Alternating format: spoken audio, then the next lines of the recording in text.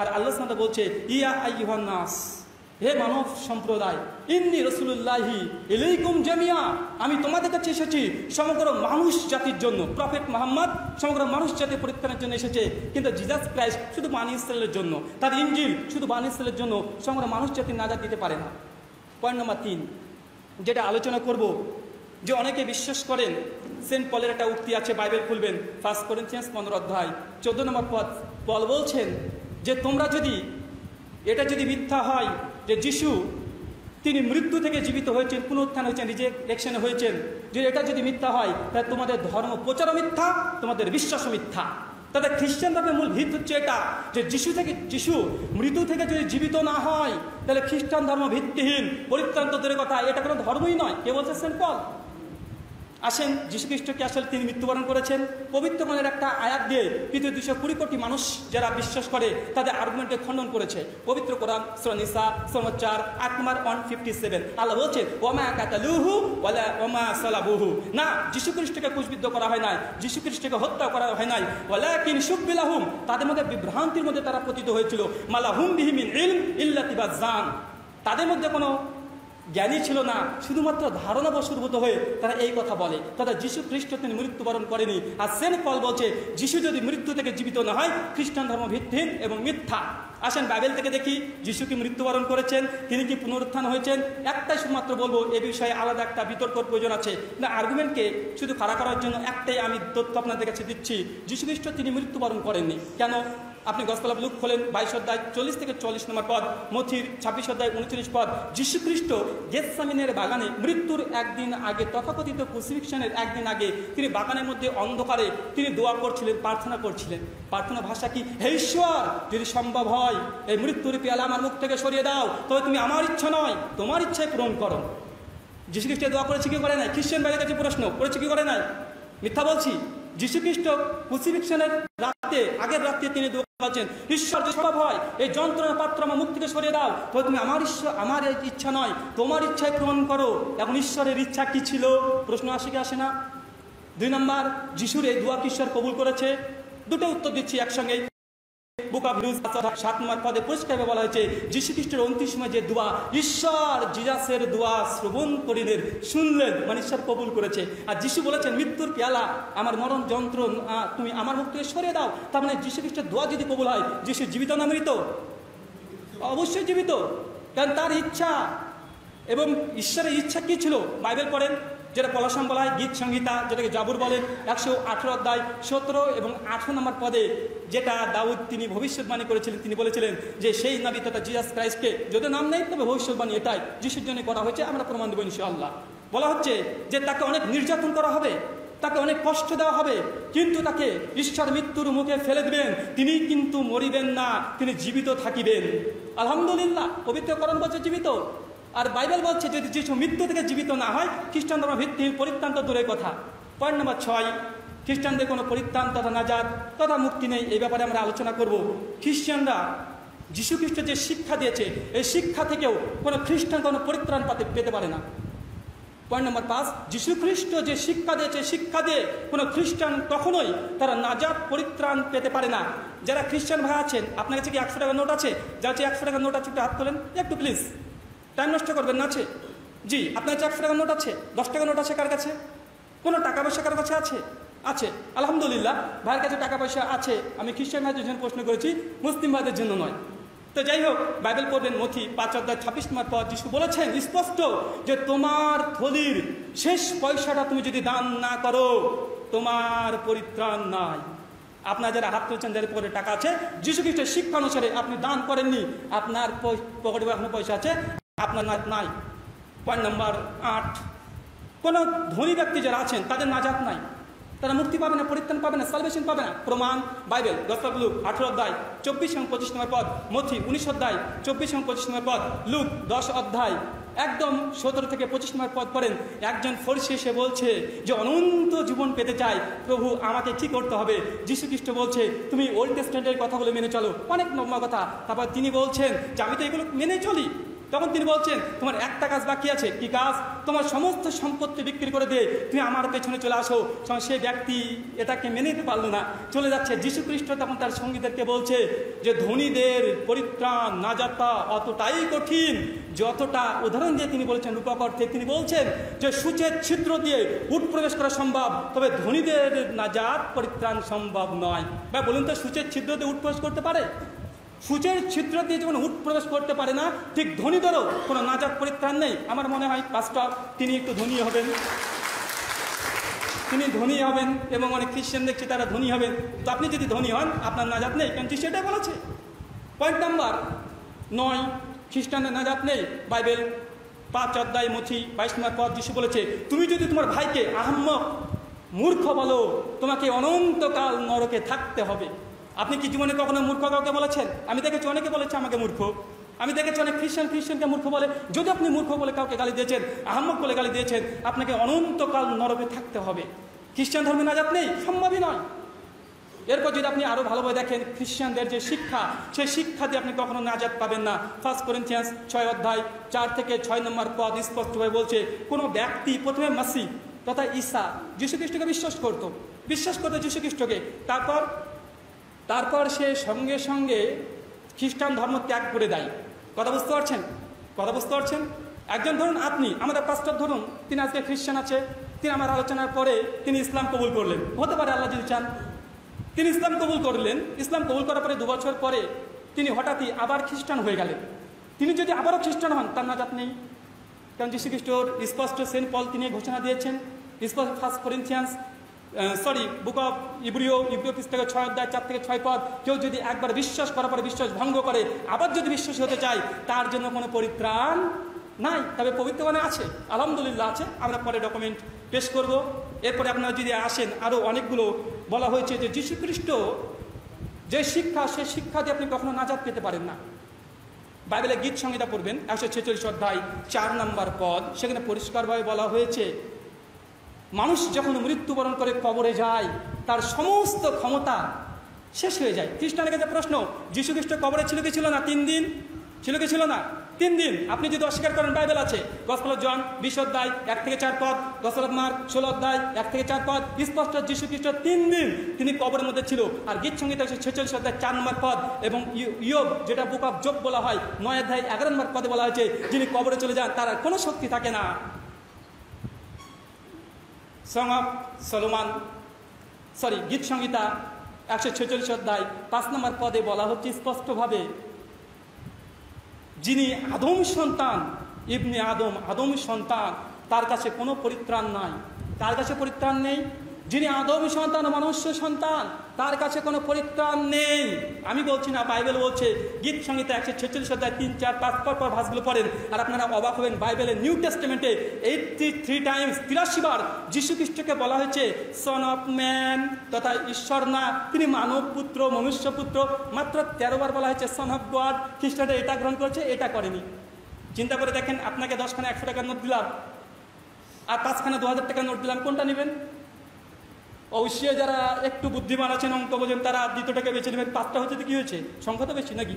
অবশ্যই, তার মানে যিনি আদম সন্তান, তার কাছে কোনো না যাক তথা পরিত্রাণ নেই, স্পষ্ট।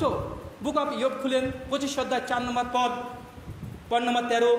পঁচিশ অধ্যায় চার নম্বর পদ, যেটা ইয়োগ বলা হয়, বা বলা হয় আইয়ুব বা বুক অফ জব আপনারা অনেকভাবে ট্রান্সলেশন করেন, বুঝি না যে প্রপার নাম কীভাবে ট্রান্সলেশন হয়। যাই হোক, তারপরে সেখানে লেখা আছে, যিনি মাতৃ গর্ভ থেকে জন্মগ্রহণ করেন। তিনি কীভাবে পবিত্র হতে পারেন? যিনি মাতৃগর্ভ থেকে জন্মগ্রহণ করেন, তিনি কীভাবে পবিত্র হতে পারেন? তিনি কীভাবে খাঁটি হতে পারেন? তিনি কীভাবে পাঁক হতে পারেন? ভাই, বলুন তো, পৃথিবীতে কোনো মানুষ শুধু মা দ্বারা পৃথিবীতে এসেছে? কেউ আসেনি? একজন। ইল্লা মাশাল্লাহ একজন। তার নাম জিজাস ক্রাইস্ট মায়ের গর্ভ থেকে যিনি জন্মগ্রহণ করেন, তিনি পাক হতে পারেন না। বাইবেল বলছে, আয়ুব পঁচিশ অধ্যায় চার নম্বর পদ। আপনাদের কাছে প্রশ্ন, যীশুখ্রিস্ট মায়ের পেট থেকে এসেছে, গেছে নাই? এসেছে মারিয়ামের পেট থেকে এসেছে। যদি আপনি অস্বীকার করেন, বাইবেল বলছে গাছপাল লুক, এক অধ্যায় তেত্রিশ থেকে অষ্টাশি আটষট্টি নম্বর পদ পড়েন, স্পষ্ট মারিয়ামের ঘটনা সম্পূর্ণ বর্ণনা আছে। তো যীশুখ্রিস্ট, তিনি মায়ের পেট থেকে এসেছে। কোনো মানুষ শুধু মায়ের পেট থেকে আসেনি, বাবা এবং মা দুজন যে রিলেশন এর ফলে জন্মগ্রহণ করেছে। আর বলছে, যিনি মায়ের পেট থেকে জন্মগ্রহণ করেছেন, সে কীভাবে পাক হতে পারেন?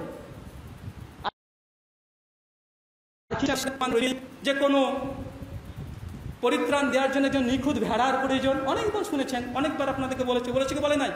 বলেছেন, নিখুঁত লাগবে। তো যীশু খ্রিস্ট নিখুঁত নয় এটা তার প্রমাণ। বা ওল্ড টেস্টের পঁচিশ অধ্যায় চার নম্বর পদ স্পষ্ট।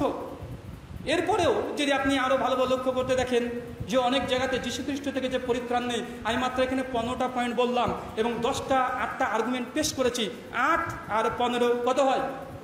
তেইশ, মাত্র তেইশটা মাত্র তেইশটা আমি পয়েন্ট উপস্থাপন করেছি। পয়েন্ট নম্বর ওয়ান যদি আপনি ইসলামের দৃষ্টিতে না নাজাত, তথা এক, ইমান, দুই, আমল, তিন, আল্লাহর রহমত। আমার আর্গুমেন্ট ছিল দুই নম্বর, যে বাইবেলের আলোকে মুসলিমরা পরিত্রাণ পাবে। আপনারা পরিত্রাণ পাবেন, কোনো সমস্যা নেই। এর জন্য আটটা আর্গুমেন্ট পেশ করেছি। আর খ্রিস্টানরা যে নাজাদ পাবে না, বাইবেল থেকে পেশ করেছি ইন টোটাল তেইশটা আমার প্রশ্ন পাঁচটা কাছে থাকল। তিনি হয়তো রিভার্টাল সেশনের সময়তে এসে আপনার কাছে পরিষ্কার করবে, আমরা আসলে শিখতে চাই, বিতর্ক নয়, আমরা আসলে শিখতেই চাই। আর পবিত্র কোরআন আমাদের শেখার জন্য বারবার বলছে, কোরআনের প্রথম আয়াত ছিল এটা কি করো পাঠ করো, পড়ো।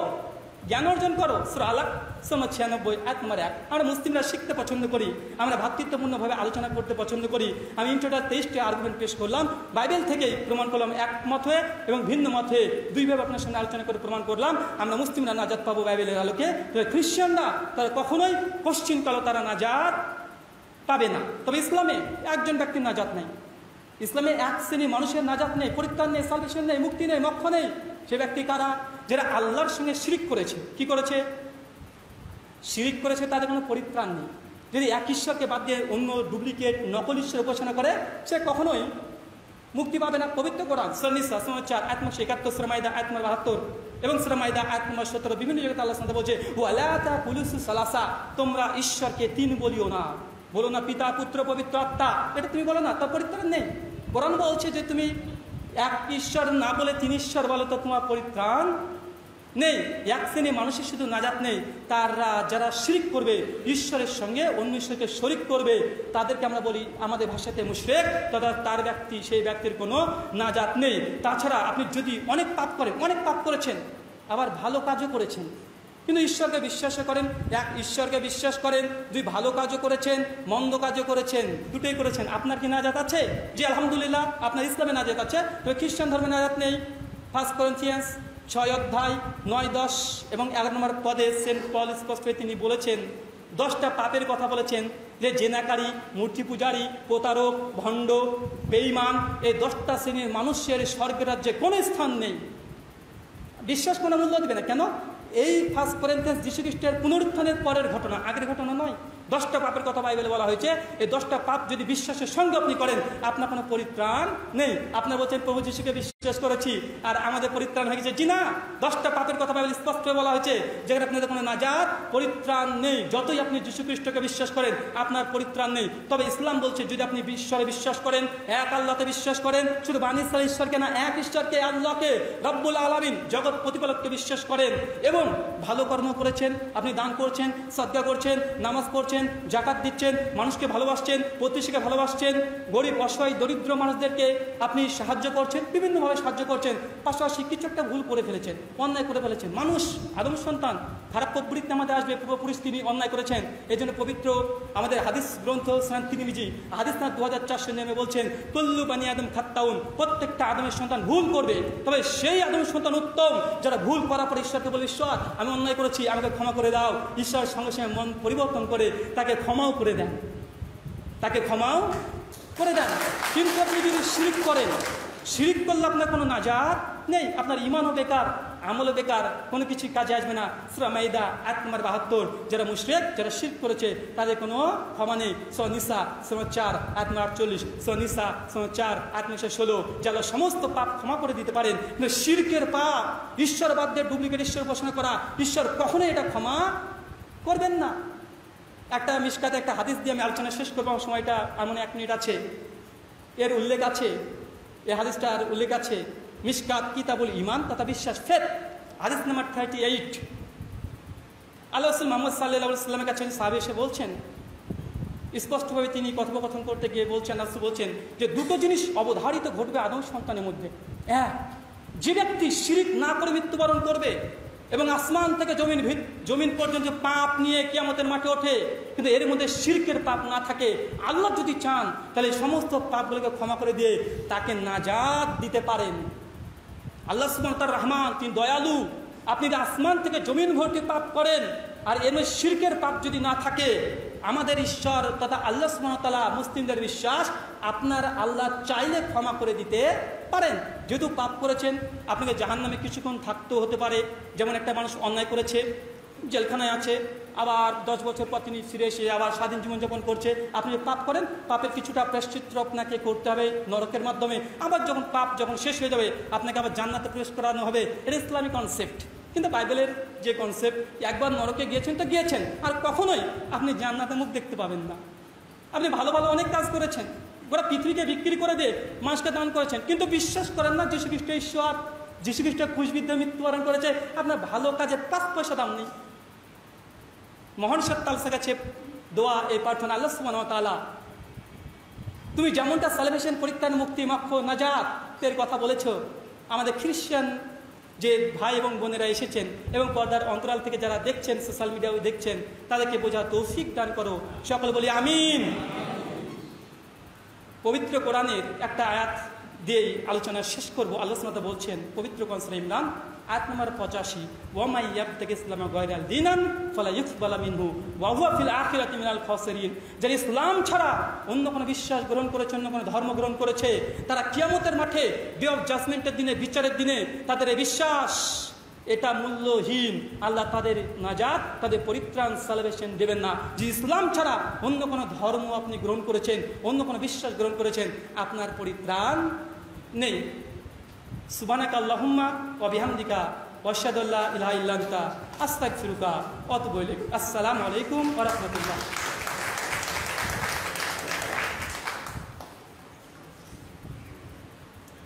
নাজাত, কোরআন এবং বাইবেলের আলোকে এবারে যে আমাদের দ্বিতীয় বক্তা খ্রিস্টান বক্তা পাস্টার দাস গুপ্তা উনি চল্লিশ মিনিট আলোচনা রাখবেন। তার আগে ভাই মুকুল ওনার পরিচয় করিয়ে দেবেন। ওনাকে আহ্বান করছি আপনি আসুন ওনার পরিচয়টা করিয়ে দিন।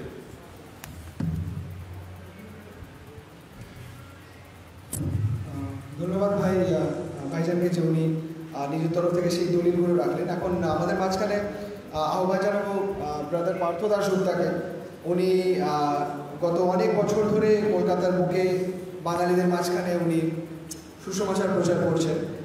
আর উনি সেই ইম্যানুয়েল চার্চ, প্রার্থনা ভবন চার্চে তিনি পালকের কাজ করছেন আর সুসমাচার প্রচার করেন সেই কম্পারেটিভ রিলিজন বিভিন্ন ধর্ম, বিভিন্ন মাঝাব নিয়ে যেই আলোচনার মধ্যে উনি শরিক হন আর বিষয়গুলো নিয়ে উনি আলোচনা করে রয়ে থাকেন। আমি দিশা নির্দেশগুলো আবার আরেকবার বলে দিতে চাই যে যখন উনি বলবেন তখন যেমনই পরিস্থিতি হোক না কেন, আমরা এই সবার পরিমা বজায় রাখব। আমরা হাততালি না দেওয়ার চেষ্টায় থাকব, ঠিক আছে? আর ওই দিক থেকে যদি কিছু রেসপন্স যদি না করি, প্রতিক্রিয়া না দিই, সেটাই বেস্ট কেন কি এটা একটা সেই সভা হচ্ছে যেখানে ইনি দলিল প্রস্তুত করছেন। প্রস্তুত? ভাই Partha Dasgupta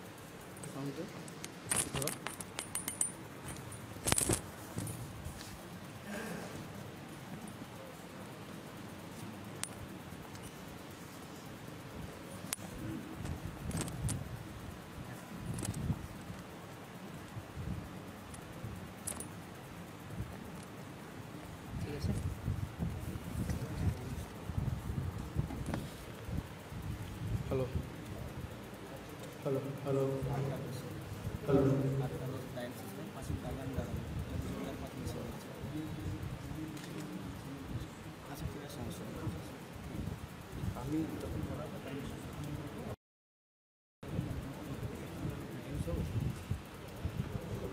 hello okay ঠিক আছে. প্রত্যেককে প্রভু যীশু খ্রিস্টের মহান নামে আমি প্রত্যেককে সালাম জানাই। আর আমাদের খ্রিস্টীয় ভাই বোনকে শুভেচ্ছা জানাই। আর আমার প্রত্যেক মুসলিম ভাইকে যদি আপনাদের প্রত্যেকে আসসালাম আলাইকুম। আর আমি বিশেষ করে ধন্যবাদ দিই আমাদের ব্রাদার রাহুল জন্য এবং তিনি তার সঙ্গে আমার কিছু মাস হয়েছে বন্ধুত্ব হয়েছে এবং যেখানে আমাদের আলোচনা হয়, বিভিন্ন সময় কথাবার্তা হয়, ফোনের মাধ্যমে খুব ভালো লোক উনি এবং আমরা আলোচনা করি এবং উনি আজকে খুব সুন্দর করে উনি আপনাদের কাছে উপস্থাপনা করল বাইবেল এবং কোরআন থেকে। তো ওনাকেও আমি ধন্যবাদ দিই যে উনি এখানে এসছেন। আর আমরা সুন্দরভাবে ডিবেটটাকে অ্যারেঞ্জ করতে পেরেছি এবং আপনাদের প্রত্যেককে ধন্যবাদ দিই আপনারা সুন্দর শান্তভাবে বসে সুন্দরভাবে খ্রিস্টান এবং মুসলিম দুজনকেই আমরা ধন্যবাদ দিই কেননা আমরা সবাই একে, প্রত্যেকে সেই আদম থেকেই এসছে। কেউ ডিফারেন্স নয়, প্রত্যেকে আমরা আদম সন্তান, আদম জাত, ঠিক আছে? পরিত্রাণ কে পাবে সেটা জান্নাতে একদম দোরগোড়ায় গিয়ে সেই সময় হবে। হ্যাঁ? সেই সময়, সেই দিন কে পাবে কি, কে পাবে না? না সেটার বিচার আমি করতে পারব, না সেটা ব্রাদার রাহুল। তো রাহুলদার সমস্ত প্রশ্ন অনেক ফাস্ট বলেছেন। যে কটা লিখতে পেরেছি তার অ্যান্সার নিশ্চয়ই দেবো। কেন অনেক তাড়াতাড়ি উনি বলেছেন। তো চেষ্টা করেছি সমস্ত কিছু। আর যেগুলো হয়তো যদি ভুলে যাই, ভাববেন না। কেননা অনেক ফাস্ট বলেছেন। আমি চেষ্টা করেছি লেখার। আর যদিও ভিডিও হচ্ছে, তারপর নিশ্চয়ই সেগুলোতে যদি যদি কোনো মিস করে যাই ভিডিও করে আমি অ্যান্সার দেবো। তো আমি প্রত্যেকে শুরু করার আগে আমিও বলে নিই যে, যেহেতু এটা ডিবেট এবং এই সময় হয়তো আপনাদের কোনো কিছু অফেন্স লাগতে পারে আমার তরফ থেকেও, তাই কিছু মনে করবেন না, ক্ষমা করে দেবেন ভাই হিসাবে। আর আমরা বিশ্বাস করি খ্রিস্টান এবং মুসলিম ভাই বোনরা যদি একসঙ্গে একত্রিত থাকে, তাহলে দুনিয়াতে প্রকৃত শান্তি আসবে। আমরা প্রত্যেকে একসঙ্গে একত্রিত, এবং আমি ব্রাদার রাহুলকে আমি অসংখ্য ধন্যবাদ দিই এখানে আসার জন্য। তো, আজকে টাইমটা স্টার্ট করো হ্যাঁ? তো আসুন, আমি জাস্ট শুরু করার আগে আমাদের বাইবেলের নিয়ম অনুযায়ী আমি জাস্ট একটুখানি প্রার্থনা করি। প্রভু তোমাকে ধন্যবাদ দিই, তুমি আমাদেরকে সৃষ্টি করেছ, তুমি মালিক, তুমি সব কিছু দিয়েছ আমাদেরকে। আজকের এই সময়কে তোমার দ্বারা কি যা কিছু বলব, তোমার আত্মার দ্বারা বলতে সাহায্য করো। ইসাল মসির নামে দোয়া চাই। আমেন। ওকে, আজকে আমিও যে প্রেজেন্টেশন আছে, প্রথমে আমি প্রেজেন্টেশন বলব এবং নেক্সট যখন আছে, আমি রিবাটালে অ্যান্সারটা দেবো। তো প্রথম যেটাকে আমি বলব স্যালভেশন বাইবেল তার কনসেপ্ট কি? বাইবেলের প্রকৃত কনসেপ্ট কি? নাজাদ বা স্যালভেশনের তারপর আমি বলব কোরআনের কনসেপ্ট কি? স্যালভেশনের এবং তারপরে বাইবেল এবং কোরআনের মধ্যে কেন বাইবেলটা ঠিক? কেন কোরআনের বা হাদিসের নাজাদ ভুল? সেটাকে আমি বলব। প্রথমে আমি বাইবেলের বলি যে লেখা আছে ফার্স্ট তিমতীয় দুই অধ্যায় তিন পদে, ঈশ্বরের ইচ্ছা এই যেন সমস্ত মানুষ নাজাদ পায়। একজনও যেন বাকি না থাকে। এটা ঈশ্বরের ইচ্ছা, যেন সমস্ত না পায় এবং তারা সত্য পর্যন্ত, হক পর্যন্ত তারা যেন পৌঁছাতে পারে। কোনো মতেই এরকম নয়। দ্বিতীয় পিতা তিন অধ্যায় তিন অধ্যায় নয় পদ। দ্বিতীয় পিতা তিন অধ্যায় নয় পদ, এটাও তিনি বলছেন যে, সমস্ত মানুষরা যেন পরিত্রাণ পায়। সমস্ত মানুষরা যেন সত্য পর্যন্ত পৌঁছাতে পারে। অনেক বার্সে আছে, কিন্তু জাস্ট দুটো বললাম টাইম কমের জন্য। তো পরিষ্কারভাবে এটা ঈশ্বরের ইচ্ছা, যেন একটা মানুষও জাহান্নুমে না যায়। ঠিক আছে? এবং যদি আমরা খুব পরিষ্কার করে দেখি, বাইবেল আমাদেরকে কি বলে? সেটাকে আমাদেরকে বুঝতে হবে। বাইবেলের নাজার তো খুব সিম্পল এবং খুব সরল। যেটাকে লেখা আছে পেরিতা ষোলো অধ্যায় তিরিশ পদ। পেরিতা ষোলো অধ্যায় তিরিশ পদ লেখা আছে তিরিশ একত্রিশে যে একজন লোক এসে জিজ্ঞেস করল আহ, ঈসা মসি সেই সময় মারা গেছেন তার উম্মদদেরকে যে আমরা নাজাদ কী করে পেতে পারি? কি করে আমরা নাজাত পেতে পারি? তখন তিনি বললেন আর তিনি তাদেরকে কইলেন মহাশয়রা পরিত্রাণ পাওয়ার জন্য কি করিতে হইবে? তুমিও তোমার পরিবার ঈসা মসির উপর ইমান নিয়ে আসো তাহলে তুমি নাজাদ পাবে।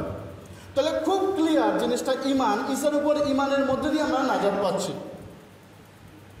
তো এখানে কোনো রকমের ঘোরপ্যাচ করার কিছু নেই, আর কোনো রকমের কি বলব দিদা কোনো খ্রিস্টানদের কোনো কনফিউশন নেই। খ্রিস্টানদের কোনো রকমের চিন্তা নেই, কেননা ঈশার উপর যে বিশ্বাস করেছে, সে নাজাদ পেয়েছে ইমানের মধ্যে দিয়ে। কিন্তু দেখা যায় যে, বিশেষ করে যে ফার্স্ট জোহন এক অধ্যায় সাত পদে এটাও লেখা আছে যে ঈসা মসির রক্তে আমরা সবাই নাজাদ পেয়েছি। ঈশা মসির রক্তের মধ্যে দিয়ে আমরা সবাই নাজাদ পেয়েছি। যিশু রক্তের মধ্যে দিয়ে। ঠিক আছে? এবং অনেক সময় খ্রিস্টানদের এবং মুসলিমদের একটা ভুল কনসেপ্ট থাকে, বিশেষ করে যে ঈসা মসির উপর বিশ্বাস করে নাজাত পেয়ে গেছি মানে আমি লাইসেন্স পেয়ে গেছি পাপ করা। একবার নাজাত পেয়ে গেছি, এবার আমি যা ইচ্ছা তাই করব, কোনো অসুবিধা নেই, কোনো কিছু ক্ষতি হবে না। কিন্তু পরিষ্কারভাবে এটা সম্পূর্ণ পরিমাণে একটা ভুল ধারণা। কেন এটা ভুল? লেখা আছে মথিতে সাত অধ্যায় একুশ থেকে সেই তেইশ পদে। সেখানে লেখা আছে, অনেকে সেই সময় অনেকে, সবাই নয়, ভালো করে এক একটা ওয়ার্ড বুঝতে হবে। অনেকে সেই সময় বলবে, হে প্রভু হে প্রভু। যিশু কি বলছে? অনেকে বলে, হে প্রভু হে প্রভু। যারা বলে, তারা সকলেই যে স্বর্গরাজ্যে যাবে, এরকম নয়। কিন্তু যারা যে ব্যক্তি আমার পিতার ইচ্ছা পালন করে, তার মানে খুব ইম্পর্টেন্স ইমানের সঙ্গে সঙ্গে কর্মটাও ইম্পর্টেন্স বাইবেল কখনো কর্মকে বাদ দেয় না। বাইবেল কখনো কর্মকে বাদ দেয় না, কাজকে বাদ দেয় না, ঠিক আছে? ইমান তার সঙ্গে আমাদের কর্মকে লাগবে এবং যিশু পরিষ্কার করে বলছে, সেই দিন অনেক খ্রিস্টানরা এটা বিশেষ করে প্রভু কারা বলে? খ্রিস্টানরা বলে, মুসলিমরা বলে না প্রভু? খ্রিস্টানরাই বিশেষ করে বলে। আর সেই সময় অনেক খ্রিস্ট বিশ্বাসীরা আসবে, তারা বলবে, হে প্রভু হে প্রভু, আমি এই করেছি, ওই করেছি। তখন যিশু বলবে, আমি চিনি না। তার কারণটা কি? তার কারণটা হলো, আমাদের কিতাবে পরিষ্কার দেওয়া আছে যে শেষ পর্যন্ত ইমানদার থাকে, সেই নাজাত পায়। পুরো পরিষ্কার যে আপনি একবার নাজাদ পেয়ে গেছেন পরবর্তীকালে, যদি আপনি ইমান থেকে সরে যান, আপনি হারিয়ে যাবেন। আপনি হারিয়ে যাবেন, আপনি সেখান থেকে বাঁচবেন তাই পরিষ্কারভাবে যে যারা আমাকে হে প্রভু হে প্রভু বলে, তারা যে সবাই নাজাত পাবে, সেটা নয়, সবাই পরিত্রাণ পাবে, সেটা নয়। যে ব্যক্তি ঈশ্বরের ইচ্ছাকে পালন করবে। তো পরিষ্কারভাবে, কখনো কোনো খ্রিস্টান এটা বলতে পারে না যে আমরা ঈশ্বরের ইচ্ছাকে পালন করব না। আর যে ঈশ্বর, যে মানুষ ঈশ্বরের ইচ্ছাকে বা ঈশ্বরের ইচ্ছা তো বাইবেলে যে বাক্য লেখা আছে, যে মানুষ বাক্যকে পালন না করে যিশুকে প্রভু বলে, সে হলো ফেক খ্রিস্টান। সে নকল খ্রিস্টান, তার কোনো দাম নেই। সে যত ফাদারের ড্রেস পরতে পারে বা যে কোনো কি বলব, উপরের লোক হতে পারে। যে ব্যক্তি নকল, সে কখনোই নাজাদ পাবে না। তো খ্রিস্ট বিশ্বাসের প্রকৃত অর্থ হলো তাকে বিশ্বাস করার সঙ্গে সঙ্গে তাকে কাজও করতে হবে। ঠিক আছে, এরকম নয়। দেখা যাবে এখানে খুব ভালো করে যে অনেক সময় অনেক সময় বিশেষ করে আমাদের অনেক মুসলিম ভাই বোনরা তারা বিশেষ করে এই আর্গুমেন্টগুলো তারা পেশ করে যে যীশু খ্রিস্ট ক্রুশে মরে গেছেন তিনি রক্ত ঝরিয়েছেন। যদিও তারা বিশ্বাস করে না যে যীশু ক্রুশে মরেছে। এটা ইসলামের একটা অনেক বড় বিশ্বাস যে যিশু মরেনি, ঠিক আছে? তবুও এটা কিন্তু একদম হান্ড্রেড পার্সেন্ট প্রুফ নেই। আমিও কোরআন থেকে প্রুফ করব যে যিশু মরেছে। সেটা আমিও কোরআন থেকে দেখাবো যে যিশু মরেছে কিনা। এটা আপনাদের কোরআনে অনেক সময় তর্জমার প্রবলেমস থাকে। বিভিন্ন কোরআন, আমার কাছে প্রচুর কোরআন আছে, অনেক ধরনের মানে বিভিন্ন ট্রান্সলেশন কোরআন তো একটাই আরবিকে ঠিক আছে? তো আমি ওটাকে দেখাবো, ওটা রিভার্টালে আমি দেবো। আরেকটা জিনিস যেটাকে বিশেষ করে বলি, আমাদের নাজাদ পাওয়ার আরেকটা খুব পরিষ্কার একটা জায়গা হচ্ছে, যেটা লেখা আছে, যদি আপনি ঈসা মসি তিনি যে আমাদেরকে প্রার্থনাটা শিখিয়েছেন, যদি আপনারা সেটা দেখেন, মতি তার ছয়তে নয় থেকে তার। মতি তার ছয়তে নয় থেকে। সেখানে পরিষ্কার করে বলা হয়েছে যে, আমরা আপন আপন অপরাধীদের ক্ষমা করেছি, তেমনি তুমি আমাদেরকে ক্ষমা করো। তো পরিষ্কারভাবে নাজাদ পাওয়ার আর একটা রাস্তা হলো, অন্যকে ক্ষমা করতে হবে। আপনি যদি গুনেগার হন, আল্লাহ যদি আপনাকে মাফ করতে পারে। আপনি যদি অন্যকে মাফ না করেন, তাহলে আপনি ক্ষমা পাবেন না। যদি এই কনসেপ্ট ইসলামে নেই, কিন্তু এটা খ্রিস্টানিটিতে আছে। আপনার শত্রুকেও আপনাকে মাফ করতে হবে, ক্ষমা করতে হবে। ঠিক আছে? তাহলে কিন্তু আপনি নাজাদ পাবেন যদি আপনি আপনার শত্রুকে ক্ষমা করেন। কারণ পরিষ্কার বলছে, যদি তুমি ক্ষমা না করো, তাহলে তোমার গুণাও কিন্তু ঈশ্বর ক্ষমা করবে না। তোমার পাপও কিন্তু ঈশ্বর তিনি ক্ষমা করবে না। আর যদি আমরা দেখি যে যীশু খ্রিস্ট তিনি আমাদের জন্য যে ক্রুশে মরেছেন আমাদেরকে নাজাদ বলছেন। এটা বাইবেলে একটা খুব সুন্দর একটা ভার্স আমি আপনাদেরকে এটাকে দেখাচ্ছি। তার আগে একটা জিনিস বলি যে নাজাতের আহ, প্রয়োজনটা কেন? নাজাতের প্রয়োজন আমরা সবাই জানো। যেদিন আদম এবং হবা তারা যখন আল্লাহর কাছে অবাধ্য হন সেই গাছের ফলটা কেন? এটা মুসলিম খ্রিস্টান উভয় বিশ্বাস করে। এবং সেখান থেকে তাদের নাজাদের প্রয়োজন হয়। প্রথমে কিন্তু নাজাদের প্রয়োজন ছিল না। সেখান থেকে নাজাদের কিন্তু প্রয়োজন হয়। এবং সেখান থেকে মানুষ কিন্তু আল্লাহ থেকে দূরে চলে যায়। এবং সেই জন্য এই ভবিষ্যৎবাণী সেই প্রথমে তৌরা শরীফে করে দেওয়া হয়েছে। তৌরা শরীফে করে দেওয়া হয়েছে তিন আদি পুস্তক জেনেসিস তার তিন অধ্যায় পনেরো পদে। এখানে সেই প্রফেসিটা করে দেওয়া হয়েছে যে, শয়তানকে ঈশ্বর তিনি বলছেন যে, আমি তোমার নারীর মধ্যে তোমার বংশ তার বংশ শত্রুতা জন্মাইব। সে তোমার মস্তক চূর্ণ করবে, তুমি তার পদমূল চূর্ণ করবে। অর্থাৎ ঈশা মসির আগমনের কথা একদম জেনেসিসে মানে বাইবেলের প্রথম বইতেই লেখা আছে। যে তিনি আসবেন, সে শয়তানের মস্তককে চূর্ণ করবেন, আমাদেরকে পাপ থেকে মুক্তি করবেন। কেননা কোনো মানুষ নিজে থেকে পাপ থেকে বেরাতে পারে না। যদি সেটাই হতো, তাহলে আল্লাহ নবী পাঠাতো না, আল্লাহ কালাম দিত না, নিজে থেকে বেরাতে পারতো। কিন্তু কখনো কোনো মানুষ নিজে থেকে মুক্তি পেতে পারে না। যখন একজন আদম গুনেগার করল, তার সঙ্গে সঙ্গে আমরা সবাই কিন্তু গুনেগার যদি সেটাই না হতো, তাহলে আদম এবং হবা তারা শুধু জান্নাতে থেকে বেরিয়ে গেছিল। বাদ বাকি আমরা তো জান্নাতে থাকতে পারতাম, কারণ আমরা তো সেই গুণা করিনি। আমরা তো সেই পাপ করিনি। কেন আমরা আজকে এখানে? কিন্তু আমরা অরিজিন সিন এখানে দেখতে পাই যে তাদের জন্য আমরা কিন্তু বাইরে বেরিয়েছি। নাহলে কিন্তু আমরা কেন থাকতাম না। ওই জন্য কিন্তু নাজাদের প্রয়োজন। নাজাদটা কিন্তু অন্য হিসেবে আমাদের দরকার ছিল না। সেই থেকে কিন্তু সেই সময় আপনি যদি তওরাতে পারেন, প্রথমেই এখানে ভবিষ্যৎবাণী হয়েছে, যেটা কোরআনের অনেক পূর্বের কিতাব। ঠিক আছে? তো আমাদের কিন্তু এখানে পরিষ্কারভাবে লেখা আছে। আর আমরা কীভাবে আমরা নাজাদটা পেয়েছি, আমরা একটা ভার্স বলব প্রথম জোন দেখুন কত সুন্দর লেখা আছে ফার্স্ট জোন তার চার অধ্যায়, দশ পদ, এটা আমি আপনাদের জন্য পড়তে চাই। কেন হয়তো আপনারা পড়লে জিনিসটাকে বুঝতে পারবেন।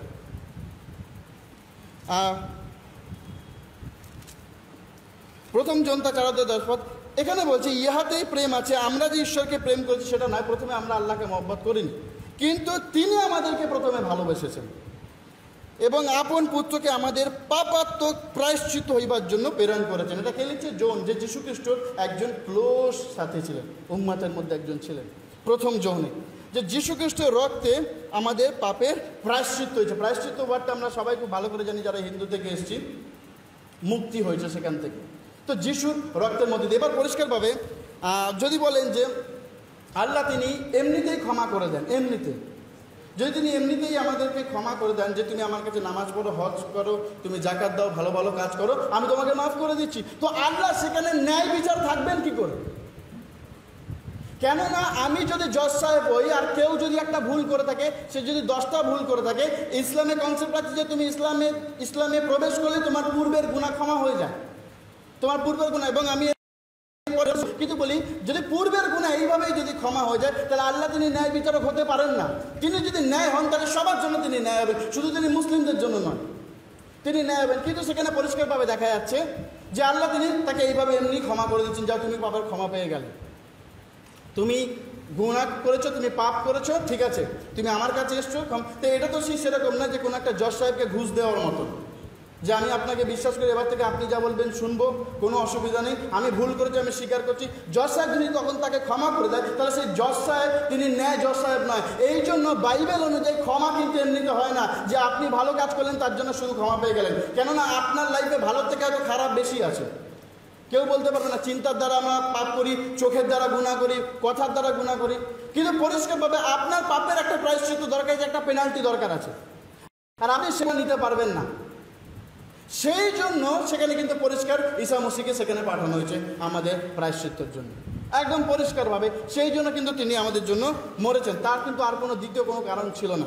তো, আমাদের কাছে এবারে বাইবেলে জন তিনে ষোলো বলছে যে, কারণ ঈশ্বর জগৎকে এমন প্রেম করলেন যে আপনার একজাত পুত্রকে দান করলেন, যেন যে কেউ তাতে বিশ্বাস করে। তো পরিষ্কারভাবে যে কেউ তার উপর বিশ্বাস করে, সে বিনষ্ট নয়। জগৎকে বলা হয়েছে, কোনো খ্রিস্টান জাতিকে বলা হয়নি। ভালো করে দেবেন, এখানে বলছে ওয়ার্ল্ড ওয়ার্ল্ড বলতে আপনি যদি শুধু ভাবেন যে ইসরায়েলদের তাহলে সমস্যা আছে, কিছু কিছু সময় ইসরায়েলদের মেনশন করা হয়েছে, তো কোরআনও অনেক সময় মুসলিমদেরকে মেনশন করা হয়েছে। তো ইসরায়েলদেরকে মেনশন করা হয়েছে কিছু কিছু সময়, কিন্তু যখন তিনি নাজাদের বিষয়ে বলেছেন, বলছে, ঈশ্বর জগৎ কেমন প্রেম করলেন যে আপনার একজাত পুত্রকে দান করলেন। যে কেউ তার উপর বিশ্বাস করে, যে কেউ হিন্দু হোক, মুসলিম হোক, খ্রিস্টান হোক, যে বিশ্বাস করবে সেই উদ্ধার পাবে, সেই পরিত্রাণ পাবে। কোনো রকমের এখানে কিছু নেই। এবার আমি ইসলামে বলব, ইসলামে সালভেশন নেই। ইসলামে সালভেশন কিন্তু নেই। কেননা ইসলামের সালভেশন এখানে আল্লাহর ইচ্ছাতে হয়। তো প্রথম যদি দেখেন যে হজরত মোহাম্মদ, যিনি আপনাদের নবী, তিনি সালভেশন পাবেন কিনা সেটাও গ্যারান্টি নেই। কোরআন শরীফে আটচল্লিশ নম্বর অধ্যায়, দু নম্বর আয়তে লেগে আছে, সেখানে বলছে, then Allah may forgive you what preceded of your sin and what will follow and complete completed his favour upon you and guide you to the straight path may Allah. এখানে দেখুন, হয়তো তোমাকে আল্লাহ তিনি ক্ষমা করবেন। হয়তো তিনি। এরকম প্রচুর তর্জমা আপনাকে দেখাবো যেখানে হয়তো মেয়ে কথাটা লেখা আছে। তো প্রথমে হচ্ছে যে নবী তিনি নিজে সালভেশন পাবেন কিনা সেটা কোনো গ্যারান্টি নেই। এই জন্য এখানে পরিষ্কার করে বলেছে হয়তো আল্লাহ তোমার পাপ এবং পরবর্তী পাপকে ক্ষমা করে দেন। হয়তো আল্লাহ তোমাকে ক্ষমা করবেন। কোনো গ্যারান্টি নেই, ঠিক আছে? এবার যদি ভালো করে দেখুন, ইসলামের মধ্যে পাপ আসলো কি করে? পাপ কি করে আসলো? এটাকে আমাদের জানা দরকার আছে। যদি পড়েন, বিশেষ করে সুরা ছয় সুরা ছয়, একশো সাত নম্বর আয়াতে লেখা আছে, আল্লাহ যদি চাইতো তাহলে তারা শিরিক করতো না। আল্লাহ যদি চাইতো তাহলে তারা শিরিক করতো না। তার মানে আল্লাহ চাইছে বলে তারা শিরিক করছে। তারপরে লেখা আছে, সুরা দশ, তার একশো নম্বর আয়তে লেখা আছে, সুরা দশ একশো নম্বর আয়তে, আল্লাহর ইচ্ছা ব্যতীত কারোর পক্ষে ইমান আনা সম্ভব নয়। আল্লাহর ইচ্ছা ছাড়া কোনো ইমান নয়। তাহলে আপনি একটু রোবট আপনি কখনো ইমান আনতে পারবেন না যদি আল্লাহর ইচ্ছা নয়। এটা কে বলছে? এটা আমি বলছি না। এটা আপনাদের কোরআন বলছে, কোরআন শরীফ। আল্লাহর ইচ্ছা ছাড়া কেউ ইমান আনতে পারবে না। ঠিক আছে? আল্লাহ, দেখুন, আরেকটা বয়স আমি আপনাকে বলছি। সুরা দশ, তার নিরানব্বই নম্বর আয়তে লেখা আছে, যদি আপনার প্রতিপালক ইচ্ছা করতেন, তবে পৃথিবীর সব লোক ইমান আনত। তো এটা কি আল্লাহ খেলা করছেন না আমাদের সঙ্গে? লেখা আছে, যদি তোমাদের প্রতিপালক ইচ্ছা করতেন, তাহলে সবাই ইমান আনত। তাহলে আল্লাহ ইমান আনছে না কেন? আল্লাহ কেন আমাদেরকে ইমান আনতে দিচ্ছে না? এটা তার ফল। বাইবেল ঈশ্বর এরকম কখনো বলেনি। এখানে আল্লাহ বলছেন, দেখুন পরিষ্কারভাবে, আমি বলছি দশে নিরানব্বই, যদি আপনার প্রতিপালক ইচ্ছা করতেন তবে পৃথিবীর সকল লোক ইমান আনত তবে আপনি তবে আপনি কি বাধ্য করবেন মানুষকে মুমিন হওয়ার জন্য? আপনি মোহাম্মদকে বলছে আপনি কি বাধ্য করবেন লোককে মুসলিম হওয়ার জন্য? আল্লাহ যদি চাইতো তাহলে সবাই ইমান তার মানে ইমান যে আনবে না, এটা আল্লাহর ইচ্ছা। তো এর থেকে তো আমাদের বাইবেল অনেক বেশি ক্লিয়ার সেখানে বলছে, যে কেউ বিশ্বাস করে, এখানে বলছে আল্লাহর ইচ্ছা ছাড়া হবে না। আরও আমি বলছি আপনাকে, দেখুন। লেখা আছে ছয়ের একশো উনপঞ্চাশ। লেখা আছে, আপনি বলেন পরিপূর্ণ জ্ঞান আল্লাহর। আল্লাহ যদি ইচ্ছা করতেন তবে তোমাদের সকলকে হৃদায়ত করতেন। আল্লাহ যদি ইচ্ছা করতেন তাহলে তোমাদের সকলকে হৃদায়ত দিতেন। তার মানে আল্লাহ ইচ্ছা করছেন না আমাদেরকে হৃদায়ত দেওয়ার জন্য। তো পরিষ্কারভাবে সালভেশন ইসলামে আছে কিন্তু কিছু লোকেদের জন্য। সবার জন্য নয়, আল্লাহ তাকে ঠিক করবেন। কিন্তু বেশিরভাগ লোককে আল্লাহ তিনি দিচ্ছেন না। আর পূর্ববর্তী ইহুদি খ্রিস্টানদের তো আল্লাহ মানে একদম দেখতেই পারেন না জানি না কী কারণে এত শত্রুতা। হ্যাঁ, মুসলিমদেরই বেশি ভালোবাসে আল্লাহ এটা কোরআন পড়লেই আপনারা বুঝতে পারবেন। যাই হোক আপনাদেরকে আল্লাহ ভালোবাসুক আমরা তাদের খুশি কোনো অসুবিধা নেই। কিন্তু এখানে পরিষ্কারভাবে যদি আল্লাহ চাইতো তাহলে তোমরা সবাই হৃদায়ত পেতে। তাহলে ভাই আমি আপনাদেরকে প্রশ্ন করতে চাই আপনারা হৃদায়ত পেয়েছেন আল্লাহ চেয়েছে আমরা পাইনি আল্লাহ চাইনি তাহলে কী করব? বিচার দিনে আমি আল্লাহকে বলব যে তুমি চাওনি বলে আমি পাইনি। পরিষ্কার বাংলায় বলব উনি নিশ্চয়ই বাংলা বোঝেন আমাকে আরবিতে বলতে হবে না। পরিষ্কার বলব যে তুমি চাওনি তাই পাইনি।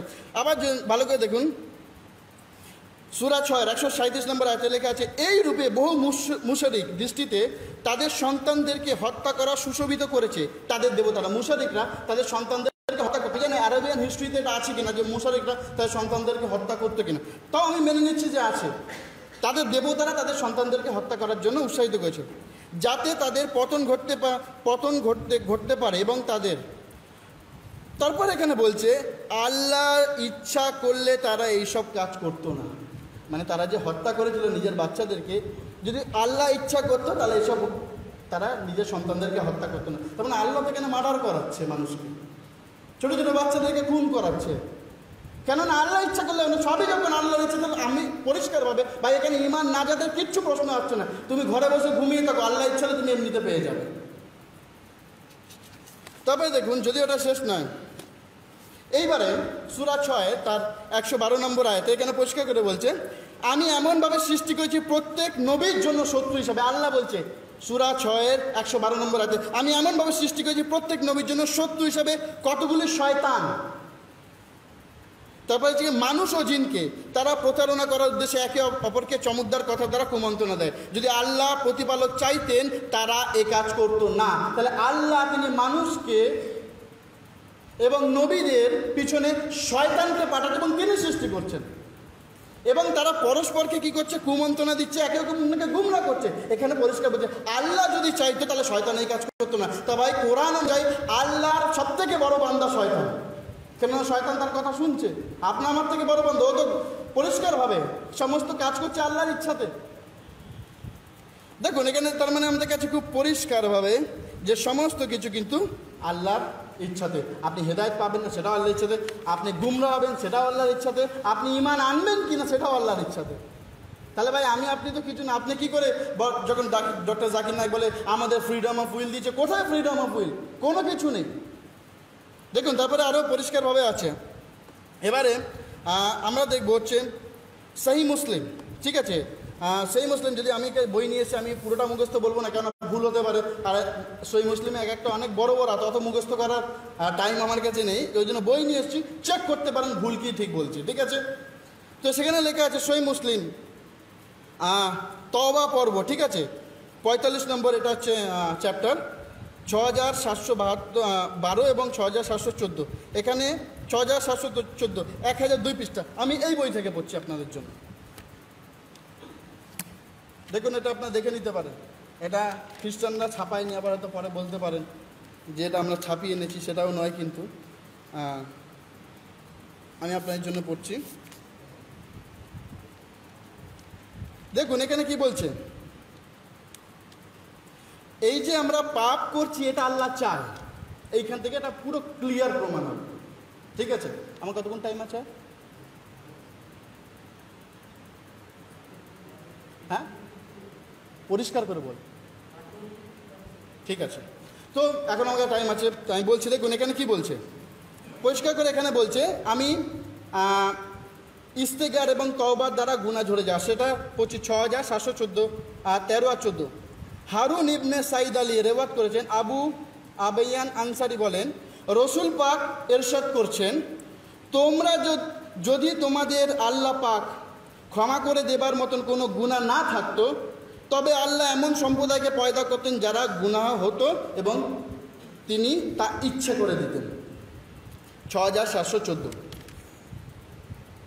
মোহাম্মদ ইবনে রফে রেওয়াত করেছেন, আবু হেরারা বলেন, রসুল পাক এরশাদ করেছেন, যে সত্তার করতলে আমার প্রাণ, তার শপথ করে বলছি, যদি তোমরা গুনাহ না করতে, যদি তোমরা গুনাহ না করতে, আল্লাহ অবশ্যই তোমাদেরকে শেষ করে দিতেন। মানে গুনাহ না করলেও শেষ করে দিতেন। আর এমন সম্প্রদায় সৃষ্টি করতেন যারা গুনাহ করে ক্ষমা প্রার্থনা করতো। ভাই, এ ভাই কেমন আল্লাহ? যদি আদম জাত গুণা না করতো, তাহলে আল্লাহ আদম জাতকে ক্ষমা করে দিতেন মানে কি, ধ্বংস করে দিতেন। ধ্বংস করে আমার একটা জাত তৈরি করতেন যাদের দিয়ে গুণা করাতেন এবং তারপর ক্ষমা করতেন। তখন আল্লাহ মানে আমার মনে হয় যে গুণা করা তিনি পছন্দ করেন। ঠিক আছে? পরিষ্কার করে এটা মনে দেখুন, এটা আমরা তো বলছি না, এটা আপনাদের হাদিস বলছে, ঠিক আছে? যদি দেখুন, আরেকটা জায়গায় আমি আপনাদেরকে দেখাচ্ছি যেটা খুব পরিষ্কারভাবে আমাদের কাছে লেখা আছে। এটাও সেই মুসলিম, আর তাকদির, ঠিক আছে? আর বিয়াল্লিশ নম্বর এটা অধ্যায় ছ হাজার পাঁচশো আঠাশ ছ হাজার পাঁচশো আঠাশ এবং ছ হাজার পাঁচশো উনত্রিশ, পেজ নাম্বার নশো সাতাত্তর। দেখুন এখানে কি বলছে। এখানে পরিষ্কার করে এত সুন্দর করে বলছে যে আপনাদের বুঝতে একদম সুবিধা হবে। দেখুন এখানে কি বলছে। আমি উপরের নামগুলো জাস্ট একটু ঠিক আছে, নামগুলো পড়েছি জুবাইন ইবনে হবর রেওয়াত করেছেন যে উন্মুল মুমিন আয়েশা বলেন, একটি বালক যখন মৃত্যুবরণ করল আমি তার জন্য আমি বললাম তার জন্য খোঁজ খবর। একটা বাচ্চা মৃত্যুবরণ করছে, তার জন্য আয়েশা তিনি বলছেন যে, আমি বললাম তার জন্য খোঁজ খবর। কেন বেরেস্তে চুরুই পাখিদের মধ্যে অন্যতম হবে? রসুল পাক বললেন, তুমি জানো না, আল্লাহ পাক বেহেস্তে এবং দোজো দুটি সৃষ্টি করেছেন। তারপর তিনি বেহেস্তের যোগ্য অধিবাসী এবং দোজকের যোগ্য অধিবাসী তিনি সৃষ্টি করেছেন। তারপরে বলছে, আমি বললাম, ইয়া রসুল, এই বালকটি সৌভাগ্যবান। কেননা সে তো তারপরে উনত্রিশ নম্বরটা বলছি, বেশ চুরি পাখিদের অন্যতম হবে। সে কোনো কুকাজ করেনি, কোনো পাপ তাকে স্পর্শ করেনি। আবার তাকে আয়সা জিজ্ঞেস করছে, এটা কীভাবে সম্ভব? সে তো কোনো পাপ করেনি, কোনো কুকাজ করেনি। তিনি বলেন এটা ছাড়া অনেক কিছু। হে আয়েশা, আল্লাহ পাক বেহেস্তের জন্য যাদের সৃষ্টি করেছেন, তাদের সেই উদ্দেশ্যে পয়দা করেছেন। তখন তা তাদের পিতা ময়ের ঔরসে ছিল।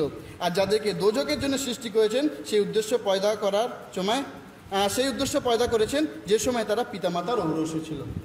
তার মানে পরিষ্কারভাবে আয়েশা তিনি কনফিউজ যে বললেন, হে প্রভু, এই হে মানে মোহাম্মদকে বলছেন, এ তো কোনো ভুলই করেনি, এ কোনো কুকাজ করেনি, পাপ করেনি। এ এসে বেহেস্তে চুরি পাখিদের সমান। তখন হজরত মোহাম্মদ তাকে বলছেন যে, তুমি জানো না, আল্লাহ পাক তিনি আগে থেকেই তিনি সৃষ্টি করে রেখেছেন মানে ভেবে রেখেছেন দোজকের জন্য কিছু আর কিছু জান্নাতের জন্য। তা পরিষ্কার, যখন আগে থেকেই তিনি করে রেখেছেন, তাহলে ভাই আমাদের কিছু করার দরকার নেই। কারণ সেখানে আমার, আপনার কনসেপ্টের মধ্যে কিন্তু সেটা আসবে না। কারণ আমরা পারব না। কারণ আমি, আপনি কিন্তু জানি না। আল্লাহ তিনি ব্যবিচার করব, এটাও তিনি আমাদের জন্য করে রেখেছেন, যেন আমরা এটা করি। আমরা করছি এটা এটা আল্লাহ তিনি স্থির করে রেখেছেন। যেটাকে লেখা আছে, তাকদির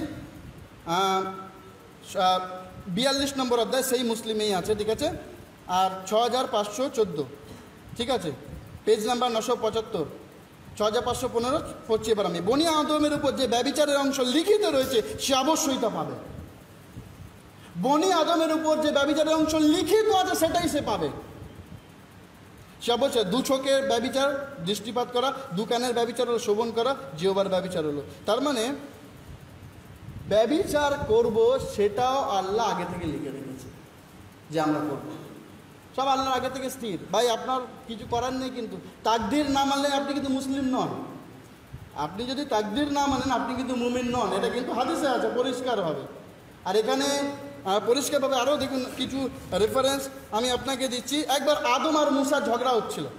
আপনারা সবাই জানেন আদম আর মুসার এই তর্কটা।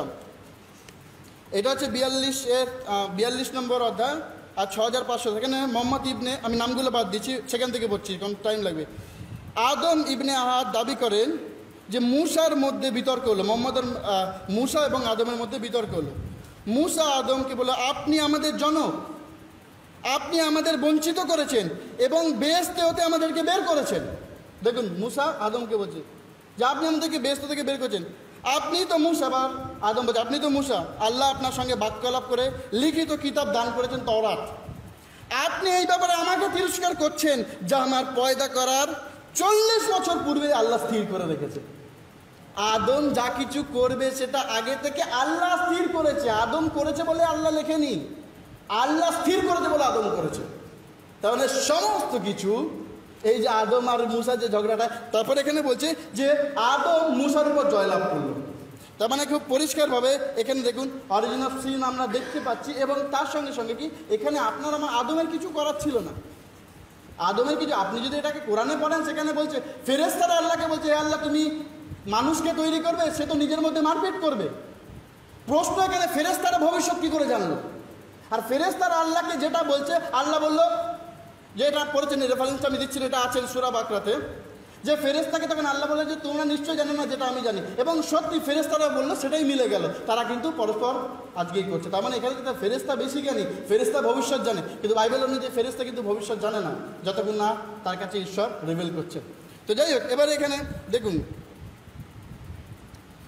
আপনারা সবাই জানেন যে, এটা হচ্ছে মুসলিম শরী বিয়াল্লিশ নম্বর অধ্যায় ছ হাজার চারশো চুরাশি পেজ নাম্বার নশো সত্তর।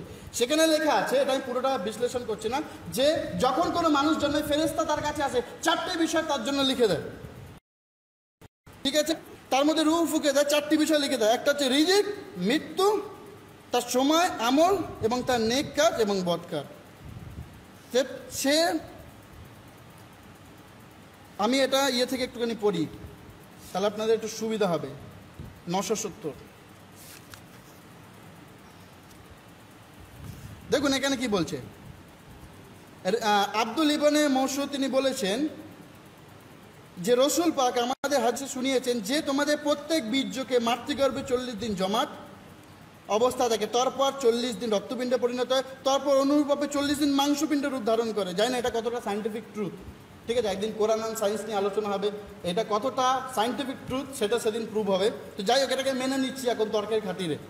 ঠিক আছে? তারপর তার মধ্যে রূপ ওকে দাও এবং তাদের চারটি বিষয় নির্দেশ দেয়।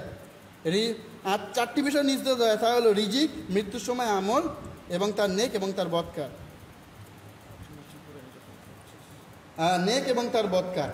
তো পরিষ্কার করে এখানে দেখা যাচ্ছে যে কোনো একটা ব্যক্তি সারা জীবন এখানে তারপরে বলছে কোনো একটা ব্যক্তি সে ভালো কাজ করছিল তার আর বেস্তের মাঝখানে আর এক হাত ফাঁক আছে।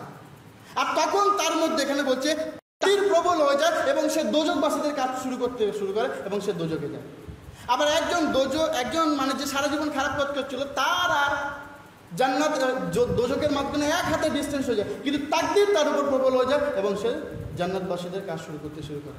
তার মানে পরিষ্কারভাবে হাদিস অনুযায়ী আপনার উপর যেটা লিখিত হয়েছে সেটা হবে। আপনি যেটা করছেন সেটা লেখা হবে না। কেউ যদি প্রুভ করে প্রুভ করতে হবে। আপনার উপর লেখা হয়ে গেছে, কোনো নাজাত সবার নেই পরিত্রাণ সবার নেই, আল্লাহ খেলছেন সবার সঙ্গে। ডোন্ট মাইন্ড কিছু মনে করবেন না। এটা আপনাদের কিতাব অনুযায়ী কিন্তু আমি বলছি। আল্লাহ যাকে ইচ্ছা পথ দেখায়, যাকে ইচ্ছা গুমরা করে। বহুবার বলেছেন কোরআনে। তিনি যাকে ইচ্ছা দেন, যাকে ইচ্ছা গুমরা করেন। তো তিনি যদি এরকম যাকে ইচ্ছা গুমরা করতে পারেন, তাহলে তো আমাদের আর কিছু করার নেই। কেন তিনি তো সর্বশক্তিমান মালিক, ঠিক আছে? পরিষ্কারভাবে, দেখুন, এখানে বলছে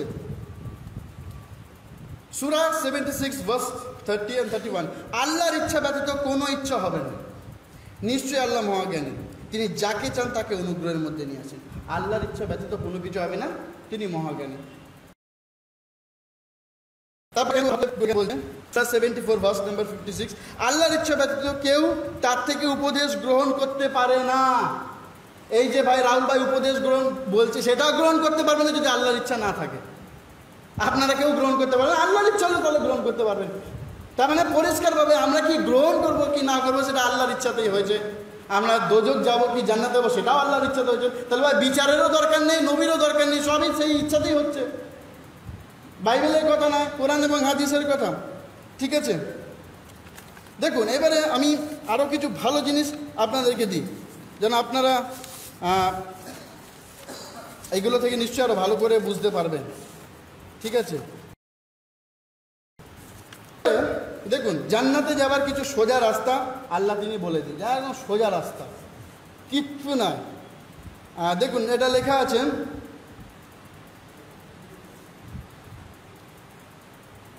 সেই মুসলিম পেজ নাম্বার একশো তিন হাদিস নাম্বার একশো সত্তর একশো পঁচাত্তর। ইল্লাল্লাহ বললেই জান্নাত। সে চুরি করুক সে খুন করুক সে যা কিছু করুক যেমন এটা রাহুল স্বীকার করেছে। শির্ক বাদ দিয়ে যা ইচ্ছা তাই করো। মার্ডার করো, রেপ করো, কোনো প্রবলেম নেই। কিন্তু বাইবেল বলছে ব্যবচার করলেই নরকে যাবে। খুন করলে নরকে যাবে। কিন্তু আপনাদের কিন্তু ওখানে না, যা ইচ্ছা তাই করো। লাই লাই ইল্লাল্লাহ বলো, তুমি জান্নাতে। আল্লাহ সব পাপ ক্ষমা করবে। তো এখানে অ্যাজ আ নিউট্রাল ব্যক্তি ব্যক্তি করুন যে কোনটা ঠিক, কোনটা ভুল। ঠিক আছে? দেখুন, তারপরে একটা খুব জিনিস বলছি।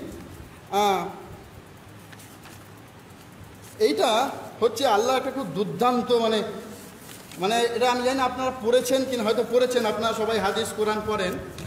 আল্লাহ মুসলিমদেরকে কীভাবে জান্নাতে নিচ্ছেন, এটা একটু দেখুন, এটা লিখে রাখুন সবাই, ঠিক আছে? এটা হচ্ছে সেই মুসলিম, তার পঁয়তাল্লিশ নম্বর অধ্যায় তওবার পর্ব, ঠিক আছে? আর পেজ নাম্বার হচ্ছে একশো নয়। দেখুন পেজ নাম্বার এক হাজার নয় সরি দেখুন এখানে কি বলছে। হাদিস নাম্বারটা বলে দিচ্ছি।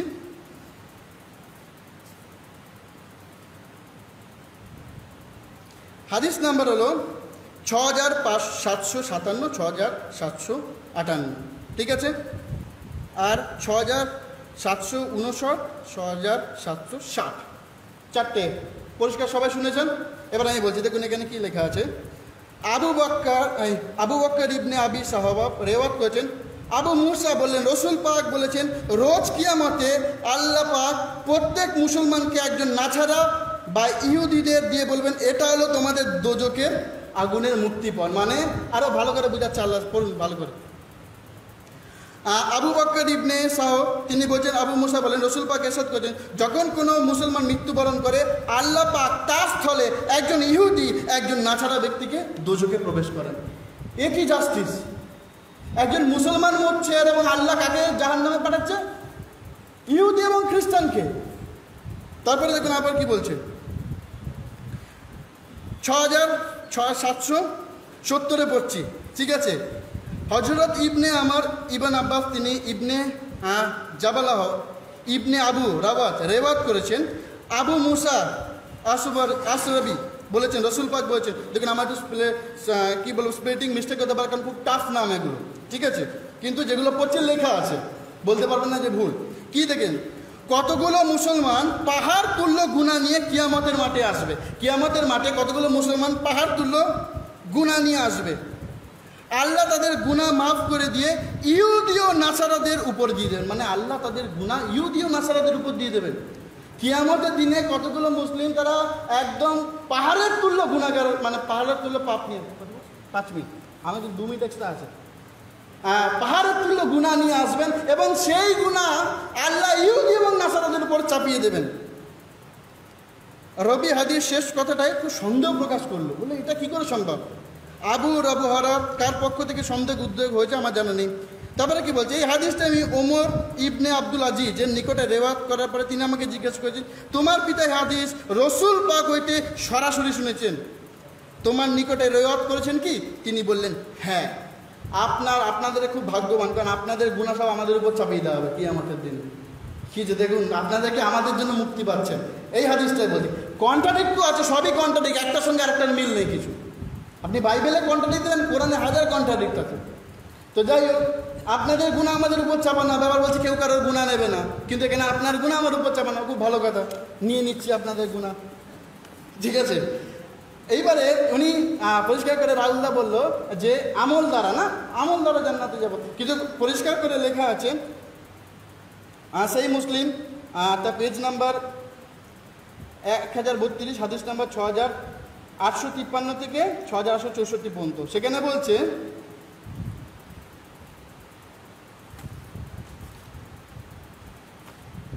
কারোর কোনো কাজ কাউকে নাজাদ দিতে পারবে না। তখন ইয়া বলছে, ইয়া রসুল্লাহ আপনারও কি? বলছে হ্যাঁ। তার মানে আমল আপনাকে নাজাদ দিতে পারবে না। হ্যাঁ আপনি অবশ্যই বলেছেন যে আমলের সঙ্গে সঙ্গে আরও কিছু দরকার। নিশ্চয়ই যে আমল করছে সে নিশ্চয়ই ইমানদার। ইমান না হলে সে আমল করবে কেন? রসুল্লাহ বলছে, আমার আমলও আমাকে নাজাত দিতে পারবে না। তার মানে কোরআন অনুযায়ী কিন্তু যতই আপনারা আমল নিয়ে লাফালাফি করেন, আমলের কিন্তু ভ্যালু নেই ভ্যালিড এন্ড হয়ে গেছে। কেননা কারোর আমল কাউকে নাজাত দিতে পারবে না। ঠিক আছে? এবারে দেখুন, আরেকটা খুব মানে খুব ভয়ানক একটা জিনিস যেটা আমি আপনাদেরকে মানে খুব দুঃখের একটা বিষয় যেটাকে আমি আপনাদেরকে বলব। নাজাত পাওয়ার আরেকটা খুব ভালো উপায় যে আপনি মুখস্থ করুন। কি লেখা, সেই মুসলিম ন হাদিস নাম্বার ছ হাজার ছশো ষাট। সেখানে লেখা আছে যে, দেখুন, আমি একটা জাস্ট একটা ভার্স পড়ছি। নশো সাতাশি পৃষ্ঠা দেখুন এখানে কি লেখা আছে? যে ব্যক্তি দিনে একশো বার আল্লাহ পাকের প্রশংসা, পবিত্রতা বর্ণনা করে, আল্লাহ তার সমস্ত গুণা মাফ করে দেয়। ভাই, কোনো অসুবিধা নেই, মুখস্থ বিদ্যা করে দিন। একশো বার করে পাঠ করুন, আপনার সমস্ত গুণা মাফ হয়ে যাবে। এটা কি ন্যায্য? মুখস্থ করার পর গুণা মাফ হচ্ছে? কে বলছেন হ্যাঁ এটা বলবেন না যে বাইবেলে বাইবেলে কোথাও লেখা নেই যে মুখস্থ করলে গুণা মাফ হবে। ঠিক আছে পরিষ্কার হবে ইহুদি, ফরিসিদের যিশু বলতেন যে তোমরা হলে চুনকাম করা কবর মানে সব মুখস্থ ছিল পালন করতো না। এখানে বলছে মুখস্থ করলে জান্নাতে যাবে। ঠিক আছে? এবার এখানে দেখুন আরেকটা খুব ভালো কথা বলছেন।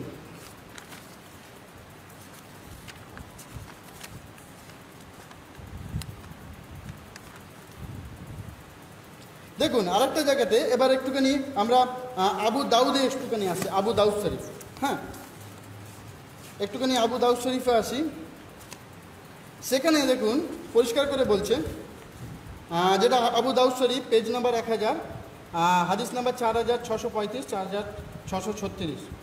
এখানে বলছে হজরত মোহাম্মদ ইবনে খালেদ উবাহ তিনি বলেছেন এটা, যে আমি রসুল্লাহকে বলতে শুনেছি, যে বালকটি খিজির আলাইসালাম মানে খিজির, মুসার সময় আর একজন নবীকে দেখা গেছে সেই সময়, তাকে হত্যা করেন। তার মাতা পিতা মুমিন ছিল, কিন্তু সে যেদিন সৃষ্টি হয় সেদিন কাফের। এবার জন্মদিনে সৃষ্টির সময় কি করে কাফের হতে পারে? তাহলে আল্লাহ তো কাফের বানাচ্ছে।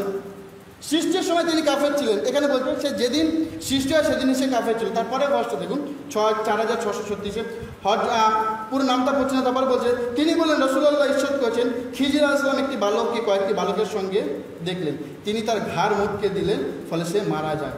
তখন মুসা তাকে জিজ্ঞাসা করলেন, আপনি একটি নিষ্পাপ শিশুকে হত্যা করলেন। তখন খিজির আলাইসালাম বলছে, এ যদি বড় হতো, তাহলে গুনাহ করতো, পাপ করতো। তাহলে ভাই শয়তানকে আগেই মেরে দিতে পারতো না, তাহলে এত গুনাহ হতোই না। এইটা যদি তার লজিক হয়, খিজির আলাইসালাম নবী, বাইবেলের নবী না, কোনো খিজির বলে কিছু নেই বাইবেলে। কিন্তু ইসলামে আছে, কোরআন আছে। তো উনি ওকে মেরেছে কেন বড় হলে উনি নাকি কাফের হতো? তা পরিষ্কার ভাবে তো শয়তানকে তো আগে সৃষ্টি করার পরে মেরে ফেলতে পারতো। তাহলে আর কোনো ডিবেটের দরকার ছিল না। না, পরিষ্কার, কেননা এখানে এই লজিকটা আছে, যেহেতু সে কাফের হতে বলে, সেই কারণে। দেখুন, এইবারে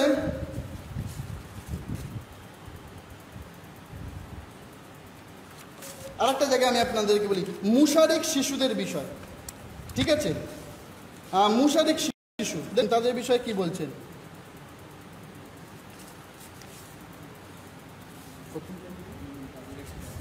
আচ্ছা দু মিনিট চলছে। ঠিক আছে, সেই বিষয়ে মুশারিক শিশুর বিষয়টা আর দু মিনিটের এক্সট্রা টাইম চলছে তো? তো দু মিনিটের মধ্যে আমি পরে বলব। কারণ দু মিনিটের মধ্যে এটা একটু পড়তে হবে। সেখানে বলেছি মুশারিক শিশুর বিষয়ে বলছে যে সে জন্মের পরে, সে যদি জন্মের সময় মারা যায়, সে কোথায় যাবে? নবীকে জিজ্ঞেস করছে। বলছে, তার বাবা মা যেখানে, সে সেখানে যাবে। বলছে, কেন? বলছে, আল্লাহ জানতো সে বড় হয়ে কী করবে। একই মানে সিস্টেম আবার বলছে, মুমিন বাচ্চাদের, মুমিন মুমিন পরিবারে যদি ছেলেমেয়েরা বালক অবস্থায় মারা যায় কোথায়?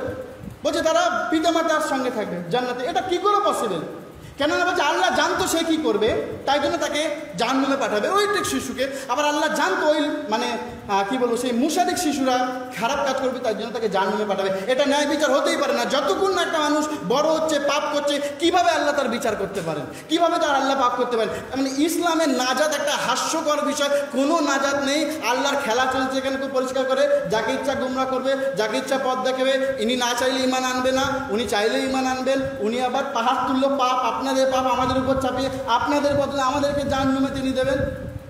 তো এইটা কখনো আল্লাহর বাণী হতে পারে না।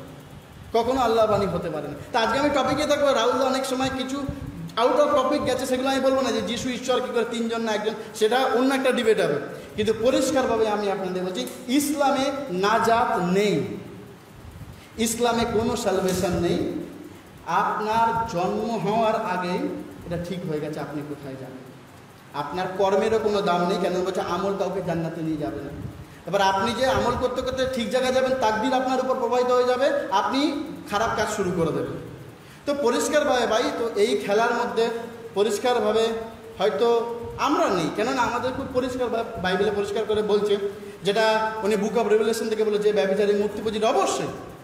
যে খ্রিস্টান যিশুকে বিশ্বাস করার পর ব্যবচার করবে, মূর্তি পূজা করবে, সে তান্ত্রিকের কাছে যাবে, সে কি জান্নাতে যাবে? ঠিকই তো বলেছে। কোনো ভুল নেই এখানে। কোনো রকমের কন্ট্রাডিক্ট নেই। বাইবেলে পরিষ্কার করে বলেছে, এখানে উনি যে আমরা যদি গুনাহ করতে থাকি, আমরা যদি পাপ করতে থাকি, আমরা কখনোই জান্নাতে যাবেন বাইবেল এটা কখনো দাবি করে না, কিন্তু আপনাদের দাবি সেটা আছে। আপনি যা ইচ্ছা করুন। আপনি যত গুণা করুন, ওই একশো বার পাঠ করে নেবেন আল্লাহ, সেই বিষয়টা আপনার সমস্ত গুণা মাফ হয়ে যাবে। আপনার সমস্ত পাপ মাফ হয়ে যাবে। আপনি যদি মুসলমান হন, আপনি যদি শস্য দানার পরিমাণ ইমান থাকে আপনাকে আবার জাহান্নুম থেকে আপনাকে বের করে নিয়ে আসবে আপনাকে আল্লাহ। তো পরিষ্কারভাবে খ্রিস্টানিটিতে সম্পূর্ণ পরিষ্কার ধারণা, সম্পূর্ণ পরিষ্কারভাবে নাজাদ ইসলামে কোনো নাজাদ নেই। Thank you God bless you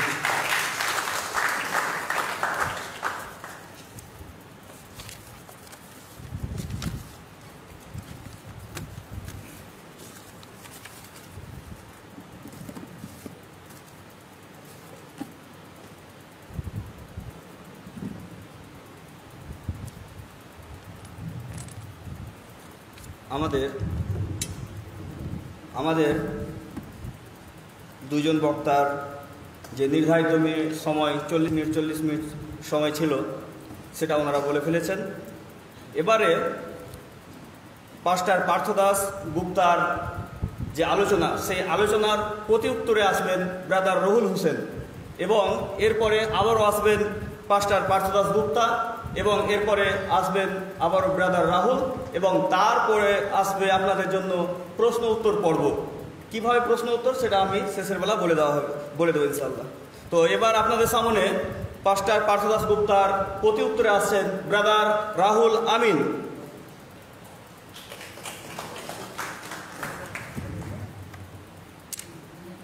এটা একটা প্রবলেম আমার জন্য Sorry. ঠিক আছে ভালো করার প্রয়োজনে ভিডিও প্রবলেম হবে। ওকে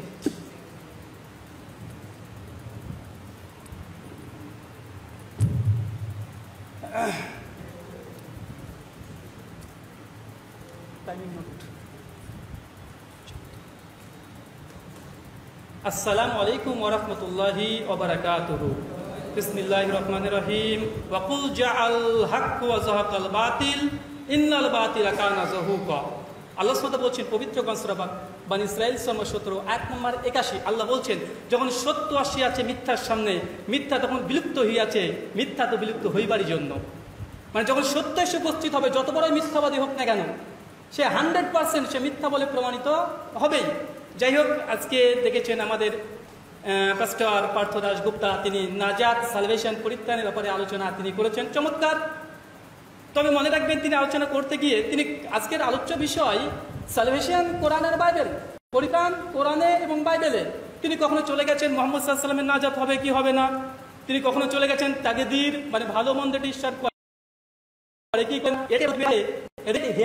মানে ট্রাফিক ক্রস করা। আজকের আলোচনা বিষয়ের সঙ্গে কোনো প্রাসঙ্গিক না, অপ্রাসঙ্গিক আলোচনা করেছেন। আপনারা দেখেছেন গোটা আলোচনাটি তিনি তাকদিরের মাসালা নিয়ে আলোচনা করেছে। তাকদির মানে আলোচনাটা কি আগে জানাতে যাবে, কে জাহান্নামে যাবে, কে হেদায়ত পাবে, কে হেদায়ত পাবে না, কে পরিত্রাণ পাবে, কে পরিত্রাণ পাবে না। ঈশ্বর কি আগে থেকে লিখে রাখেন, কি রাখেন না? এটাকে বলে তাকদির। এটা আলাদা বিষয়, আজকে বিষয় নয়। যাই হোক, সময় সংক্ষিপ্ত, কুড়ি মিনিট অনেক নোট করেছে, কথা বলতে হবে।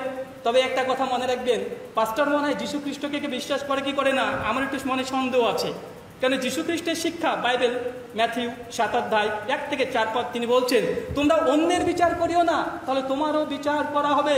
তুমি তাকে যেইভাবে মাপবে, তোমাকে সেইভাবেই মাপা হবে। তুমি তোমার ভাইয়ের চোখের, তুমি তোমার ভাইয়ের চোখের ছোট্ট সরিষা দানা পরিমাণে দেখতে পাও। নিজের চোখের খড় কাটাতে দেখতে পাও না। আগে তুমি নিজের চোখের এই নুকটা নিজের চোখের খড় কাটা বের করে দাও আগে তোমার চোখ পরিষ্কার করো, তারপর তোমার ভাইয়ের চোখ পরিষ্কার করবে। আপনি নিজে অন্ধ, আরেকজনের চোখ কীভাবে আপনি পরিষ্কার করবেন? খ্রিস্টের শিক্ষা যদি মানতেন, তিনি হয়তো আগে ইসলামের বিরুদ্ধে তিনি সমালোচনা আজাদ কি আছে এটা তিনি বলতে চাইতেন না, বরং যীশু খ্রিস্টের শিক্ষা অনুযায়ী। আর বাইবেল বলছে গসপল অফ জন চোদ্দ অধ্যায় পনেরো পদ, যে যীশু খ্রিস্টকে যদি তুমি ভালোবাসো, তবে তার কমেন্টমেন্ট তার শিক্ষা তুমি ফলো করো। তিনি হয়তো ভালোবাসেন কি বাসেন না? ডাউট আছে। যদি বাঁচতেন, তাহলে তিনি আগে ইসলামের সমালোচনা না করে আগে তিনি কিছু ভালো ভালো কথাই বলতেন। আসেন। তিনি বলেছেন প্রথমে এই বক্তৃতার শুরুতে তিনি বলেছেন যে, কে নাজাত পাবে আর কে নাজাত পাবে না, এটা আমিও বলতে পারি না, ব্রাদার রাহুলও বলতে পারে না। শুনেছেন কি শুনেন শুনছেন? আবার তিনি আলোচনার শেষ এক মিনিট আগে তিনি বলেছেন যে, ইসলামে কোনো নাজাত নাই। তিনি বলে দিয়েছেন। মানে কন্ট্রাডিকশন, নিজে যে দাবি করল, প্রথমে সে উল্টে গেল। প্রত্যেকটা জিনিসে একটা হয়েছে। পয়েন্ট নম্বর দুই তিনি বলছেন, ঈশ্বরের ইচ্ছায় সবাই নাজাত পায়। কোরআন বলছে, ঈশ্বরের ইচ্ছায় সবাই নাজাত পায়। ভাই, এটা তো আমি দাবি করেছি, এটা আপনাকে বলার কি দরকার? সময় নষ্ট করার কি দরকার?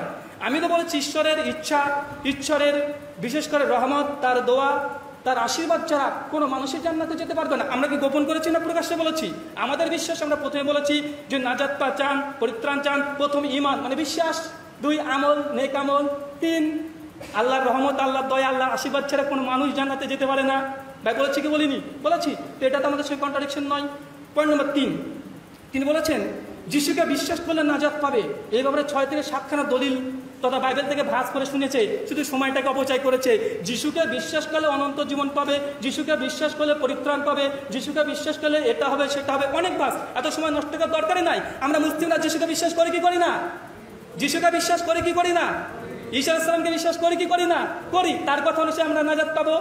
যেটা যখন চার অধ্যায় ষোলো পদ যখন চার অধ্যায় পনেরো পদ যখন চার অধ্যায় ছত্রিশ পদ। যিশুকে যে বিশ্বাস করবে, সে পরিত্রাণ পাবে। সমস্ত মানুষ জাতি পরিত্রাণ পাবে। ভাই, তাহলে আমরা নাজাদ পাবো? আলহামদুলিল্লাহ সাকসেস আমরা নাজাদ পাবো। আমরা যিশুকে বিশ্বাস করি। যিশুকে বিশ্বাস করি আল্লাহ সাথে বলছেন, পবিত্র কনসরি ইমরান সানবা তিন, আয়াত নম্বর ফর্টি ফাইভ ও আল্লাহ সাথে পরিষ্কার বলছে ওয়াজিহান ফি দুনিয়া ওয়াল আখিরাত। যিশু খ্রিস্ট, তিনি ইহকালে সম্মানিত, পরকালে সম্মানিত। কিন্তু খ্রিস্টানরা যিশুকে কেমন বিশ্বাস করে জানেন? যিশুকে কেমন বিশ্বাস করে?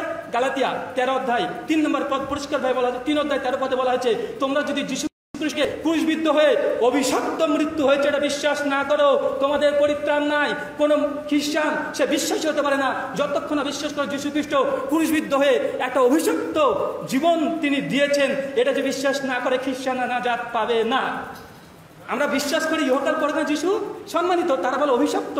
অভিশপ্ত, তার মৃত্যুটা অভিশপ্ত ছিল। খ্রিস্টান বিশ্বাস করেন কি করেন না?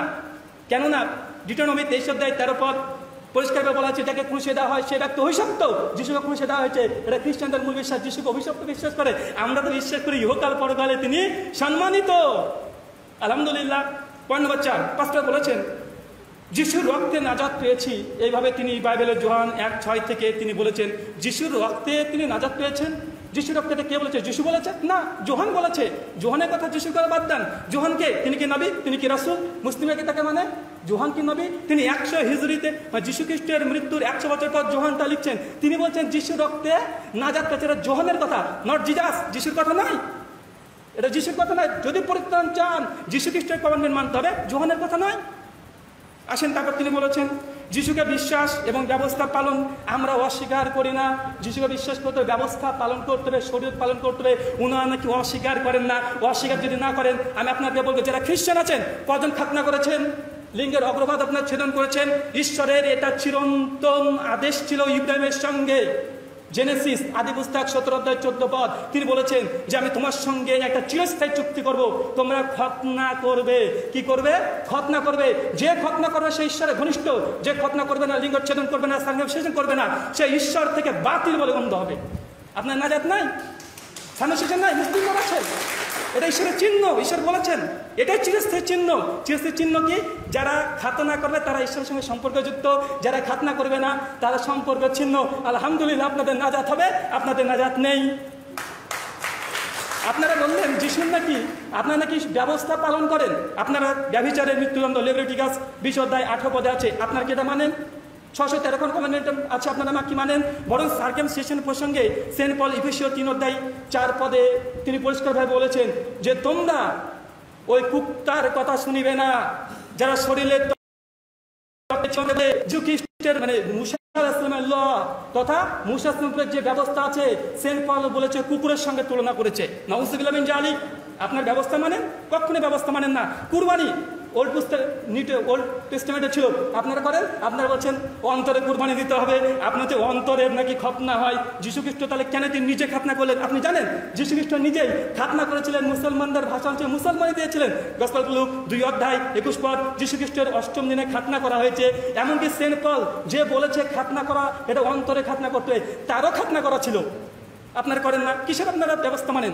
একটা ব্যবস্থা মানেন না, যদি আপনি চান, তো আপনাকে দেখিয়ে দিতে পারি যে আপনার ব্যবস্থার একটা কিছু মানেন না। শুধু বিশ্বাস করলেন যাক যেটা বলেছে সেন্ট পল, রোমিও, দশ অধ্যায়, নয় এবং দশ পদ, রোমিও, দশ অধ্যায়, পাঁচ পদ গালতিয়া তিন অধ্যায়, এগারো থেকে তেরো পদ। যদি তুমি বিশ্বাস করো করো, তোমার পরিত্রাণ আছে। ব্যবস্থার কথা নাই। বিশ্বাস করলে না যা কোলোসিয়ান্স দ্বিতীয় অধ্যায়, চোদ্দ পদ। সমস্ত ব্যবস্থাকে ঠুকে দেওয়া হচ্ছে ক্রুশের সঙ্গে। ব্যবস্থা পালন করে কেউ স্বর্গে যেতে পারেন এটা খ্রিস্টানদের বিশ্বাস, তিনি গোপন করছেন। ব্যবস্থা কেউ পালন করলে কেউ স্বর্গে যেতে পারে না, বরং বিশ্বাসের নজাত আছে। ব্যবস্থাকে অস্বীকার করার পর বলছে, ব্যবস্থাকে নাকি তারা অস্বীকার করে না। তাই কাল থেকে খাতনা দেন, আপনার সঙ্গে আমি আছি। যাই তারপর পয়েন্ট নম্বর ছয় তিনি বলছেন কোরআনের অনেক তর্জমা আছে, তর্জমাতে ভুল থাকে। আপনার সঙ্গে হান্ড্রেড পার্সেন্ট একমত। আপনারা কি জানেন বাইবেলের যীশুখ্রিস্ট কোন ভাষায় কথা বলতেন? বাইবেলের যে নিউ টেস্টমেন্ট, ওটা কি অরিজিনাল? গ্রিক টেস্টে অরিজিনাল তর্জমা? বলেন। গ্রিক যে ব্যাপারটা ওল্ড নিউ টেস্টমেন্ট আছে, এটা কি অরিজিনাল স্ক্রিপচার্স না এটা একটা ট্রান্সলেশন? ট্রান্সলেশন, আপনি বলছেন যে টেস্টমেন্ট ভুল আছে। আপনি স্বীকার করে নিলেন। তিনি বলেছেন, কোরআনে ক্ষমা করার কোনো কনসেপ্ট নেই। সে বুখারি কিতাবুল ইমান হাদিস নাম্বার ছিয়ানব্বই। সে বুখারি, হাদিস নাম্বার তিন হাজার তিনশো আঠারো। ইসলামে মোহাম্মদ সাল্লাম একটা কুত্তাকে একটা ইহুদি মেয়ে পানি পান করেছিল। আল্লাহ বলেছিল, এই কারণে সেই মেয়ে যত গুণা করেছে, আল্লাহ এই কাজটাকে এতই পছন্দ করেছে। একটা নারী, সেই ইহুদি, সে অন্যায় করতো, পাপ করতো, কিন্তু একটা প্রাণীর ওপরে সে ক্ষমা করেছে, তাকে সেবা দিয়েছে। তাই জন্য মোহাম্মদ সাল্লাহ সাল্লাম তিনি বলছেন, আল্লাহ তাকে ক্ষমা করে দিয়েছে মিথ্যা কথা বলেছেন। পবিত্র করে সুরা তওবা নামে একটা নয় নম্বর সুরে আছে, তওবা মানে ক্ষমা ক্ষমা, ফিরে আসা, ক্ষমা। আর তিনি হচ্ছে ক্ষমার নাকি কোনো আমাদের কিছু নাই। আসে তিনি হয়তো কোরআন সম্পর্কে ততটা জানেন না, যতটা দেখেছেন, যতটা কেউ হয়তো ডকুমেন্টস দিয়েছেন, না পরে তিনি এসে কথা বলছেন। আসেন, তারপরে আমরা বলি আরও। তিনি বলেছেন যে বাইবেলে যিশুর ভবিষ্যৎবাণী আছে, জেনেসিস প্রথম পুস্তকে আছে, কি আছে? যিশুর ভবিষ্যৎবাণী। আজকের আলোচনার বিষয় এটা নয় যে যিশুর ভবিষ্যৎবাণী ওল্ড টেস্টমেন্টে আছে না নেই। আজকের বিষয় হচ্ছে এটা সালভেশন কোরআন অ্যান্ড বাইবেল আমরা মুসলিমে কখন অস্বীকার করলাম যে তওরাত জাবুর এবং নবীদের সহিপাতে যিশুর ভবিষ্যৎবাণী। আপনি একটা বলেন, আমি কমপক্ষে তিনশো খানা ভবিষ্যৎবাণী যিশুর ওল্ড টেস্টমেন্ট থেকে দেখাতে পারব। আমরা কখন অস্বীকার করলাম। অস্বীকার করেছি আমরা?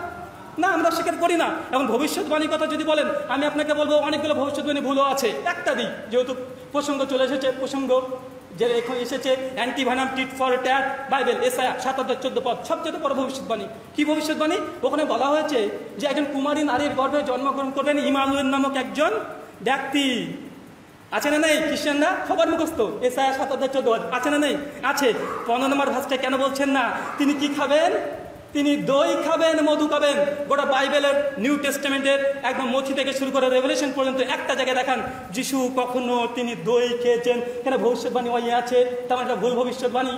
বাইবেলের মথিতে প্রথমেই আছে, দেখবেন এক অধ্যায় সম্ভবত তেত্রিশ, চৌত্রিশ, মনে পড়ছে না, সম্ভবত রেফারেন্স তাহলে আমি দিয়ে দেবো। সেখানে বলা হয়েছে যে এটা প্রথম কিতাবে ভবিষ্যৎবাণী করা আছে যে যিশুকে নাজারাত্তি বলা হবে নাসারাত্তি বলা হবে। যেহেতু নাসারাতের পুত্র নাসারাতে জন্মগ্রহণ করেছে, তাই নাসারাতি বলা হবে, এই কথা লেখা আছে চ্যালেঞ্জ করলাম ওল্ড টেস্টেন্ট থেকে ভবিষ্যৎবাণী দেখান নাই। নাই। স্পষ্ট। আপনি যদি ম্যাথিউ পড়েন, তাহলে জিহুদার কথা দেখেছেন। জিহুদা ত্রিশ পয়সার বিনিময়ে কাকে ধরে দিয়েছিল? যিশুকে ধরিয়ে দিয়েছিল। জানেন কি জানেন না জানেন? আর বলছে, এই কথা জেরেমিয়া নবীর কিতাবে আছে। কোন নবীর? জেরেমি নবীর কিতাবে আছে চ্যালেঞ্জ করলাম, এই ভবিষ্যৎবাণী জেরেমিয়ার কিতাব থেকে যদি দেখে দেন, আজকে আমি ব্যাপটাইজ নেব আপনাদের কাছে। জেরেমিয়ার কিতাব থেকে দেখেন? খবরদার, সখরিয়ার কিতাব থেকে দেখাবে না, সখরিয়া নাই, জেরেমিয়া আছে। সখরিয়া কিতাব নয় আমি জানি সখরিয়াতে আছে। পয়েন্ট নম্বর তিন, পয়েন্ট নম্বর দশ, তিনি বলছেন, আমরা পাপ করি কেন? আমরা দুনিয়াতে আসি। আমরা পাপ করি কেন? আমরা দুনিয়াতে আসি কেন? কোরআন স্পষ্ট জব দিয়েছে, বাইবেল স্পষ্ট জব না থাকতে পারে। সেটা মূল নম্বর সাতষট্টি আট নম্বর দুই, আল্লাহ বলছে যে, আমি মানুষের জীবন মৃত্যু সৃষ্টি করছি পরীক্ষার জন্য। পরীক্ষার জন্য সৃষ্টি করেছে সহজ উত্তর। তিনি তারপর বলছেন যে, তারপর তিনি চলে এসেছেন ইসলামের কিছু সমালোচনা নিয়ে। কিছু সমালোচনা, প্রথম সমালোচনা কি করেছিলেন তিনি? তিনি বলছেন, মোহাম্মদ মোহাম্মদ নাজাত পাবে কি পাবে না? এর কোনো হিসাব নেই। তিনি নিজেই জানতেন না নাজাত হবে কি হবে না। তিনি যে কোরআনটা পড়েছেন, সুরা আল ফাতা আটচল্লিশ নম্বর সুরা, দুই নম্বর আয়াত, ওখানে প্রথম সুরা ফাতা মানে বিজয়। কি মানে? সুরা ফাতা মানে বিজয়। প্রথম আয়াতে বলছে যে মোহাম্মদকে বিজয় দান করেছে এবং তার অগ্রবর্তী পূর্ববর্তী সমস্ত ক্ষমা করে দিয়েছে। তিনি সম্পূর্ণ মিসকোট করেছে। সুরা ফাতা থেকে দুই নম্বর আয়াতে মোহাম্মদ যে নাজাত পাবে না চ্যালেঞ্জ করলাম, দেখা। ইসলাম তিরমিজি, হাদিস মা তিন হাজার ছয়শো আঠারো, বিশ্বনবী আয়াতের নিজেই তাফসির করেছে। মোহাম্মদ হাসান নিজেই আয়াতের তাফসির করে তিনি বলেছেন যে আল্লাহ সামাতাল আমার পরে এমন একটা আয়াত অবতীর্ণ করেছে যেটা তবে সবচেয়ে খুশি। কোন আয়াত? সুরাল ফাতা আয়াত নম্বর আপনার অগ্রবর্তী, আপনার পূর্ববর্তী সমস্ত পাপ তিনি ক্ষমা করে দিয়েছেন। সহযোত্তর তিনি মিসকোট করেছেন। যাই হোক, তারপর তিনি বলছেন, বারবার চলে আসছেন তাকদির নিয়ে। আল্লাহ চেয়েছেন তাই গঙ্গা হয়েছে, আল্লাহ চেয়েছেন তাই ফেরা শয়তান শয়তান হয়েছে, আল্লাহ চেয়েছেন তাই জাহান নামে যাচ্ছে, আল্লাহ চেয়েছেন তাই জাহান মানে স্বর্গে যাচ্ছে, আল্লাহ চেয়েছেন করছে? শুধু আল্লাহ চেয়েছেন আল্লাহ চেয়েছেন আল্লাহ চেয়েছেন, তাকদিরে মাসালা চলে এসেছে। এত দূর যাওয়ার দরকার কি? আপনি কি বাইবেল পড়েনি আমি একটাই সমস্যায় পড়ে যাই, যখনই খ্রিস্টানের সঙ্গে আলোচনা করি, তখন তাদেরকে বাইবেল পড়াতেই হয়। আমাকে পড়াতে হয়। আজকে পড়াবো আপনাকে বাইবেল। যে কথা আছে কি নাই বাইবেলে? বাইবেল খোলেন, বাইবেলে যাত্রা পুস্তক, সাত অধ্যায়, তিন পদ, ঈশ্বর ফেরাউনের দিলকে মনকে শক্ত করে দিলেন। আছে না নেই বাইবেলে? বল বলছি? ঈশ্বর ফেরাউনের মনকে, অন্তরকে শক্ত করে দিলেন। ঈশ্বর শক্ত করে দিলেন। তো ফেরাউন যে পাপে মৃত্যুবরণ করেছে, এটা কে চেয়েছিল? ঈশ্বর তার অন্তর কি করে দিয়েছিল? শক্ত করেছে। ঈশ্বর দোষী। আপনি যতগুলো দিয়েছেন, আল্লাহ চেয়েছেন জাহান্নামে যাবে, আল্লাহ চেয়েছেন হেরত পেয়েছে, আল্লাহ চেয়েছেন নরকে যাবে, আল্লাহ চেয়েছেন জাহান্নাম থেকে নিয়ে আসবে। এই যে আর্গুমেন্ট করছেন, একটা দলিতে, একদম অল যত দলিল দিয়েছেন, আলহামদুলিল্লাহ সব খতম। এই জন্য কোরআন হচ্ছে কুল জা আল হাক্কু আজাক আল বাতিল, ইন্নাল বাতিল কানা জাহুকা বিস্তারিত জানার জন্য রোমিও পুস্তক রোমিও পুস্তক আট অধ্যায় তিরিশ পদ, আমি একটা ভার শুধু হুবহু পড়ে শোনাবো। রোমিও আট অধ্যায় কি বলছে দেখুন, তিনি তাকদিরের মাসালা নিয়ে আলোচনা করছে আল্লাহ চেয়েছেন, করেছেন, এ করেছেন, সে করেছেন রোমিও পুস্তক আট অধ্যায় তিরিশ পদ। রোমিও আট তিরিশ, সবাই খোলেন? যারা খ্রিস্টান ভাইরা আছেন, আপনারা বাইবেল খোলেন? আপনার আজকে বাইবেল পড়াবো, আপনার বাইবেল পড়ুন। আট তিরিশ পদ পরিষ্কার কি বলছে দেখেন? খুলেছেন? হ্যালো লইয়া ঠিক আছে, পড়ুন। আট অধ্যায়, উনত্রিশ আর তিরিশ পদ। আচ্ছা চলে এসেছে। জগৎ সৃষ্টির পূর্বে ঈশ্বর যাদের জানতেন, তাদের তিনি তার পুত্রের মতো করবেন বলে মনস্থির করলেন। জগৎ সৃষ্টি হওয়ার আগে ঈশ্বর, আগেই তিনি কে? ঈশ্বরের পুত্র হবে? কে ঈশ্বরের পুত্র হবে না তিনি সৃষ্টি করে রেখেছেন? আপনি তো বলেন জন্মের চল্লিশ দিনের তাকদির দেওয়া হয়। আপনাদের জন্মের সৃষ্টির আগে। এই জন্য তার জন্য বলা হয়, এজন্য বলা হয়, তুমি মহারাজ, সাধু হলে আজ আমি আর চোর বটে। তোমার গ্রন্থে এই কথা বলছে, তুমি আমাকে বলো। এই জন্য আমি একটা কথাই বলি কাচের ঘরে বাস করে যদি লোহার ঘরে ভিল ছুড়েন, আপনার কাচের ঘর ভেঙে চৌচির হয়ে যাবে। নিমেষেই আপনি যত তাকদের মশালা দিয়েছেন, দুটোতেই হান্ড্রেড পার্সেন্ট সমস্ত কিছু শেষ। যে জগৎ সৃষ্টির আগে কে ঈশ্বরের পুত্র হবে আর কে শয়তানের পুত্র হবে, এটা ঈশ্বর ঠিক করে রেখেছেন। ফেরন এমন শক্ত ঈশ্বরই করে দিয়েছেন। তো ভাই, আমাদেরকে কেন বলছেন, বেল পাকলে কাকের কি? পয়েন্ট নম্বর তেরো। তিনি বলছেন যে, আল্লাহ কি জানি, ইহুদি খ্রিস্টানকে খুব ঘৃণা করেন। বলেননি ভাই? আল্লাহ কি জানি, ইহুদি খ্রিস্টানকে নাকি খুব ঘৃণা করে। যিশু খ্রিস্ট মনে খুব ভালোবাসত। বাইবেল, গসপাল অফ ম্যাথু সাত অধ্যায়, চব্বিশ পঁচিশ পদ। তিনি একটা মেয়েকে বলছে, কি বলছে? যে কখনো কুকুরদেরকে খাবার দিও না। যিশু খ্রিস্ট ও ইহুদিকে কুত্তা বলেছে। কি বলেছে? কুত্তা বলেছে। মতি সাত অধ্যায় ছয় থেকে আট পদে বলছে, কুকুর এবং শুয়োরের নিকটে তোমরা এই টুকরাটা দিও না, রুটির দিও না। ও ইহুদিকে তিনি কুত্তা বলেছেন, তিনি শুকুর বলেছেন। আল্লাহ বলেছেন, ইহুদি খ্রিস্টান প্রসঙ্গে তাদের গুমরাহি, তারা যেহেতু আপনারা কি ইহুদি থেকে গুমরা বলেন না, মুমিন বলেন? বলেন? আপনারা ইহুদিরা, ইহুদিদেরকে আপনারা কি বিশ্বাসী মনে করেন না, নরকে যাবে এটা বিশ্বাস করেন? তারা কি ভালো মানুষ ছিলেন? বিশ্বাস করেন না। তো আপনি যেটা বিশ্বাস করেন, আমার সঙ্গে সিমিলার আছে, কেন আপনি প্রসঙ্গ টানছেন? এটা একটা রেড হেয়ারিং এ ধরনের অনেক আয়াত আছে। তিনি তারপরে কি বলছেন? বারবার তাকদিরের মশলা নিয়ে এসে তিনি করেছেন। একটা কথাতে সবাই শেষ হয়ে যায়। এটাকে বলা হয় টিট ফর ট্যাট তিনি বললেন যে আদম গুণা করবেন, এটা আল্লাহ আগে থেকে লিখে রেখেছে, পূর্ব প্ল্যান তা আদম গুণা করেছেন, এটা পূর্ব প্ল্যান তো ভাই, কি হয়েছে? একটাকে দলিল দিয়েছে রোমিও আট উনত্রিশ তিরিশ, আগে থেকে ঈশ্বরকে আল্লাহর পুত্র হবে, তিনি ঠিক একটা ভাস দেখে নেন যে আদম যে ভুল করবেন, ঈশ্বরের পূর্ব পরিকল্পিত। তাই আল্লাহ এখানে অপরাধ। কেমন আল্লাহ রে ভাই? আল্লাহ এই কাজ করেছে, ঠিক বলেছেন। আপনার সঙ্গে একমত। যদি এমনটাই আপনাকে একটা উত্তর দিয়ে দিই, ভাই, বাইবেলের জেরেমিয়াতে ভবিষ্যৎবাণী করা আছে এবং এসে তিপান্ন অধ্যায় আপনারা সবাই জানেন। তিপান্ন অধ্যায় যীশু খ্রিস্টের সবচেয়ে বড় ভবিষ্যৎবাণী নাজাদ পাওয়ার জন্য। যদি আপনি পড়েনি, তারপরে তিপান্ন অধ্যায় সবচেয়ে বড় ভবিষ্যৎবাণী কি? জিহুদা তাকে তিরিশ পয়সার বিনিময়ে ধরিয়ে দিবে, এটা ঈশ্বর আগেই ভবিষ্যৎবাণী করেছিল। ঈশ্বর আগে থেকে জিহুদার তাকদিরে লিখে রেখেছিল, বলেই তো যিশুর সঙ্গী হওয়ার পরেও তিনি তাকে ধরিয়ে দিয়েছেন ঈশ্বরের আগেকার প্ল্যান কথা বুঝতে পারছেন? আগে থেকে করা আছে। যাই হোক, তারপর আমরা একই কথা বলি বেল পাকলে কাকের কিরে ভাই? তারপরে তিনি বলছেন, কোরআনের আর হাদিসের নাজাত একটা অস্বাভাবিক। কখন বলছে, লা ইলা ইল্লাল্লাহ দাখালাল জান্না যে ব্যক্তি লা ইলা ইল্লাল্লাহ বলল, সে জান্নাতে চলে গেল। কখন বলছে যে, কোরআন পাঠ করলে নাকি হয়? এটা আবার কেমন ধর, কেমন জিনিস যে, কোরআন পাঠ করলে নাকি নাকি হয়? ভাই, বলুন তো, ঈশ্বরের বাক্য শ্রবণ করলে, ঈশ্বরের বাক্য যদি পড়েন, আপনার নেকি তথা আপনার এটা, আপনাদের ভাষায় কি বলেন নেকিকে? আপনারা খ্রিস্টানে কি বলেন নেকিকে? পুণ্য। ভাই, ঈশ্বরের বাক্য আপনি শুনছেন? একনিষ্ঠ চিত্তে যিশুর কাছে যখন এসআর কিতাব যিশু নিজে পড়েছেন, একদম জেরুজালেমে সে মসজিদে গিয়ে এসআর কিতাব একষট্টি অধ্যায় পড়েছেন। ভাই, বলুন তো, যিশুর কথা শোনা, এটা পুণ্যের কাজ কি কাজ নয়? বলেন, কথা বলেন। খ্রিস্টানরা কি বলছেন? সত্যকে গোপন করছেন? বলবেন না, কোনো সমস্যা নেই। ঈশ্বরের বাক্য যদি আপনি বলেন কিন্তু কোনো কোনো লাভ নেই, কোনো উপকার নেই। ভালো কথা, আমরা এমন ধর্মগ্রন্থ বিশ্বাসও করি না। যে যে গ্রন্থ পড়ব, শুনব, আমল করব, যদি আমাদের লাভ না হয় যে পুণ্য না হয়, এ বিশ্বে এই ধর্মগ্রন্থকে বিশ্বাস করার দরকার নেই। কোরআন বলছে, কোরআন পাঠ করলে কি আছে কোন করে আমল করলে কি আছে, কোরআনকে বিশ্বাস করলে কি আছে। কেন? এটা ঈশ্বরের বাক্য, কোরআন করা মানে ঈশ্বরের আদেশ। এটা শোনা মানে ঈশ্বরের সঙ্গে পরোক্ষভাবে কথা বলা।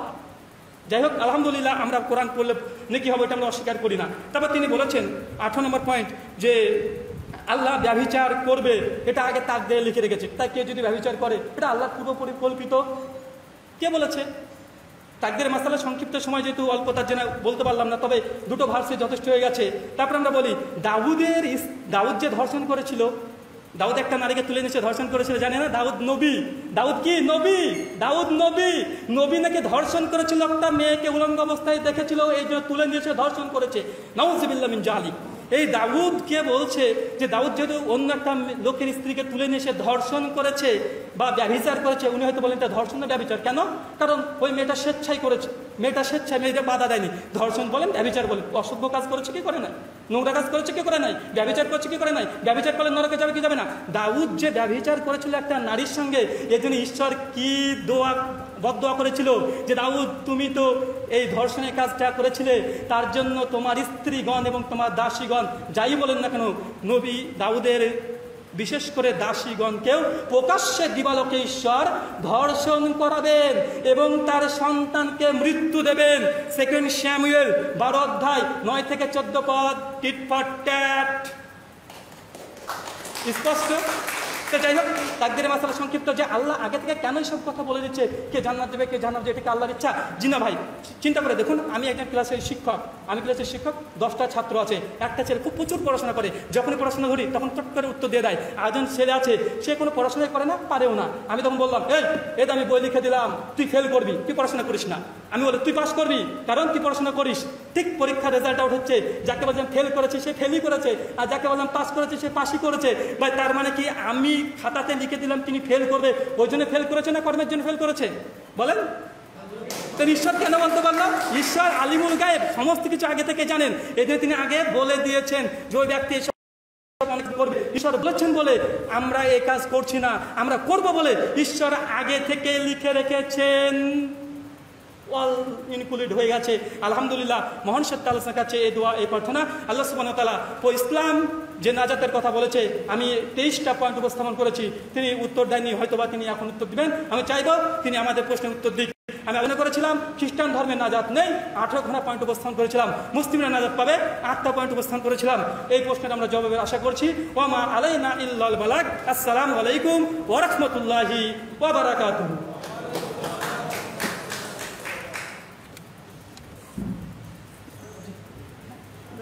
এবারে আপনাদের সামনে আসছেন পাস্টার পার্থদাস গুপ্তা। তিনি ব্রাদার রাহুলের কথার উত্তরে পনেরো মিনিট ধরে বলবেন এবং তারপরে আসবেন ব্রাদার রাহুল, দশ মিনিট কথা বলতে পারবেন। এখন আসছেন পাস্টার পার্থদাস গুপ্তা। তিনি ব্রাদার রাহুলের কথার উত্তরে পনেরো মিনিট ধরে কথা বলবেন। কুড়ি মিনিট? ঠিক আছে, কুড়ি মিনিট ধরে কথা বলবেন। পঁচিশ মিনিট, আপনাকে পাঁচ মিনিট দেবেন যে পাঁচ মিনিট আর সময় আছে, আপনি শেষ কুড়ি মিনিট অবশ্য কথা বলেছেন তিনি আবার কুড়ি মিনিট কথা বলবেন। আসেন।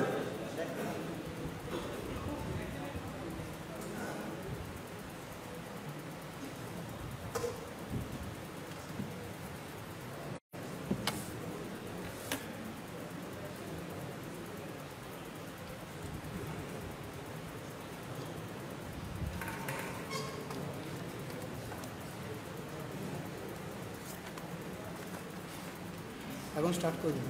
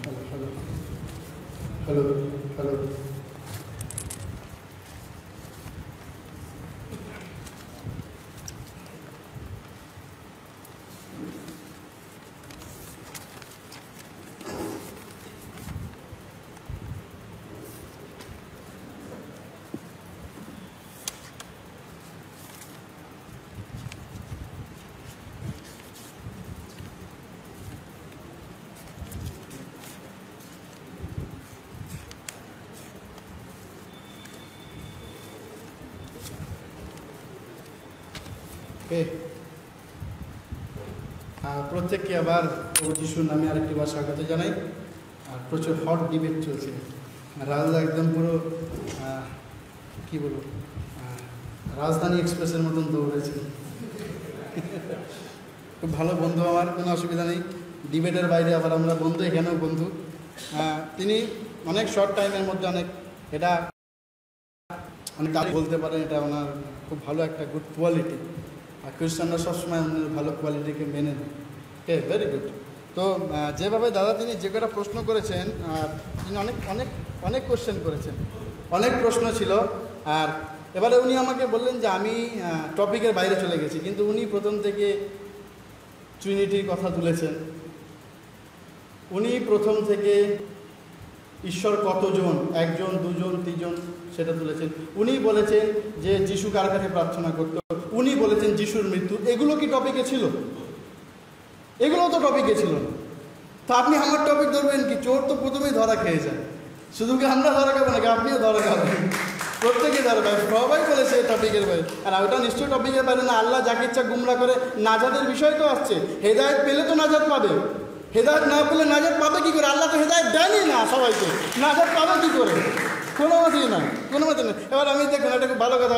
উনি যেটাকে বলছেন, ওটা হচ্ছে পুরো ডক্টর জাকির নায়কের কপি উনি যেটা লাস্ট বলেন তো একদিনের বিষয়।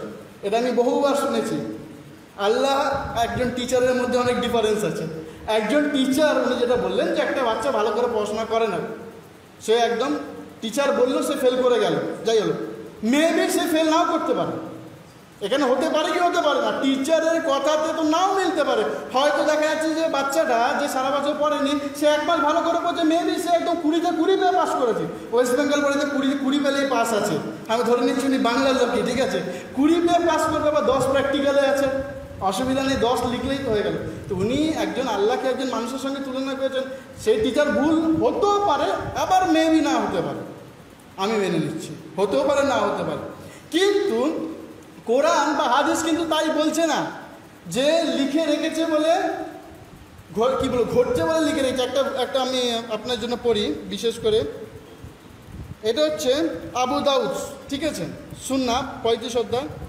আর চার হাজার ছশো বত্রিশ নম্বর। সেখানে বলছেন, দেখুন এখানে কি করে বলছেন। আপনারা আবার পরিষ্কার বাবা আমি হাদিস থেকে পড়ছি। এখানে বলেছেন, বন, আমি উপরে নাম আচ্ছা নামগুলো পড়ি, কারণ নামগুলো একটু কঠিন। ঠিক আছে, মুসলিম ইবনু ইয়াসার আলী জুহানি সূত্রে বর্ণিত একটা উমার ইবনু খত্তাকে এই আয়া সম্পর্কে প্রশ্ন করা হলো, যখন তোমার রব আদম, তোমার রব আদমের পৃষ্ঠ থেকে তাদের সমস্ত সন্তানকে বের করলেন, সুরা আরাফ একশো বাহাত্তর নম্বর, এটা সুরা আরাফে আছে একশো বাহাত্তর নম্বর ভার্সে তোমার রব যখন আদম সন্তানদের পৃষ্ঠ থেকে সমস্ত সন্তানদেরকে বের করল। বর্ণনাকারী বললেন, উমার বলে যে, আমি এর সম্পর্কে রসুলাল্লাহ রসুলাল্লাহ সাল্লাহ আলি সাল্লামের নিকটে প্রশ্ন করতে শুনেছি। রসুলাল্লাহ সাল্লাহ সাল্লাম সাল্লাহ আলিয়া সাল্লাম বলেন, মহান আল্লাহ আদমকে সৃষ্টি করার পর স্ত্রী ডান দিকে পিঠে হাত বুলালেন এবং একদল সন্তান বের করলেন বলেন, আমি এদেরকে জাহান্নাম, এই সরি আমি এদেরকে জান্নাতের জন্য সৃষ্টি করেছি। আবার একদলকে তারপর কি বলতে দেখুন এবং এরা জান্নাতবাসীদের উপযোগী কাজ করবে। ঠিক আছে? তারপরে বলছেন, অতপর তার আবার পিঠে হাত বুলে একদল সন্তান বেরিয়ে এলো। এদেরকে আমি জাহান নামের জন্য সৃষ্টি করেছি এবং এরা জাহান নামের উপযোগী কাজ করবে। তারপরে বলছে এই কথা শুনে সে ব্যক্তি বলে হে আল্লাহ রসুল, তাহলে আমাদের আমলের মূল্য কি? যে প্রশ্নটা না, তাহলে আমাদের আমলের মূল্য কি? এ তো সব ঠিক আছে। তাও দেখুন, কি বলছে? রসুল আল্লাহ বললেন মহান আল্লাহ যখন কোনো বান্দাকে জান্নাতের জন্য সৃষ্টি করেন, তখন তার দ্বারা জান্নাতিবাসীদের কাজ করিয়ে নেন। ভালো করে পয়েন্ট টু বি নোটেড যখন আল্লাহ কোনো জান্নাতিকে তৈরি করেন, তাদেরকে দিয়ে আল্লাহ করিয়ে নেন। শেষে সে জান্নাতের কাজ করেই মারা যায়। কে করছে? কে করাচ্ছে? বলুন আপনারা। আল্লাহ করেছে না? পরিষ্কারভাবে আল্লাহ করেছে। এইবার দেখুন আবার কি বলছে? শেষে সে জান্নাতি অবস্থায় মারা যায়। আর আল্লাহ এই বিনিময় থেকে জান্নাতে প্রবেশ করেন। ঠিক আছে, এবার তার পয়েন্টটা দেখুন। আল্লাহ যখন কোনো ব্যক্তিকে জাহান্নামের জন্য সৃষ্টি করেন, তখন তার দ্বারা জাহান্নামীদের কাজ করিয়ে নেয়। কে করিয়ে নেয়? প্রশ্ন এখানে না? কে করেন তারা আল্লাহ জাহান্নামীদের কাজ করে চুরি, খুন ব্যবিচারী তাকে মানবে না, শিরক করবে সব কিছু আল্লাহ করিয়ে নেন। অবশেষে তাকে জাহান্নামীদের কাজ করে যায়, অতপর সে জাহান্নামে প্রবেশ করে। তো এখানে পরিষ্কারভাবে আমি সাধারণ কাজ, সাধারণ বিষয় বলছি না। আমি জান্নাত জাহান্নামে বলছি কাকে নবী বানাবে, কাকে রাজা করবে, কাকে ইয়ে করবে, তিনি ঠিক করতে পারেন। কিন্তু জান্নাত জাহান্নাম, যেটা আগুন মানে কোরআনে কত ভয়ঙ্কর লেখা আছে না, সে আগুন কত ভয়ানক। কিন্তু এখানে তারা তাদের কর্মের দ্বারা গেলে আমাদের কোনো প্রবলেম ছিল না। কোনো অসুবিধা নেই, এটা আমরা কিন্তু বলছে আল্লাহ করিয়ে নেন এটা দিয়ে। তো আমরা এখানে কি বুঝব তাহলে? তো আল্লাহ তিনি এটাই করাচ্ছেন। তো এটা কি নাজাদের সঙ্গে তো এটা ছিল রাহুলদা বলল, আমি তাকদির বলছি। আরে ভাই, তাকদির, এটা তো নাজাদের সঙ্গে, জান্নাত, জাহান্নাম তো নাজাদের সঙ্গে কানেক্টেড ঠিক আছে, উনি এবার, উনি তারপর বলছে যে ঈসা মসে তিনি শুধু বনিসের জন্য এসেছেন উনি জন্য এসেছেন। ঠিক আছে ঈসা মসি যদি শুধু বনি ইসরায়েলদের জন্য আসেন, যে ভার্সটা উনি বলেছেন অ্যাকুরেট ওটা বাইবেলে লেখা আছে। আমি একটা ভার্স পড়ছি। সুরা সুরা, বিয়াল্লিশ নম্বর সুরা, সাত নম্বর ভার্সে কি লেখা আছে দেখুন? আমি এভাবে কোরআনকে আরবি ভাষায় আপনার হিসাবে, আপনার কাছে, আপনার প্রতি ওই হিসাবে প্রেরণ করেছি। কোরআনকে আল্লাহ আরবি ভাষায় ওই হিসাবে প্রেরণ করেছেন। যাতে আপনি মক্কা এবং তার চারপাশে অধিগণ অধিবাসীগণকে সতর্ক করে সতর্ক করে দিতে পারেন এবং সতর্ক করতে পারেন সমৃদ্ধ দেশ কিয়ামত সম্পর্কে, যাতে কোনো সন্দেহ নেই। সেদিন একদল জান্নাতে একদল জান্ন যাবে। আল্লাহ যদি ইচ্ছা করতো সবাইকে একদলে নিয়ে আসতো। আবার দেখুন, আমিও বলছি না, কোরআনে। তো এখানে হজরত মোহাম্মদকে আল্লাহ বলছে যে, আমি তোমাকে যে কোরআন দিয়েছি, সেটা মক্কা এবং তার চারপাশে লোকেদের জন্য। তো পরিষ্কারভাবে তাহলে কি করে কোরআন বিশ্ববাসীর জন্য হয়? হ্যাঁ অন্য অন্য আয়তে লেখা আছে বিশ্ববাসী। এটা কন্ট্রাডিক্ট কারণ আপনি যদি এইভাবে ধরেন, কিন্তু এর প্রকৃত তর্জমা আমরা জানি, কোনো অসুবিধা নেই। হাজরত মোহাম্মদের শুরুর কাজটা মক্কা মদিনা ছিল, তারপর ছড়িয়ে গেছিল। এটা তো বাইবেলেও আছে। যিশু খ্রিস্ট শুরুর কাজটা তিনি প্রথম ছিল বনি ইসরায়েলদের জন্য। বনি ইসরায়েলদের জন্য তিনি এসেছেন। কিন্তু আবার gospel of Matthew chapter number twenty eight verse nineteen twenty যিশু বলছে, যাও সমুদয় জগতে, সমস্ত সৃষ্টির নিকটে সুসমাচার প্রচার করে। যে ব্যক্তি বিশ্বাস করে বাপ্তিস্ম নেয়, সে পরিত্রাণ পাবে।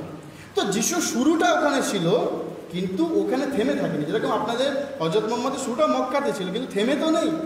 কিন্তু আপনি যদি ওটা লজিক দেন, যে সেটা শুধু মক্কার জন্য, আর সেটা শুধু বনি ইসরায়েলদের ওই সময়ের জন্য, তাহলে আমিও লজিক দেবো যে কোরআন থেকে শুধু মক্কা এবং তার আশে- আশেপাশের লোকেদের জন্য। ঠিক আছে?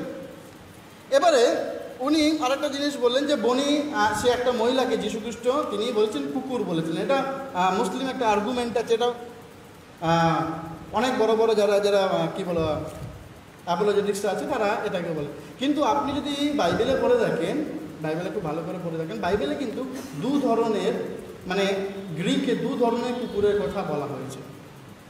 একদল কুকুরকে বলা হয়েছে, একদল কুকুরকে বলা হয়েছে, যে যারা পাপ কাজ করে, তাদের সঙ্গে দেখানো হয়েছে। এবং আরেকদল কুকুর হচ্ছে কি, যে বিশ্বস্ত প্রাণী। কারণ বাইবেলে আমাদেরকে ভেড়াও বলেছে যে, তোমরা আমার মেষ। আমাদের কোনো অসুবিধা নেই, এটা কোয়ালিটি বুঝিয়েছে। এটা জাস্ট কোয়ালিটি বুঝিয়েছে। যে মেষ যেরকম শান্ত, তোমরা সেরকম শান্ত এখানে বলছে যে সন্তানদের খাদ্য কুকুরদেরকে দেওয়া উচিত না এখানে যদি আপনি অরিজিনালটা পড়েন সেখানে দেখবেন এখানে কিন্তু কুকুর বলতে কিন্তু তাকে কিন্তু সেই খারাপ জিনিসটা বলেনি কেন না দু ধরনের কুকুর যেটা প্রকাশিত বাক্য পড়লে বুঝতে পারবেন। লেখা আছে বাইশ অধ্যায়। দেখুন, এখানে এক ধরনের কুকুরকে বলা হচ্ছে দেখুন, প্রকাশিত বাক্য বাইশ অধ্যায়। বাইশ অধ্যায় বাইশ অধ্যায় তার চোদ্দ পদে লেখা আছে, ধন্য যারা আপন আপন পয়সা ধৌত করে, তারা জীবন বিক্রির অধিকারী হবে নগদ দিয়ে নগদ দিয়ে প্রবেশ করবে। বাইরে রয়েছে কুকুরগণ। আমার কাছে এখন গ্রিক যদি গ্রিক যদি থাকে, দেখবেন এই কুকুরগণ, যে কুকুর, যে ডগ এইখানে দুটো ডিফারেন্স আছে। একটা ডগ হচ্ছে মালিকের একদম কাছে, এবং আরেকটা ডগ বলতে তাদেরকে বোঝানো হয়েছে যারা কখনো ঈশ্বরের বাক্যকে শোনে না। যেমন তাদেরকে শুয়োরের সঙ্গে তুলনা করা হয়েছে অনেক সময়। যে শুয়োরের সামনে যতই তুমি শুয়োরকে মুক্ত দাও, সে সেটাকে দলিয়ে যাবে। তো পরিষ্কার, এখানে কিন্তু বলেন যে সেটাই হতো তারপরে দেখুন, যিশু সেই মহিলাটাকে তারপরে বাসটা বলুন বলেন তুমি যেটা চাইছো সেটাই যাবে আর সেই মহিলাটা যে জন্য প্রার্থনা করতেছিল, সেটা পূর্ণ হয়ে গেল। তো পরিষ্কারভাবে সেটা কিন্তু নয়, ঠিক আছে? আবার উনি বলেছেন যে বাইবেলে কেন নাম লেখা নেই? মরিয়ামের নাম, মরিয়ামের নামে বই নেই, ইমরানের নামে বই নেই তো বাইবেলে কেন মরিয়ামের নামে বই নেই, ইমরানের নামে? সেটার জন্য বাইবেল বাধ্য নয়। তা আমি যদি প্রশ্ন করি, তাহলে আপনাদের হজরত মোহাম্মদের মায়ের নামেও তো বই নেই, তার ওয়াইফের নামেও তো বই নেই, তার সাহাবাদের নামেও তো বই নেই। আর উনি বলেছেন যে জোনার নামে বই নেই, কিন্তু জোনা বলে একটা পুস্তক আছে ক্যামেরাতে রেকর্ডিং হয়েছে শুনবেন। উনি হয়তো স্প্লিটিং মিস্টেক হতে পারে, বলে দিচ্ছে, কিন্তু জোনা নামে, ইউনুস নামে একটা কিন্তু কিতাব আমাদের কিন্তু আছে, যেটা ওল্ড টেস্টামেন্টে আছে। ঠিক আছে, সেই কিতাব কিন্তু আছে।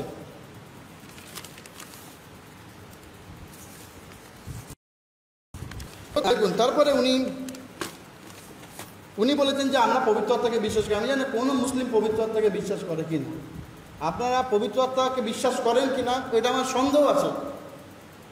কেননা কখনো কোনো মুসলিম পবিত্র আত্মা এবার ইসলামের দৃষ্টিতে পবিত্র আত্মা কে? আমাদের দৃষ্টিতে পবিত্র আত্মা হলো ট্রিনিটি লাস্ট পার্সন যদি ট্রিনিটি আজকের সাবজেক্ট নয়।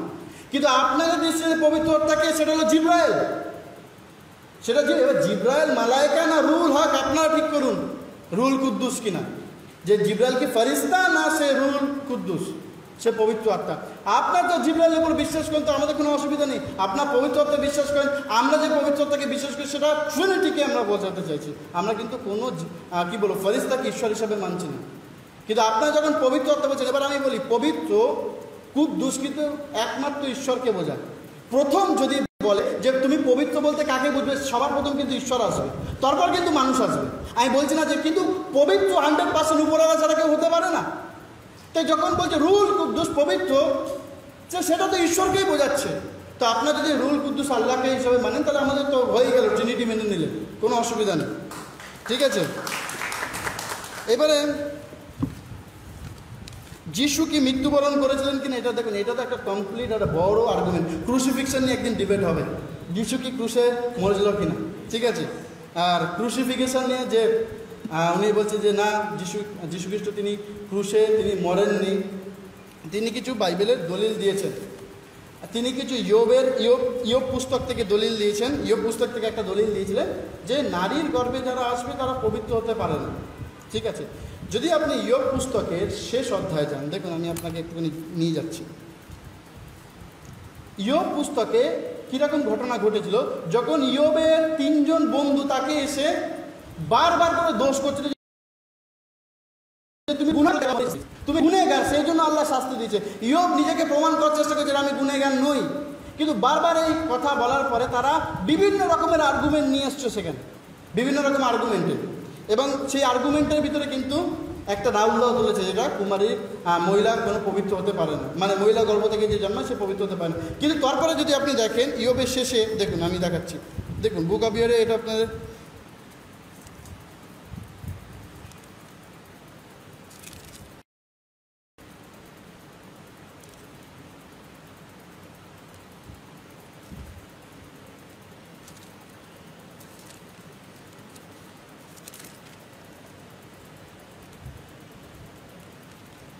দেখুন, এখানে পরিষ্কার করে বলছে, ইয়োব এই কথা বলিবার পর পর সদাপ্রভু, তৈমন ইফিসিয়, কে বললেন?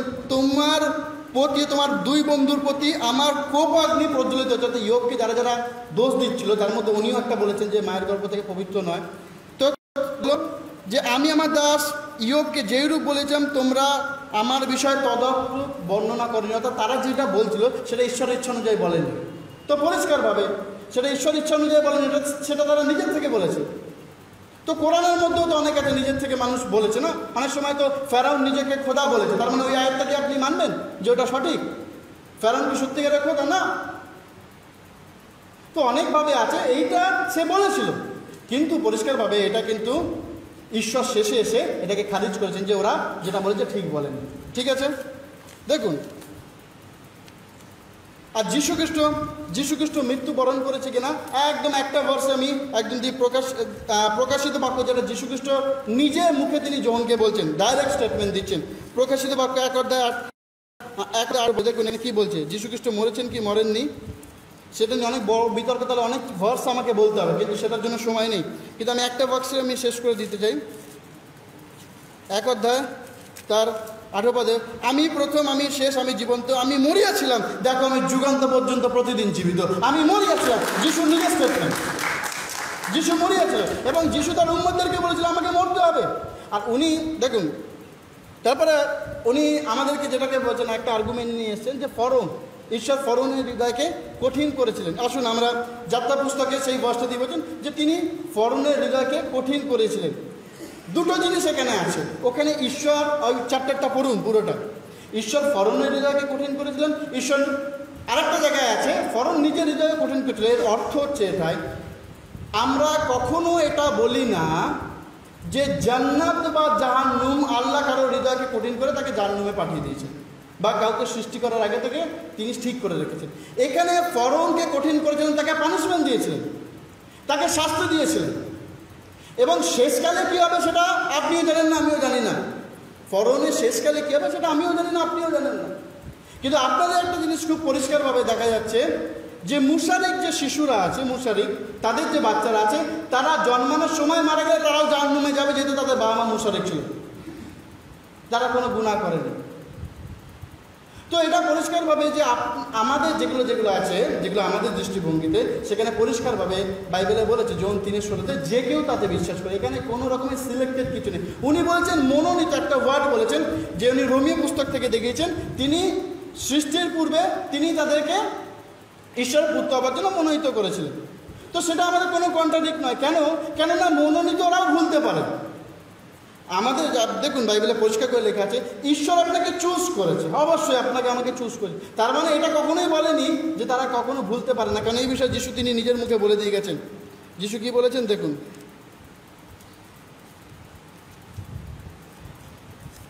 মথি।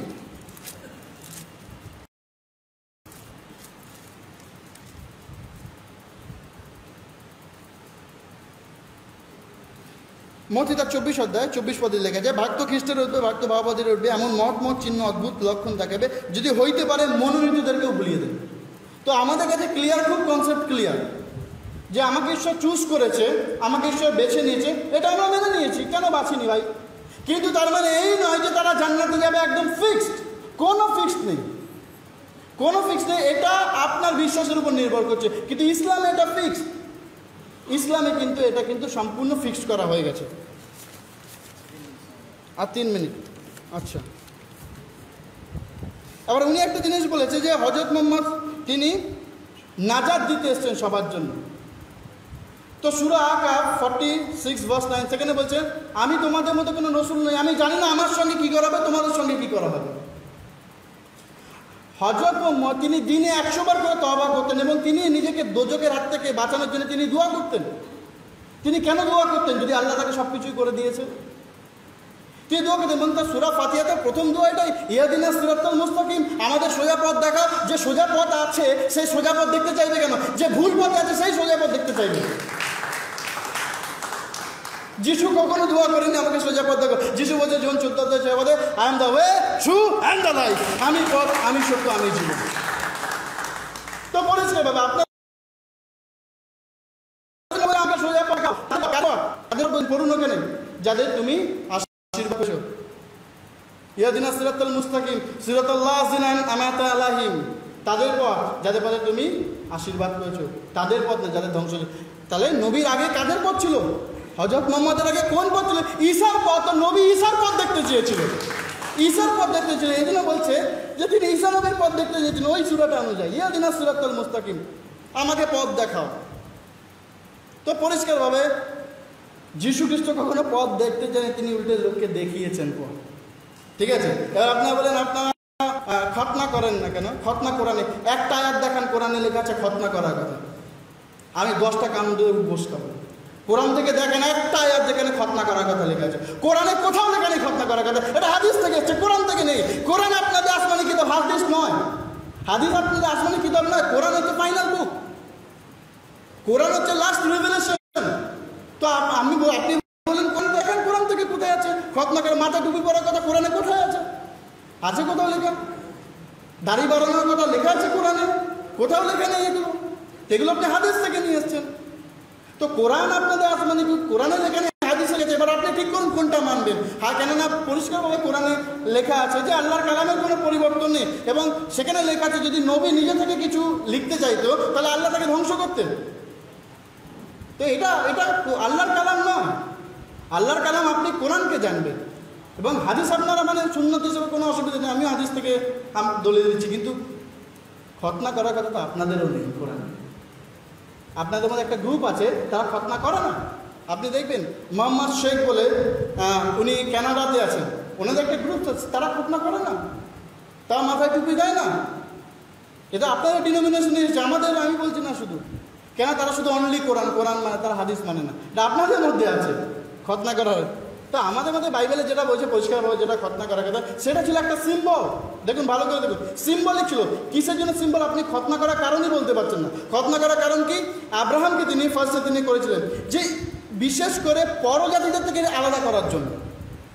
পরজাতিদের থেকে আলাদা করার জন্য ছিল খতনা আর কিন্তু কিছু নেই। এটাই তারপরে দেখবেন, সেখানে কিন্তু পরিষ্কারভাবে পরিষ্কারভাবে যীশু খ্রিস্ট কেন খতনা করেছে? কারণ যীশু খ্রিস্ট তিনি সমস্ত তৌরাতের, জবুরের, ইঞ্জিলের সমস্ত ভবিষ্যৎবাণী তিনি পূর্ণ করেছেন। এই জন্য তিনি খতনা করেছেন, এই জন্য তিনি বাপ্তিস্ম নিয়েছেন, কারণ তিনি সেগুলো পূর্ণ করতে এসেছেন। যিশু পরিষ্কার করে বলছেন, তিনি পূর্ণ করতে এসেছেন। তো আমাদেরও খতনা, যদি আপনি দেখেন বাইবেলে, তো আমিও বলব কোরআনে আপনাকে দেখাতে। শেষ। তো সরি, আর আমি তো রাহুল পিন্ডি এক্সপ্রেসের মতন অত ফাস্ট বলতে পারলাম না, কিন্তু আশা করি যেগুলো বলতে পারিনি, নিশ্চয়ই সেগুলোর উত্তর দেব। সমস্ত উত্তর আছে, কোনো টেনশন নেই যে কিছু নেই, সব উত্তর পাবেন। গড ব্লেস ঈশ্বর আপনার প্রত্যেককে আশীর্বাদ করুন। আরও উত্তর বাকি ছিল, আমি জানি আরও প্রশ্ন ছিল, আমার উত্তর দেয়নি কিন্তু টাইমের জন্য কিছু করা গেল না যা সরি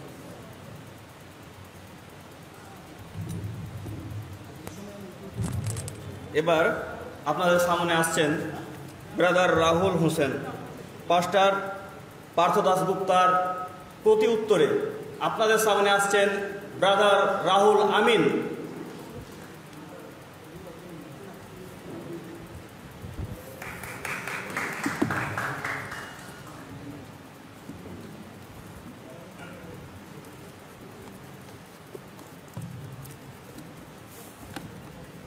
শুরু করব তবে টাইম স্টার্ট করবে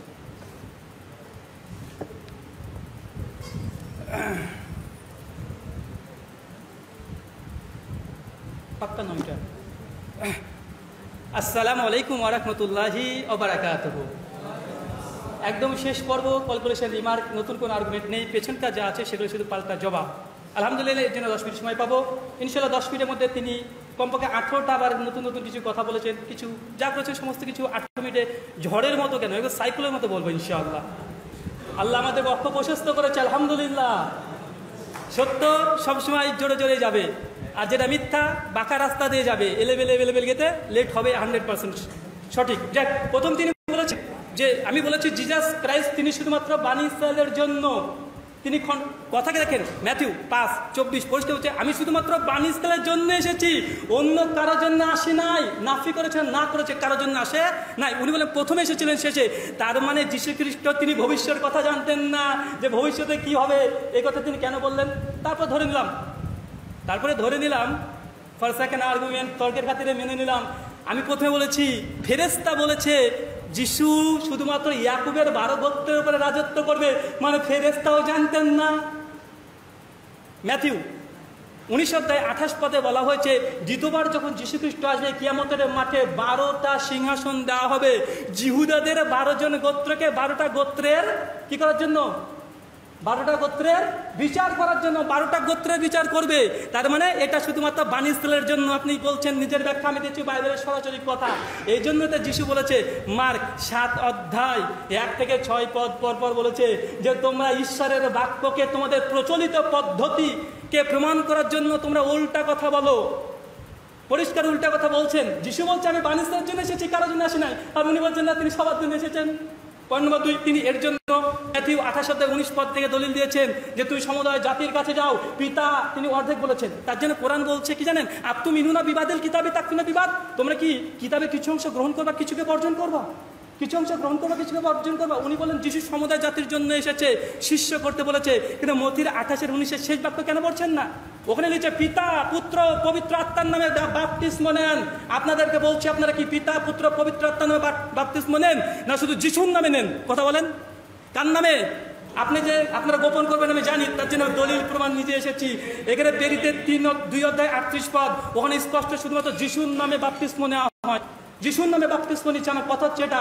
আপনারা যিশুর একটা কথাকে মানলেন, পুরো কথা মানেননি। পিতা, পুত্র, পবিত্র আত্মার নামে বাপতিস্ম নিতে হবে। আঠাশ জায়গাতে বর্ণনা করা হয়েছে, সকলে যিশুর নামে বাপ্তিস্ম নিত। পবিত্র আত্মার নামে বাপ্তিস্ম নিত না, পিতার নামে নিত না। মানে বাইবেল আপনি মানেন না, আমার কাছে চাপাচ্ছেন। যাই হোক, তারপর আরও আসলে তিনি একটু পড়াশোনা করেছেন, বুঝতে পারছি। তিনি এই, এটা সবচেয়ে বেস্ট হতো যদি মার্কের ষোলো অধ্যায় যদি পনেরো পদ দিতেন, মার্কের ষোলো, দেখেন মার্ক প্রথমে লেখা আছে, মার্ক থেকে কেন প্রমাণ দিলেন না? কারণ আপনি জানেন, মার্কের ষোলোতে পনেরো পদে যে কথা লেখা আছে যে সমুদ্র জাতির কাছে যাও, আর পিতা, পুত্র, পবিত্র আত্মার নামে বাপটিস মানে বাপটিস্ম দাও, এই কথাটা পরিষ্কারভাবে এটা অপকৃতভাবে এটা বাতিল। আর মার্ক হচ্ছে মূল গসপেল, মার্ক থেকে লুক, জোহান এবং লুক, বিশেষ করে থিউ এবং লুক, এটাকে টুকা হয়েছে, নকল করা হয়েছে কোথা থেকে? মূল সোর্স কি ভাই? মার্ক। মার্ক থেকে কে নকল করেছে? মথি এবং লুক। মার্কের এই ঘটনাকে আমার কাছে revised standard version NIV Bible এমনকি গ্রিক টেস্ট আমার কাছে আছে, আমি আপনাকে দেখাবো। এটা বাতিল একত্রিত জাল। আর মার্ক যদি মূল সোর্স হয়, যদি সমস্ত সমাজের জাতির জন্য যিশু যদি আসে তাহলে আমাদের প্রশ্ন, ওই ভাষটাকে বলা হচ্ছে যে আপক্রিয় একটা জাল, এটা পুরনো পাণ্ডুলিপিতে ছিল না, এটা নতুন করে চতুর্থ শতাব্দীতে ঢোকানো হয়েছে। আর মার্ক যেহেতু মূল সোর্স, ম্যাথিউ এ কথা ঠিক হতে পারে। বা স্কেল যদি বাঁকা হয়, বা দাগ কখনো সোজা হবে, যদি স্কেল ধরে রাখ দেন। এর আমার কাছে বাইবেল, পবিত্র বাইবেল। এখানে শেষ। বারোশো চব্বিশ নম্বর পৃষ্ঠা লেখা আছে যে মার্ক থেকে পঁচানব্বই পার্সেন্ট কপি করেছেন মথি মার্ক যখন ভুল মথি কোনো ঠিক হতে পারে। কথা মনে বুঝতে পারেনি ইনশাল্লাহ পরবর্তী সময়তে ইউনিভার্সাল রিলিজিয়ান কোনটা ইনশাল্লাহ ডিবেটের বিষয় করেন, এখানে জব আরও দিয়ে দেবো। তারপরে আমি ধরে নিই, সমুদায় জাতি বলতে কি? সমস্ত জাতি, যিশু বলছে সমুদায় জাতির কাছে তুমি প্রচার করো। কিন্তু আমি দলিল দিয়েছি তিনি যখন ফেরেস্তা বলছে শুধু বানিস্তালের জন্য, যিশু বলছে বানিস্তার জন্য, দাওয়াত দিতে যাওয়া ধর্মচার করবা বানিস্তার জন্য, তিনি সিংহাসনে বসে কিয়ামতের মাঠে তিনি বিচার করবেন শুধুমাত্র বানিস্তালের জন্য। আর হট করে কে কি বলল আপনি? ওটা নিয়ে দিলেন মানে পাঁচটা ছেড়ে দিলেন, একটা গ্রহণ করলেন, তারপরে আবার জাল, তারপরে মিথ্যা। যান ফার্স্ট সেকেন্ড আর্গুমেন্ট আমরা বাতিল করলাম এটা। আসুন, তারপরে বলা হয়েছে, কুকুরের মতো, এটা নাকি দুই ধরনের কুকুর, একটা ভালো কুকুর, একটা খারাপ কুকুর দুই কেন বিশ রকমের হোক আমার আপত্তি কি? কুকুর বলেছে কি না? কুকুর বলেছে কি না? আপনি বললেন গ্রিক বাইবেলে কি গ্রিক বাইবেলে নাকি কুকুর মানে দুই রকমের কাছে গ্রিক বাইবেল আছে, গ্রিক এবং হিব্রু বাইবেল আছে? পাস্টরকে বলব, বের করে দেখেন কোথায় দুই রকমের কুকুর বলা হয়েছে। বাইবেল দিলাম, আপনি দেখে দিবেন। তারপরে তিনি বলছেন যে কুকুর বলেছে, আরে ওটা বাদ দেন। আপনারা বলছেন যে কুকুর বলেছে, এটা দুই রকম বাদ দেন। ইহুদিকে সাপের বাচ্চা বলেছে কি বলেনি? হে সর্বের দল, সাপকে শয়তান। ইহুদিকে আপনার যীশু খ্রিস্ট বলেছেন সাপের বংশধর। এই জেনাকারী ব্যভিচারী জাতি, মথি বারাদ্দায় আটত্রিশ উনত্রিশ চল্লিশ, সাইন অফ জোনা, ওই জায়গাতে। উনি তারপরে বলেছেন, বুঝতে পারছেন, সময় কম? বিস্তারিত আলোচনা করে পাঁচ মিনিট সময় লাগবে, তো টাচ দিয়ে যাচ্ছি। তিনি বলছেন, আমি নাকি বলেছি, বাইবেলে যৌন নামক কোনো অধ্যায় নাই। ওই কথা আমি কখনো বলিনি। এটা আপনি রেকর্ড হচ্ছে, আবার শুনে নেবেন। আমি বলেছি, কোরআনে নবী ইব্রাহিম, নবী ইউনুস, জোনা আছে। এই কথা বলেছি বাইবেলে নেই এই কথা বলিনি। আমি যে কোরআনে আছে মারিয়াম নামের চ্যাপ্টার কিন্তু বাইবেলে নেই। কেন নেই? এ প্রশ্ন করিনি। আপনি নিজের বুঝ নিজে বেশি বলেছেন ইহুদিদের মতো। যাই হোক, তারপর। হচ্ছে নারীর গর্ভে ইয়োগ থেকে যে দলিলটা দিয়েছে, পঁচিশ চার, যেখানে নারীর গর্ভে এটা অন্যজন মনে করে চলে ঈশ্বর পরে ঠিক করে দিয়েছে। তার মানে আপনি যাই বলেন না, তাই বলেন কেন বাইবেল এই কথা স্পষ্ট আছে, নারীর গর্ভে যে জন্মগ্রহণ করে, সে কখনো পাক হতে পারে না। তারপরে একটা কথা বলি, আমি টোটাল তেইশটা আর্গুমেন্ট পেশ করেছি, উনি মাত্র পাঁচটা প্রশ্নের জবাব দিয়েছেন। বাকি আঠারো খানা তিনি হজম করে ফেলেছেন। মানে তার মানে আঠারো খান তার কাছে জবাব নেই। তারপরে পাঁচটা যে আর্গুমেন্ট তিনি আমার জবাব দিয়েছিলেন, সেই জবাবের পাল্টা আবার জবাব দিয়ে দিলাম মানে আবার অতগুলোই থেকে গেল।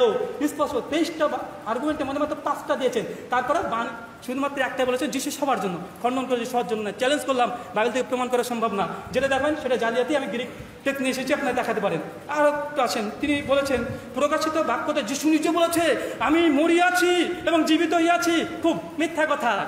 প্রকাশিত বাক্য রেভিলেশন এটা কি স্বপ্ন? কে স্বপ্ন দেখেছে? জোয়ান ইউহান্না, তিনি স্বপ্ন দেখেছেন। স্বপ্নতে যিশু এসে বলছে, আমি মরিয়াছি এবং জীবিত। ভাই, স্বপ্নের কথা দলিল, প্রমাণ। কে স্বপ্ন দেখেছে? জোহান রেভেলেশন এটা স্বপ্ন দেখেছে। এসে বলছে, তারপর ধরে না ফার্স্ট সেকেন্ড আর্গুমেন্ট ধরে নিলাম যে যিশু এসে সত্যি বলছে, স্বপ্নে বলেছে, ঘুমের যুগে বলেছে, যা ইচ্ছা তা বলেছে। তারপর তিনি মরিয়া ছিলেন। বাইবেল, হোসায়াত এগারো নয় বলছে, ঈশ্বর মরিবেন না। তোমার যীশু খ্রিস্ট ঈশ্বর না। যে এটা নেন, ঈশ্বর মানা যাবে না। তো তিনি মরিয়াছেন। ঈশ্বর মরে না। আমাদের আল্লাহ হাইউল কাইয়ুম। তিনি চিরঞ্জীব, চিরস্থায়ী। পবিত্র কনসার বাকারাসের মধ্যে আত্মাদের চপাঞ্চন স্থানীয় আত্মা তেরো আল্লাহ মরিবেন না। কুল্লুমান আল্লাহ ফান অজ্ঞে অজুয়ার বিকা জুল জালালি ওয়াল ইকরাম। সমস্ত কিছু ধ্বংসশীল হবে। রব্বে আল্লাহ সুবহানাহু ওয়া তাআলা তার মৃত্যু নেই। সূরা রহমান 1 25 এবং 26 আসেন। তিনি ফেরনের উক্তি ফেরনের অন্তর শক্ত করে দেবে। আমাদের কথা ঈশ্বর আগেই ফেরনের অন্তর শক্ত করেছে, কি করেনি? ঈশ্বর যদি ফেরনকে মনটা নরম করে দিত, হেদায়ত পেতে, জান্নাতে যেত, আপনার ঈশ্বরের সমস্যা কোথায় ছিল? ফেরনকে যদি হেদায়ত করে দিত, কি সমস্যা ছিল? কি সমস্যা ছিল? জোহনের মতো একটা মাছের ব্যাপারীকে যদি তিনি ক্ষমা মানে যদি এত বড় পণ্ডিত করেন, তো ফেরনকে ভালো কাজ করে দিতে পারতেন? প্রশ্ন তো এটাই ছিল। তারপর তিনি বলেছেন, ঈশ্বর আচ্ছা জান্নাত যাবে ইসলামে এটা ফিক্স তিনি বলেছেন, জান্নাত যাবে ইসলামে এটা ফিক্স আলহামদুলিল্লাহ আলহামদুলিল্লাহ বলেন, জান্নাত যাবে ইসলামে ফিক্সড কিন্তু বাইবেল এটা ফিক্সড নয়। মানে আপনারা সন্দেহের মধ্যে আছেন। আলহামদুলিল্লাহ। তার কথা মধ্যে প্রস্তাব করছে। প্রথম কারণে প্রথম কারণে পাস্টার বলেছেন, কি বলেছেন? যে কি ইসলামে কোনো নাজাত নেই। আবার তিনি এখন এসে বলছেন, জান্নাত যাবে ইসলামে এটা ফিক্সড আর বাইবেলের ছন্দ। আপনার ছন্দ গ্রহণ করবেন না খুশি গ্রহণ করবেন যারা বুদ্ধিমান, তারা সেটাই গ্রহণ করে নেন। আসেন, তারপর তিনি বলেছেন যে সুরা বাকারা ছেচল্লিশ নম্বর সরি সুরা হাকাপের নয় নম্বর আয়তে মোহাম্মদের সঙ্গে কি আচরণ করা হবে? এটা মোহাম্মদ নিজেই জানতো না। চ্যালেঞ্জ করলাম, এটা দুনিয়া এটা কিয়ামতের জন্য বলা হয়নি। এটা বলা হয়েছে, বদরের প্রান্তে যুদ্ধ করতে যাবে। মোহাম্মদ কি বেঁচে আসবে না মৃত্যুবরণ করবে? তার জন্য আল্লাহ বলছে, তোমার যুদ্ধের তিথি কিয়ামতের কথা বলেনি। চ্যালেঞ্জ করলাম, কিয়ামত শব্দ দেখো কোরআন থেকে। মিথ্যা কথা বলেছে। বলছেন, মোহাম্মদ তৌবা করতেন, সত্তর বার। তো কি হয়েছে? যীশু খ্রিস্ট প্রাণ ভিক্ষা চেয়েছে মতির ছাব্বিশ সাথে উনত্রিশ পদ। হে ঈশ্বর, যদি সম্ভব হয় আমাদের মৃত্যুর পেলা তোমার মুখ থেকে সরিয়ে দাও। আমার ইচ্ছা না, তোমার ইচ্ছা পূরণ করো। যিশু, লুক বাইশ অধ্যায় চল্লিশ হচ্ছে যিশু যখন দোয়া করছেন, তার শরীর থেকে যে এমনভাবে ঘাম ঝরছিল, যেন রক্তের ফোঁটা পড়ছে, তিনিও দোয়া করেছেন, তিনিও ক্ষমা চেয়েছেন, তিনিও দোয়া করেছেন ঈশ্বরের মনোনীত হওয়ার জন্য, বাঁচার জন্য। খারাপ পাপিরা কখনো তোবা করে? তোবা করে না। আপনি হতে পারেন পাপি, আমরা পাবি না। আমরা ক্ষমা চাই আল্লাহর কাছে। তিনি বলছেন, কোরআন বলছে, হে জিরাসেতুল মুস্তাকিম, এটাকে মোহাম্মদকে বলছে সিরাতল সোজা পথে যাও সোজা পথে যা মোহাম্মদকে না, গোটা মুসলিম উম্মাকে বলছে, তোমরা বাঁকা পথে যাবে না, সোজা পথে যাবে। বাঁকা পথে নয়, তিনি বলছে, জোহান চোদ্দ ছয় বলেছে যিশু বলছে আমি সত্য, আমি জীবন এবং আমি পথ। ভাই, প্রত্যেকটা নবীরা সত্য হয়, জীবন হয় এবং পথ হয়। মুসার সময়তে মুসার সত্য ছিল, জীবন ছিল, পথ ছিল, ইব্রাহিমের সময় ঈশ্বরই সত্য, জীবন এবং পথ। সমস্ত নবীদেরকে বিশ্বাস করি, নিজ নিজ সময়ে তিনি সত্য, জীবন এবং পথ। পয়েন্ট নম্বর দুই এখানে স্পষ্ট সত্য জীবন এবং পথ। এটা যদি হয়েও থাকে, তো এটা কি কাদের জন্য? বানি ইসরায়েলের জন্য, বারো গোত্রের জন্য ইউনিভার্সাল নয়। আমি তাকে মেনে নিয়েছি। আচ্ছা যাই হোক সময় শেষ। বলেন কত হচ্ছে আমি দেখিনি আমি নয়টার দিকে শুরু করেছি একবার পাক্কা দশ মিনিট হয়েছে। আচ্ছা যাই হোক, এটা, আমি দুই মিনিট সময় চাইছি। দিবেন কি, যদি সভাপতি চান, দিতে পারেন। দেব, দুই মিনিট জাস্ট দুই মিনিট, ইনশাআল্লাহ, সব শেষ হয়ে দেবে তিনি বলেছেন যে তারা খতনা করে না। তো কোরআনে কোথায় খতনা করার কথা আছে? আরে, এখন বললাম কোরআন হাদিসও দলিল কোরআন থেকে দেবো এবং হাদিস থেকে দেবো। আপনারা শুধু যেমন ইঞ্জিল শুধু আপনাদের দলিল নয়, আপনাদের ওল্ড টেস্টমেন্টের দলিল, নবীদের কিতাব দলিল, এমনকি স্বপ্নও দলিল। রেভুলেশন ইউহান্না স্বপ্ন থেকে দলিল দিয়েছেন। আমি মোহাম্মদের কথা থেকে দলিল দিয়েছি। যিশুর কথা। ভাই, হাদিস মানে কি? হাদিস মোহাম্মদের কথা। মোহাম্মদের কাজ, মোহাম্মদের সমর্থন সাল্লাহ সাল্লাম। আর ইঞ্জিল কি? যিশুর কথা। যিশুর কাজ। হাদিস মানতে পারেন, আমরা মুসলিম মোহাম্মদের কেন হাদিস মানতে পারব না? আশ্চর্য। তিনি বলেছেন, কোরআন থেকে খাতনা করার কথা দেখান। আরে ভাই, কোরআনের দেখা আছে, সুরা হাসাব সন্মর অনুসার আত্মাসাদ আল্লাহ বলছে, ওমা তাকুম রসুলু ফাকুজুহু ওমা নাহাকুমান হুফান তাহু রসুল তোমাকে যেটা দেয়, মোহাম্মদ যেটা দেয়, সেটা গ্রহণ করো। মোহাম্মদ খাতনা করার কথা বলেছে, আমরা খাতনা করছি। কিন্তু তারপরে তিনি বাধ্য হয়েছেন তারা খাতনা করে না। আর বাইবেল আদি পুস্তক সতেরোর চোদ্দতে বলছে, যারা খাতনা করবে না, ঈশ্বরের সঙ্গে সম্পর্ক ছিন্ন। ঈশ্বর তাদের না যা দিবে না। আমরা যে কারণে করি করি আমাদের নাজাত আছে। আপনাদের নাজাত নাই, খ্রিস্টান ধর্মে কোনো নাজাত নাই। তারপরে তিনি বলছেন যে খাতনা করার কারণ কি আমরা নবী মুসলিমরা জানি না। কে বলে জানি না? রেফারেন্স বলেছি আপনারা ঘুমাচ্ছিলেন। আদি বুস্তাক সত্তর অধ্যায়, চোদ্দ নম্বর পদ স্পষ্টভাবে বলেছে, ঈশ্বর ইব্রাহিমের সঙ্গে চুক্তি করলেন, এটা চিরস্থায়ী চুক্তি। যে কি একটা বড় জাতি বানাবে, তাদের ঈশ্বরের যারা সন্তান বা ঈশ্বরের যা আনুগত তাদের চিহ্ন হচ্ছে, তারা খাতনা করবে। এরাই না জাত পাবে, এরাই পরিত্রাণ পাবে, এরাই ঈশ্বরের দলের লোক। বাকি সব শয়তানের দলের লোক। এটা হচ্ছে কারণ। কারণ আমি রেখে বলেছি, আপনি মনে ঘুমাচ্ছিলেন। আবার শুনে নিলেন। কুড়ি নম্বর পয়েন্ট যিশুর ব্যবস্থা পূর্ণ করেছেন তিনি হচ্ছে যিশু ব্যবস্থা নাকি পূর্ণ করেছে? মিথ্যা কথা। জোহান, ষোলো অধ্যায় বারো থেকে চোদ্দ পদ যিশু বলছে, আমি তোমাদেরকে অনেক কথা বলতে চাই, কিন্তু তোমরা এখনও বুঝিবে না। অনেক কথা বলতে চাই, তোমরা বুঝিবে না। যখন সত্যের আত্মা আসবে, তখন তোমাদের সত্য পথে নিয়ে যাবে। যিশু বলছে, অনেক কথা বলতে চাই, আমি তোমরা এখন বুঝবা না। বা তিনি সমস্ত কিছু বলেননি। শরীয়ত, ইঞ্জিল অসম্পূর্ণ। যিশুর শিক্ষা সম্পন্ন নয়, যিশু তো অনেক কথা বলতে চাই যে তোমরা বুঝতে পারবে না। আর একজন সত্যের আত্মা আসবে, আর তিনি বলবেন সমস্ত কথা, পূর্ণ কথা। আর সেই সত্যের আত্মা, সে হচ্ছে মোহাম্মদ সাল্লাহ সাল্লাম। কালকে ডিবেটের আলোচনা আছে। এখানে শেষ, এখান থেকেই শুরু। এখানে শেষ করলাম যে সত্যের আত্মা মোহাম্মদ সাল্লাম। আজকে শেষ করলাম এই ভার্সে। কালকে ইনশাল্লাহ এখান থেকে প্রমাণ করব যে সত্যের আত্মা সেটা প্রফেট। মোহাম্মদ সাল্লাহ সাল্লাম, তিনি মানুষকে সত্য পথে নিয়ে যাবে। তিনি সত্য, তিনি জীবন, তিনি পথ, সমস্ত মানুষ জাতির জন্য, যেটা কোরআন বলছে রাফসান সাত আট সাতান্ন, ইয়া ইহনাস হে মানব সম্প্রদায়, হে মনুষ্য জাতি, ইন্নি রসুল্লাহি নিশ্চয় আমি আল্লাহ রসুল নিশ্চয় আমি আল্লাহ রসুল, জামিয়া। সমস্ত মানুষ জাতির জন্য আমি প্রেরণ হয়েছি। আলহামদুলিল্লাহ, আমরা আলোচনা এখানে শেষ করলাম কনক্লুডেড রিমার্ক দশ মিনিট। আল্লাহ সুমাতাল আপনাদের সকলকে সত্য তৌফিক দান করুক এবং সত্য আপনাকে মুক্ত করুক। অমালাইনা ইল্লাল বালাক। এতক্ষণ আপনারা শুনছিলেন যে মূল আলোচনা নাজাব, বাইবেল ও কোরআনের আলোকে। এটা হচ্ছে আমাদের মূল আলোচনা। এবার আমাদের যে ইন্টারেস্টিং যে আলোচনা আসছে সামনে, সেটা হচ্ছে প্রশ্ন উত্তর পর্ব। সেই প্রশ্ন উত্তর পর্ব শুরু করার আগে কিছু নিয়ম নীতি বলে দেওয়া দরকার। আচ্ছা উনি এখন দশ মিনিট পাবেন কলকাশন পাবেন উনি আপনি কলকাশন পাবেন না কলকাশন পাবেন দশ মিনিট উনি পাবেন এখন লাস্ট তো আপনার আছে মানে ওনার আছে? আচ্ছা আচ্ছা। আচ্ছা উনি আবার দশ মিনিট বলবেন ব্রাদার রাহুলের কথার উত্তরে দশ মিনিট বলবেন। তেরো মিনিট, তিন মিনিট এক্সট্রা তেরো মিনিট বলুন, তিন মিনিট এক্সট্রা নিচে আমাদেরও একটু হলে ভালো আর কি? হ্যাঁ কোনো অসুবিধা থ্যাংক ইউ ওকে খুব ভালো। রাহুলদা খুব সুন্দর বলেছে, যারা তাড়াতাড়ি বলে, আল্লাহ আসাদ আর যারা আস্তে আস্তে বলে, তারা ঠিক পথে হয়তো বাঁকা মানে পথে আছে, কোনো অসুবিধা নেই, আমরা সে যা ইচ্ছা বলতে পারে, কোনো অসুবিধা নেই। ঠিক আছে। ওকে, ঠিক আছে। আমি প্রথমে বলে দিয়েছি যে আরও অনেক প্রশ্ন, কোনো অসুবিধা নেই। যে আরও অনেক প্রশ্ন ছিল যেটা আমি জব দিতে পারি, এই না যে ভয় পেয়েছি বা উত্তর দিতে পারি টাইম থাকলে নিশ্চয়ই দিতাম। তো ঠিক আছে। যেটাকে ওনার এই সময়ে যে বিশেষ করে যে আর্গুমেন্টটা এখন আর নতুন কোনো আর্গুমেন্ট পেশ করা যাবে না। তো যেটা পুরাতন, কিন্তু উনি কিছু কিছু কথা ট্রিনিটি কী বলব, মোহাম্মদ সাল্লাহ সাল্লাম এগুলো আবার নতুন কিছু আর্গুমেন্ট উনি নিয়ে চলে এসছেন লাস্টে তো যদিও সেটা এর এগেনস্টে তো ঠিক আছে, এইবারে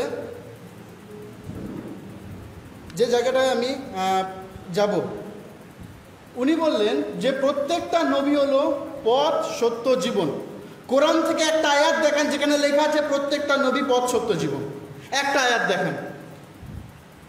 কোন নবী সত্য হতে পারে না। আল হাক কার নাম? সত্য কে? যদি বলতে আমি সত্যের পথ দেখাচ্ছি, মেনে নিচ্ছি। হ্যাঁ কিন্তু সত্য কোনো নবী নিজেকে বলতে পারে না। যিশু নিজেকে সত্য বলছে, তিনি আল হাক, তিনি ঈশ্বর, তার মানে। পরিষ্কার। তবে অসুবিধা কোনো নবী যদি হজরত মোহাম্মদ নিজেকে সত্য বলতে আমার তিনি নিজে আল হাক, সত্য হয়ে গেল। তাহলে মেনে নিন আল্লাহ হিসাবে। হ্যাঁ আপনার তো দেখুন, আপনাদের তো এটা ইমানে নেই কি নবী আল্লাহ মানে মোহাম্মদ সাল্লাহ সাল্লাম তিনি আল্লাহ। যাই হোক, তাকে বিশ্বাস না করলে আবার জান্নাতেও যাওয়া যায় না। মানে আল্লাহ সমান সমান তার উপর ইমান আনতে হবে।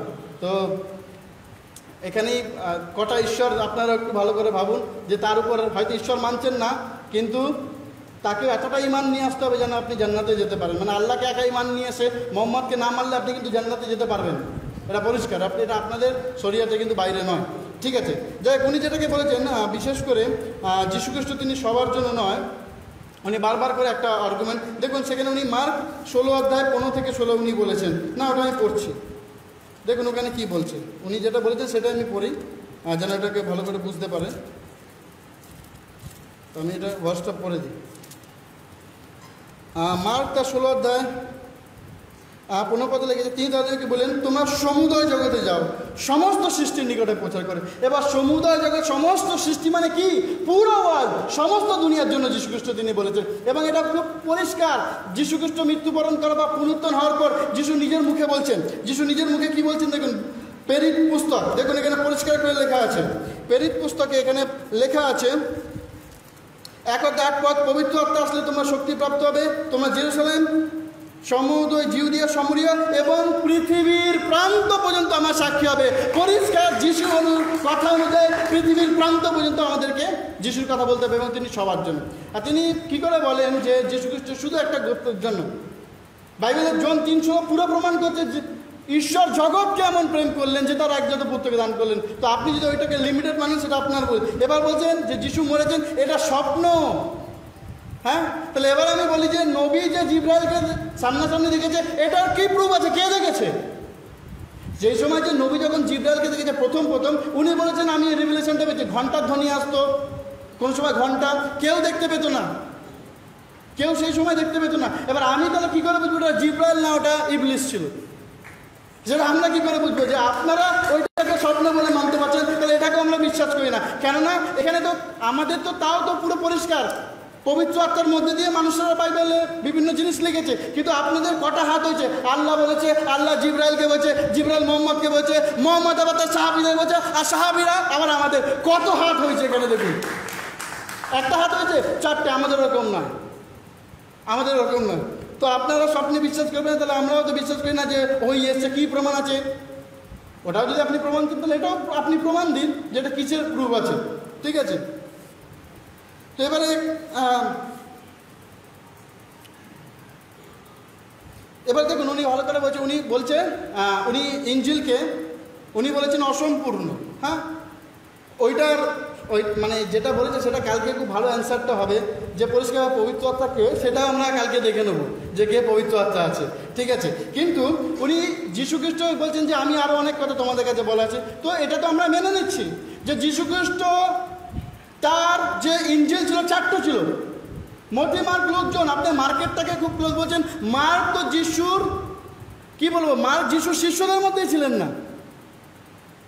মার্ক যিশু কিন্তু যোহন যিশু শিষ্যের মধ্যে ছিলেন, মতি যিশু শিষ্যের মধ্যে ছিলেন। তাহলে ওটা তো আরও পরিষ্কার করে মানতে হবে। আমরা পুরোটাকেই মানি, কোনো অসুবিধা নেই। এবার দেখুন যেটাকে উনি পুরো পরিষ্কার করে বলছেন যে এই বিশেষ করে ইঞ্জিলটাকে বলেছেন। এবার আপনি একটু পরিষ্কার করে বলুন যে যীশুখ্রিস্ট তিনি যেটা বলতে চেয়েছেন তার পরবর্তীকালে, সেগুলো তো আমাদের নেক্সট কিতাবগুলো আছে। পেরিতে পর রোমিও করিন্তি এগুলো তো পবিত্র বলেছেন এবং নেক্সট নবী রসুল্লাহ লিখেছে। কেন আমরা বিশেষ করে আমরা সেন্ট পলসকে আমরা একজন নবী হিসাবে মানি, আমরা একজন রসুল হিসাবে মানি, আমরা একজন প্রফেট হিসাবে মানি।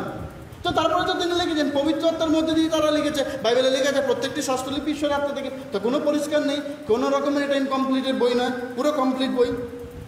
ঠিক আছে? আর উনি ইহুদিদেরকে সাপের বংশ বলেছে, বিভিন্নকে কুকুর বলেছে। তো আমরা তো এটা পরিষ্কার করে বলেছি, সাপের বংশ মানে কোয়ালিটি বুঝিয়েছে এখানে। এখানে তার কোয়ালিটিকে বুঝিয়েছে, অর্থাৎ সাপ, শয়তান যেভাবে মানুষকে প্রতারণা করেছে, তারা প্রতারণা করতে, এটা বুঝিয়েছে। এটা বোঝানোর জন্য এটা বুঝিয়েছে। আচ্ছা এখানে কুকুর মানে আমি আপনাকে বললাম যে পরিষ্কারভাবে, ঠিক আছে, যদি ওটা দেখেন পুরোভাবে আপনারা একটা গ্রিক বাইবেল আপনারা ডাউনলোড করুন ওটা আমি আজকে নিয়ে আসিনি, ঠিক আছে, অ্যাপসটা আমার কাছে আছে। তো সেখানে দেখবেন যে দুরকম কুকুরের বিষয় বর্ণনা আছে, দুরকম এবং এটা সম্পূর্ণ আমি সবার সামনে বললাম, এটা প্রমাণ দেওয়া যাবে, এটা কোনো রকমই না। এখন উনি আমাকে গ্রিক বাইবেল চাইলে চাইলে কিন্তু আমরা পড়ি। আমাদের কাছে এখন ইন্টারনেটের যুগ সমস্ত কিছুই আছে। এখন কোরআনও তো সব কিছুতে পাওয়া যায়। পকেট কোরআন আছে ইন্টারনেটে কত রকমের কোরআন ট্রান্সলেট আছে, যেটা বইতে বইও পাবেন তো পরিষ্কারভাবে কুকুর বলতে তাকে তো খারাপ কিছু বলেনি। আপনারা সেটাকে অন্য মানে নিতে পারেন। বাঘ, সিংহ বললে ভালো হতো না, কুকুর বলছে বলে খারাপ। তো পরিষ্কারভাবে সেখানে কিন্তু একটা নিজের মালিক এবং কুকুরের সম্পর্কে একটা ক্লোজ সেটাকে কিন্তু বুঝছে এখানে বাইবেলে বহু পরি মানে বহু জীবজন্তুর বিষয় ব্যবহার করেছে। সাপ বলা হয়েছে, ভেড়া বলা হয়েছে, শিয়াল বলা হয়েছে, অনেক জায়গায় ব্যবহার করা হয়েছে বাইবেলে। অনেক জায়গায়। তো এটা পরিষ্কারভাবে, এটাকে বুঝতে হবে আপনাকে। এটা যদি না বোঝেন তাহলে তো কিছু করার নেই। কেননা আপনাকে বাইবেল পড়তে গেলে বাইবেলের টার্মস বুঝতে হবে। তা প্রত্যেকটা কোরআনও ওটা ঠিক তাই। আপনার কোরআন পড়তে গেলে আপনাকে কোরআনের টার্মস বুঝতে হবে। তো ওরকম উনি যেটা বলল যে আমাদের পথ দেখাও এটা নাকি নিজের জন্য নয়। তাহলে আমাদের মধ্যে ইনক্লুডিং কি নবী নেই? তাহলে তো ওখানে তো কোরআনে এটা বলতে পারতো, তাদেরকে রাস্তা দেখাও। ইয়েদিন তাদের রাস্তা, আমাদের কেন বলল? আমি কেন আসছি সেখানে? তাহলে নবী নিজেও আছে সেখানে। নবী নিজেও ইনক্লুডিং তিনিও সঠিক রাস্তায় ছিলেন না। সেই জন্য তো তিনি দেখেছেন, এবং চল্লিশ বছর পর্যন্ত তিনি তো সঠিক পথে ছিলেন না, এটা তো ট্রুথ চল্লিশ বছর পর্যন্ত তিনি সঠিক রাস্তায় ছিলেন না। কোনো মতেই না তো কনক্লুশনে যে পরিষ্কারভাবে আমি একটাতে আসি যেটা রিপোর্টাল নয় তো বাইবেলের পরিত্রাণ খুব ক্লিয়ার এবং খুব কমপ্লিট যে যীশু খ্রিস্ট তার উপর ইমান নিয়ে আসার মধ্যে দিয়ে তাকে বিশ্বাসের মধ্যে দিয়ে তিনি আমাদের জন্য জীবন দিয়েছেন সেটাকে বিশ্বাস করার মধ্যে দিয়ে এবং আমাদের জীবন যারা মধ্যে দিয়ে সেটাকে প্রমাণ করার মধ্যে দিয়ে শেষ পর্যন্ত যদি ওটা করতে পারি তাহলে আমরা না যেতে পারব এবার আপনারা বলছেন যে হ্যাঁ, আমি উনি আমাকে বলেছেন যে ইসলাম নাজাত ফিক্স মানে জান্নাত ফিক্স তো আমি ওখানে কি বললাম যে, সবার জন্য তো নয়, কিছু লোককে আল্লাহ আগে থেকে গুমরা করেছে। তারা ভালো কাজ করলেও শেষে তারা গুমরা করবে। আবার কিছু ইহুদিকে, কিছু খ্রিস্টানকে, মুসলমানদের সব বোঝা চাপিয়ে দেবে। তো পুরোভাবে তো তাদের জন্য ফিক্স রসুল আল্লাহ তাদেরকে আগুন থেকে বের করে নিয়ে আসবে, তাদের জন্য ফিক্স যে খারাপ কাজ করছে তাকেও আগুন থেকে বের করে নিয়ে আসবে, এটাও আছে দলিলে, তাদের ফিক্স কিন্তু আমাদের ওরকম না, যারা খারাপ কাজ করেছে, যারা পাপ করেছে, তারা যদি অন্যায় করতে থাকে, তাহলে তারা জাহান নুমে যাবে, তারা যাকেই বিশ্বাস করুক না কেন, তারা অন্যায় করলে তার শাস্তি পাবে। কিন্তু আপনাদের ওরকম নয় আপনাদের ওখানে যে কিয়ামতে পাহাড় সমান গুণা নিয়ে আসলো, তার বদলে ইহুদি খ্রিস্টানদের উপর চাপিয়ে দেবেন, এটার কিন্তু তিনি কোনো উত্তর দেন ইহুদি খ্রিস্টানদের উপর সেই পাপের বোঝা চাপিয়ে দেবে, তাদেরকে জাহান্নামে ফেলবে। এটা কিন্তু নতুন নয় এবং মুশারিক শিশুদেরটা বলেননি যে তারা জন্ম যেহেতু মুশারিক, সেই জন্য তারা জাহান্নামে যাচ্ছে। কোনো অ্যান্সার নেই এটা ইসলামের মধ্যে। উত্তর দেবে কি করে? এটার কোনো উত্তর নেই যে জন্ম থেকে আল্লাহ ঠিক করে রেখেছে। বাইবেলে কোনোভাবে এরকম বর্ষ নেই। আর যদি পরিষ্কারভাবে যদি দেখেন যে বিশেষ করে যে মুসলিমদের একটা একটা হাদিস যেটাকে আছে, যেহেতু উনি লাস্টে ট্রিনিটি বলেন, আমি হাদিসটা একটুখানি বলি। যেটা হচ্ছে ছ হাজার। আমার তিন মিনিট টেক্সটটা আছে। ঠিক আছে। আহ, ছ হাজার ছশো সতেরো। এটা হচ্ছে আহ, মুসলিম শরীফ। এখানে লেখা আছে আমি পড়ছি হচ্ছে ছ হাজার ছশো দশ থেকে। যে মুমিনদের পার্থিব বিপদ দূর করলে কিয়ামতের দিনে আল্লাহ তার বিপদ দূর করে দেবে। মুসলিমদের দোষ ত্রুটি যে লোকাবে, আল্লাহ আখেরাতে তার দোষকে লোকাবে। এ কি? মুসলিমদের দোষ লোকালে আল্লাহ তাকে আখিরাতে লোকাবে। তো আপনারাই পরিষ্কার করে ভাবুন, আজকে থেকে আমরা মুসলিমদের দোষ লোকাতে শুরু করে দিয়ে আল্লাহ আমাদের আখেরাতে দোষ লুকিয়ে দেবে। তো আমরা তো দোষ ধরছি না আপনাদেরকে। কারণ আপনাদের বদলে তো আমরা জাহান নামে যাচ্ছি, এটা আল্লাহ আগে থেকে ফিক্স করে দিয়েছে, আপনাদের পাপ আমাদের উপর চাপানো হবে। তো পরিষ্কারভাবে খ্রিস্টানিটিতে একদম সম্পূর্ণভাবে পরিষ্কার, যেটা বাইবেলের পরিষ্কারভাবে তওরাত থেকে শুরু করে একদম প্রকাশিত কালাম পর্যন্ত একটা প্যারালালেই গেছে, যদি বুঝতে পারেন। সেখানে প্রথমে কুরবানি করা, তো উনি বলছেন, কেন কুরবানি হয় না? কুরবানি একটা সময় পর্যন্ত হতো। ঈসা মসির কুরবানির পর আমাদের কুরবানি শেষ হয়ে গেছে। আর কুরবানির দরকার নেই। আপনাদের কুরবানির দরকার আছে এখন। আপনারা কন্টিনিউ কুরবানি দেবেন। কিন্তু আমাদের জন্য ঈশা মাসে কুরবান হয়ে গেছে না, আমাদের কুরবানি দরকার নেই জন্য শেষ। ঈশা তিনি শেষ করেছেন উনি বলছেন যে, কোথায় বলেছে ঈশা? তিনি, আমি সমস্ত ব্যবস্থা ভাবানি পূর্ণ করতে এসেছি আচ্ছা ঠিক আছে, সেটাও আমি দেখিয়ে দিচ্ছি, কোথায় বলেছে? এটা লেখা আছে মথি তার পাঁচ অধ্যায় সাথে পদে মনে করি না যে, আমি ব্যবস্থাকে ভাবানি কিন্তু লোভ করতে এসেছি। আমি লোভ করিতে না, কিন্তু আমি পূর্ণ করতে আসছি এই তো লেখা আছে। কে বলছে যিশু পূর্ণ করেনি? যিশু তিনি প্রত্যেকটি কমান্ডমেন্ট তিনি পূর্ণ করে দিয়ে গেছেন। তো সম্পূর্ণভাবে আমাদের কাছে নিরাপদ, ঈশা মসি বিশ্বাসের দ্বারা আমরা জান্নাতে যাব। আমরা যদি শেষ পর্যন্ত ঈসা মসির উপর ইমান থাকে, আমরা যদি ভালো কাজ করতে থাকি, আমরা জান্নাতে যাব। আপনাদের মধ্যে সবাই জান্নাতে যাবে না, কেন আপনাদের জন্মের আগে থেকেই ঠিক হয়ে গেছে কে যাবে কি যাবে না, এবং আপনাদের উপরে কিছু লোক তারা যাবে, কিছু লোক তারা যাবে না, এবং আপনাদের কিছু লোক যাবে, আমাদের দৌলতে কেন আপনাদের পাপ আমাদের উপরে আসবে, আমরা জাহান্নামে যাব আর আপনারা বাঁচবেন। তো আপনাদের আমাদের উপর নির্ভর করতেই হবে। তো সম্পূর্ণ যিশুতে বিশ্বাস করুন, যিশু খ্রিস্ট তিনি আপনাকে ভালোবাসেন। এবং পরিষ্কার করে বলছেন যে ঈশা তিনি পাক ছিল কি? ছিল না। উনি বলছেন যে, আমি কোরআন থেকে প্রুভ করে দিচ্ছি, ঈশা তিনি পাক, কোনো নবীর বেলায় এটাকে লেখা হয়নি। দেখুন, সুরা মরিয়াম। উনি এটাকে বলছেন, আমি সুরা মরিয়াম থেকে দেখিয়ে দিচ্ছি, উনিশ নম্বর সুরা। দেখুন, ঈশা তিনি জন্ম থেকেই তিনি পাক ছিলেন। সুরা মরিয়াম তার উনিশ নম্বর সুরা। তার উনিশ নম্বর আছে তিনি বলেন আমি তোমাকে, আমি তোমার প্রভুর প্রেরিত রসুল যাতে তোমাকে এক পবিত্র পুত্র দান করতে এসেছি। তো ঈসা মসজিদ জন্ম থেকেই পবিত্র ছিল। দেখেন আর কোনো আয়াত যে কোন নবী জন্ম থেকে পবিত্র কিনা। কোন নবী, প্রত্যেকটা নবী গুণা মাফ চেয়েছে আল্লাহর কাছে। প্রত্যেকটা নবী সে মোহাম্মদ থেকে শুরু করে, নুয়া থেকে শুরু করে, ইব্রাহিম থেকে শুরু করে কোরআন অনুযায়ী কিন্তু ঈসা কোনোদিনও গুণা মাপ চায়নি। বরঞ্চ আমাদের গুণার জন্য তিনি সুপারিশ করেছেন। কোরআন অনুযায়ী কোরআন অনুযায়ী কিয়ামতের দিন ঈশা সুপারিশ করবে। আপনারা দেখান কোরআন থেকে হাদিস থেকে না যে কোথায় মোহাম্মদ সুপারিশ করছে। আমি দেখাচ্ছি কোরআন থেকে যে কিয়ামতের ময়দানে ঈসা আলাইহিস সালাম তিনি সুপারিশ করছেন। সুরা পাঁচ। নতুন আর্গুমেন্ট না ওই যে আপনি ওটা ঢুকালেন ওই জন্য বললাম যে আহ, বাঁচাবে নাকি। সুরা পাঁচে একশো ষোলো সতেরো নম্বর আয়তে একটুখানি দেখুন। লাস্ট একটু এটা বলে আমি শেষ করব। পাঁচ ওকে ওকে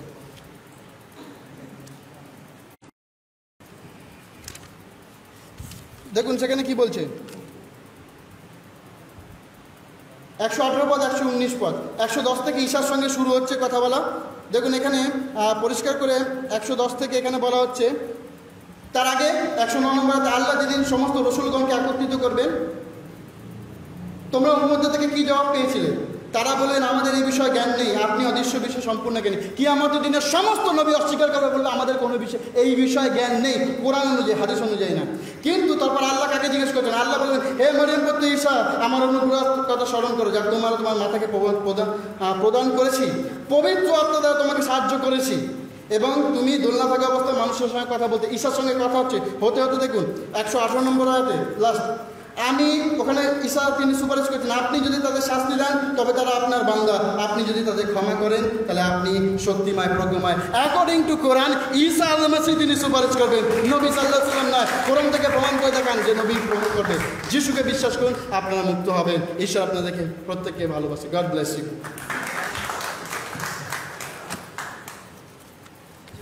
এখানে বসি প্রশ্ন উত্তর তো এখানে বসে দেখুন সমস্যা নেই।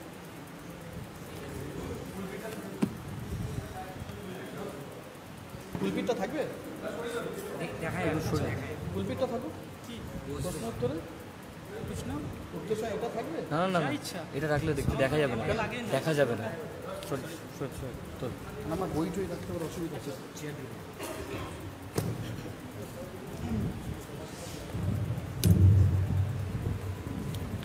আমরা আমাদের মূল আলোচনা পর্ব নাজাত বাইবেল ও কোরআনের আলোকে। এই পর্বটা আমরা শেষ করে ফেললাম। এবার সবচেয়ে আকর্ষণীয় যে পর্ব আমাদের সামনে, সেটা হচ্ছে প্রশ্ন উত্তর পর্ব। তো প্রশ্ন উত্তর পর্ব শুরু করার আগে আমাদেরকে কিছু নিয়ম কানুন মেনে চলতে হবে। যদি আমরা নিয়ম কানুনগুলো না মেনে চলি, তাহলে বিশৃঙ্খলা হবে। সেই জন্য আমি কিছু নিয়ম আপনাদের সামনে বলে দিচ্ছি, সেগুলো আপনারা অবশ্যই ফলো করবেন। প্রথম বিষয় যেটা হচ্ছে এক নম্বর, প্রশ্নকারী যিনি প্রশ্ন করবেন, তিনি নিজের নাম এবং পেশা বলবেন। আপনার নাম কি এবং আপনি কি করেন? দুই নম্বর, আজকের যে বিষয়, নাজাত, বাইবেল ও কোরআনের আলোকে, আপনার প্রশ্নটি হতে হবে এই বিষয়ের ওপরে আপনি যদি এই বিষয় ছেড়ে দিয়ে অন্য বিষয়ে চলে যান, তাহলে কিন্তু আপনার প্রশ্ন আমরা ক্যান্সেল করে দিতে পারি। তিন নম্বর হচ্ছে প্রশ্ন করতে গিয়ে কোনো ভূমিকা বলবেন না। সরাসরি আপনি প্রশ্নটি করবেন। চার নম্বর পয়েন্ট হচ্ছে, একজন ব্যক্তি একটি প্রশ্ন করবে এবং অন্যকে সুযোগ দেবে। এমন নয় যে আপনি একই সাথে চারটা, পাঁচটা প্রশ্ন আপনি করে গেলেন, এরকম না একটা প্রশ্ন করবেন, অন্যকে সুযোগ দেবেন। যদি অন্য কারও প্রশ্ন না থাকে, তাহলে ফের আপনি আবারও সেই প্রশ্ন করতে পারেন। কিন্তু আপনি একটা প্রশ্ন করবেন একবারে, তারপরে অন্যকে সুযোগ দেবেন। পাঁচ নম্বর, শান্ত মেজাজে কথা বলবেন। শান্ত মেজাজে প্রশ্ন করবেন, উত্তেজিত হবেন না। এটা ভালোভাবে মনে রাখবেন। প্রশ্ন হতে হবে শান্ত মেজাজে এবং উত্তেজিত হওয়া যাবে না। ছয় নম্বর পয়েন্ট প্রশ্ন করতে গিয়ে ভদ্রতা বজায় রাখবেন। আপনার প্রশ্নে যাতে অভদ্রতার কোনো ছাপ না আসে, এটা সবসময় মাথা রাখবেন। এবারে বিশেষ করে একজন ভলেন্টিয়ার প্রয়োজন যিনি মাইক্রোফোন নিয়ে ই করবেন। প্রথম প্রশ্ন করবেন ব্রাদার রাহুল হোসেনকে, তারপরে প্রশ্ন করবেন পাস্টার ওনাকে, তারপরে আপনার আবারও ব্রাদার রাহুলকে, তারপরে ওনাকে, এইভাবে আপনাদের প্রশ্নগুলো মানে হতে থাকবে। একই সাথে ব্রাদার রাহুল ব্রাদার রাহুল, অথবা ওনাকে এই ধরনের প্রশ্ন করবেন না। একজন এনাকে করবেন, একজন ওনাকে করবেন। এইভাবে প্রশ্ন উত্তর আমাদের সিস্টেমটা চালু থাকবে। তো বিশেষ করে একজন আমাদের দায়িত্বশীল লোক দরকার, যিনি যিনি চাইবেন যে প্রশ্ন যিনি করতে চাইবেন, তিনি হাত উপরে উঠাবেন। আর আমাদের যে ভাই আছেন, উনি মাইক্রোফোন নিয়ে যাবেন। একজন ভাই হাত তুলেছেন।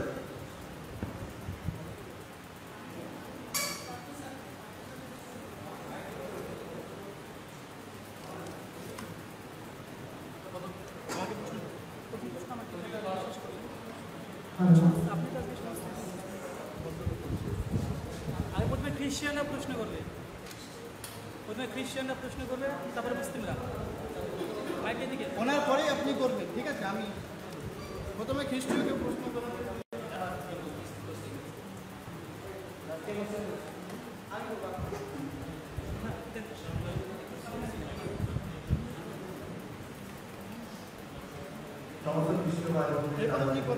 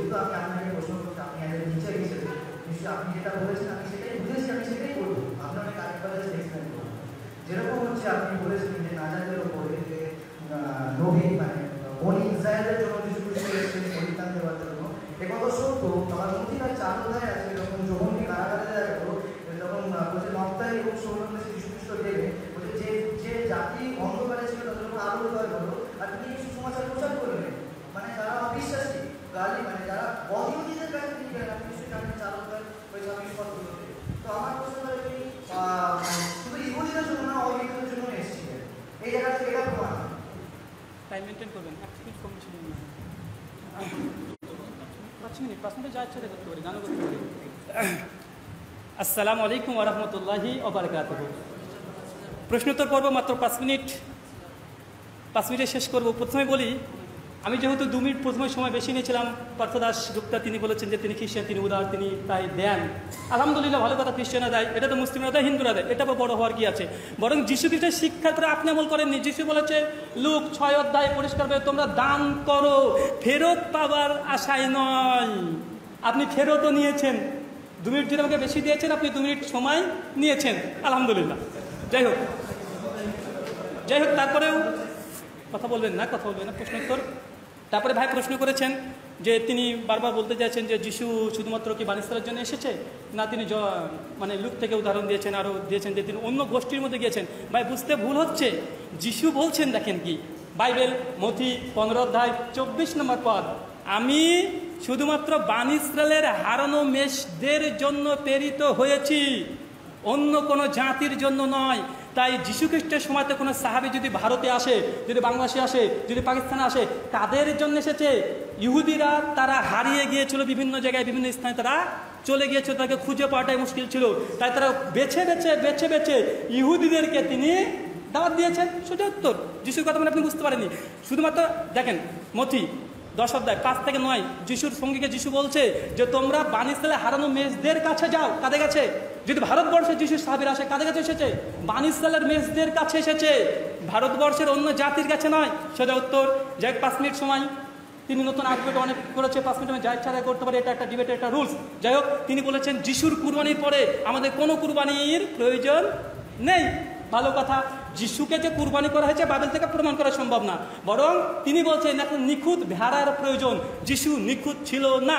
প্রমাণ, বাইবেল, গসল লুক, আঠেরো অধ্যায়, আঠেরো পদ, মথি, উনিশ অধ্যায়, চোদ্দ পদ, মার্ক, দশ অধ্যায়, সতেরো পদ পরিষ্কার ভাবে বলছে একজন পরিশেষে বলছে, প্রভু, হে গুড মাস্টার হে গুড টিচার, অনন্তকাল জীবন উপার্জনে কি করতে হবে? যিশু কেন আমাকে ভালো বলছো? আরে, যিশু পবিত্র তো দূরে কথা, তিনি ভালোই অস্বীকার করেছে।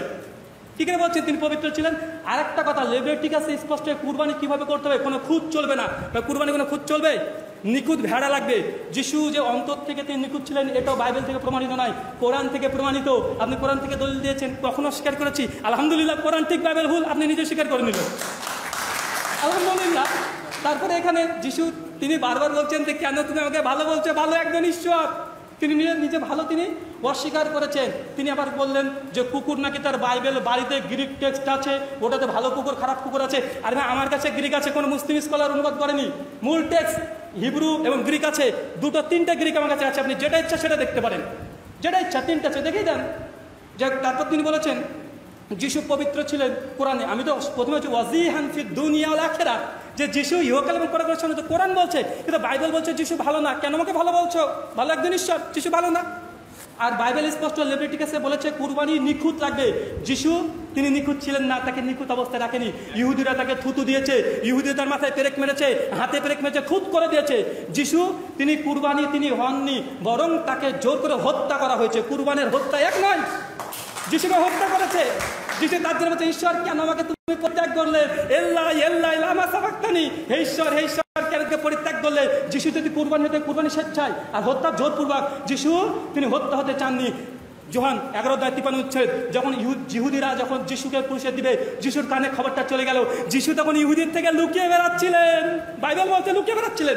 তিনি যদি কুরবানি হবেন, কেন লুকিয়ে বেড়াচ্ছিলেন? তিনি পুষে ঝুলে তোমার নাজাত পাবে। মিথ্যা কথা, যিশু কুরবানি না, তাকে হত্যা করা হয়েছে। আপনারা হত্যা করেছেন, এটা মিথ্যা কথা। তার জন্য করে বলছি ওমা কাতালু হুমা সালাবহু। না, খুশবিদ্ধ করা হয়নি, হত্যা করা হয়নি। মিথ্যা আশা, ভ্রান্ত ধারণা আল্লাহ বলে দিয়েছেন। যাই হোক তিনি বলছে কোরআন থেকে সাফাত করবে মানে যিশু সাফাত করবে, মোহাম্মদ সাফাত করবে না। কে বলো? সে বুখারি হাসনের চার হাজার ছয়শো আটাত্তর। মোহাম্মদ সাল্লাম প্রথম সুপারিশকারী হবেন। তুমি তো যিশু সুপারিশ করবেন, কোরআন আছে। আমরা কখনো স্বীকার করলাম, আর যিশু করবে, মুসা করবে, ইব্রাহিম করবে, আমরা বিশ্বাস করি সমস্ত নবী সুপারিশ করবে। কিন্তু বাইবেল থেকে প্রমাণিত নয় যে যিশু সুপারিশ করবে। যিশু বলেছেন, ওকে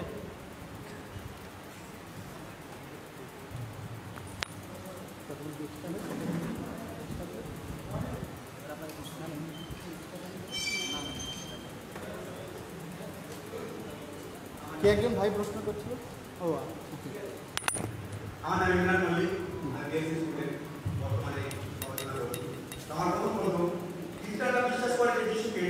প্রাণ দিয়েছে বিশ্বাস করে তারা নাজাত করতে পারে প্রথম পরীক্ষা, পনেরো হাজার চুয়াল্লিশ ভাগ ঠিক আছে? এখানে আমার প্রশ্ন হলো, যিশুকে বিশ্বাস করলাম, তিনি নিজে কুশে প্রাণ দিয়ে আমার পাপের জন্য তারপর আমি চুরি করলাম, ধর্ষণ করলাম আবার হত্যা করলাম প্রতারণা ইনকাম করলাম। তাহলে আমি কি করে নাজার পরিত্রাণ পাবো? যদি বলেন আমি নাজার পরিত্রাণ পাবো না, তাহলে আমার প্রশ্ন, তাহলে যিশুকে বিশ্বাস করে আমার লাভ কি? যিশু তো আমার পাপ নিচ্ছে না। যদি বলেন আমি নাজার পরিত্রাণ পাবো, তাহলে আমার প্রশ্ন, এটা যৌক্তিক যে আমি অন্যায় করার পরেও পরিত্রাণ পাবো? এটা ঈশ্বরের ন্যায়িকা যেহেতু আপনি বলে দিয়েছেন যে কেউ একবার ছোট্ট পাপ করলেও সে জীবনে জান্নাতে যেতে পারবে না? কিন্তু আপনাদের যারা লিখতে পুরোপুরি শুনে নিন রাহুল ভাই বলেছেন না কনসেপ্টটা যে তো সে জান্নাতে যাবে। কিন্তু আগে জান্নাত থেকে তাকে গুনাহগুলো মাফ করা হবে। কিন্তু আপনাদের ধর্ম অনুযায়ী বা গ্রন্থ কেউ একবার ছোট্ট পাপ করলে সে ডাইরেক্ট জান্নাতে চলে যাবে জান্নাতে পারবে প্রশ্নটা কি? মানে খ্রিস্টানরা পাপ করার পরেও কি না নাজাত পাবে? এটা কি? না, না, মূলত আমার প্রশ্ন হচ্ছে যিশু তারা আমি বিশ্বাস করব না যখন যিশু নিজে আমাকে কত অধ্যায় বললেন আপনি? হ্যাঁ। পনেরো চুয়াল্লিশ ঠিক আছে। মানে আমরা যিশুকে বিশ্বাস করার পরেও পাপ করলে নাজাত পাবো কি পাবো না, সেটা তো ওকে ফার্স্ট করেন যা পনেরো চল্লিশ পদে পড়ে দিচ্ছি ভাইয়ের জন্য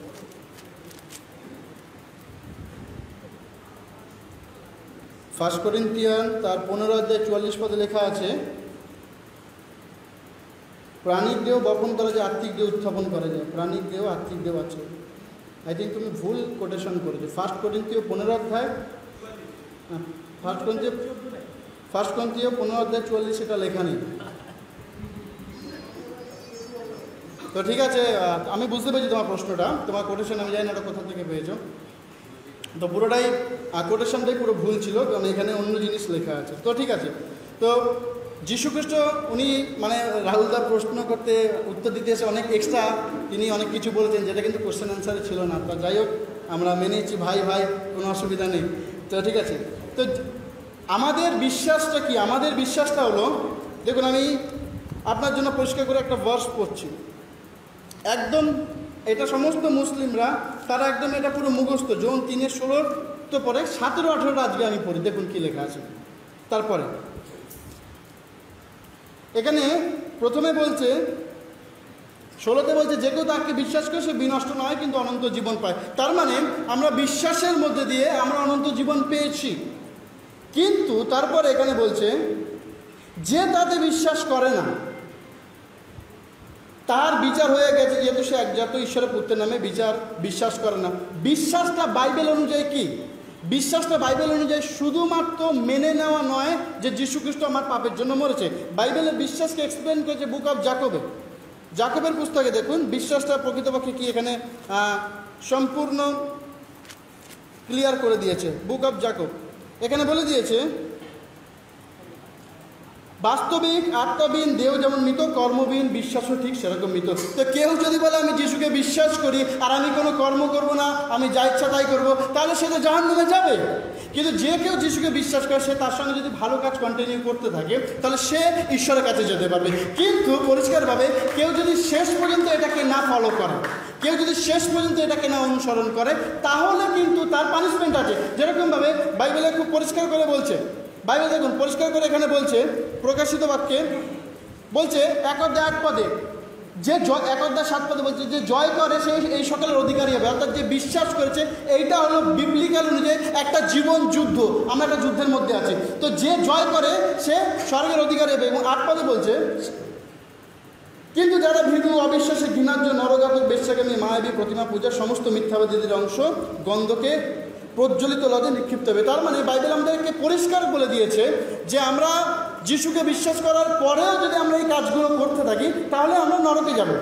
ডেফিনেটলি কিন্তু বাইবেল আমাদের কাছে খুব ক্লিয়ার যখন আপনি পড়বেন যোহন তার চার অধ্যায়তে, সেখানে সমরীয় নারীর একটা ঘটনা আছে এবং একজন ব্যবচারী নারীরও ঘটনা আছে।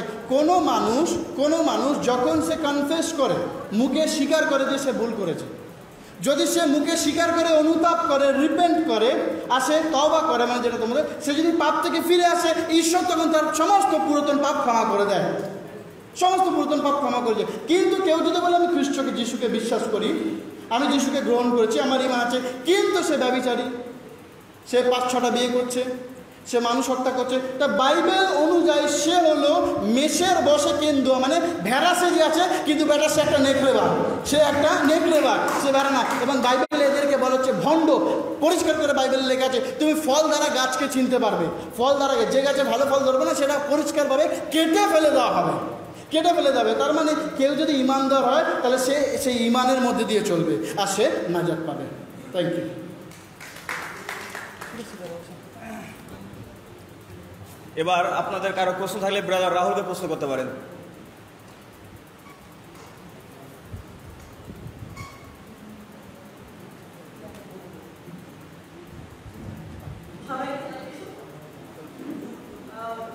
আমার প্রশ্ন ব্রাদার রাহুলের কাছে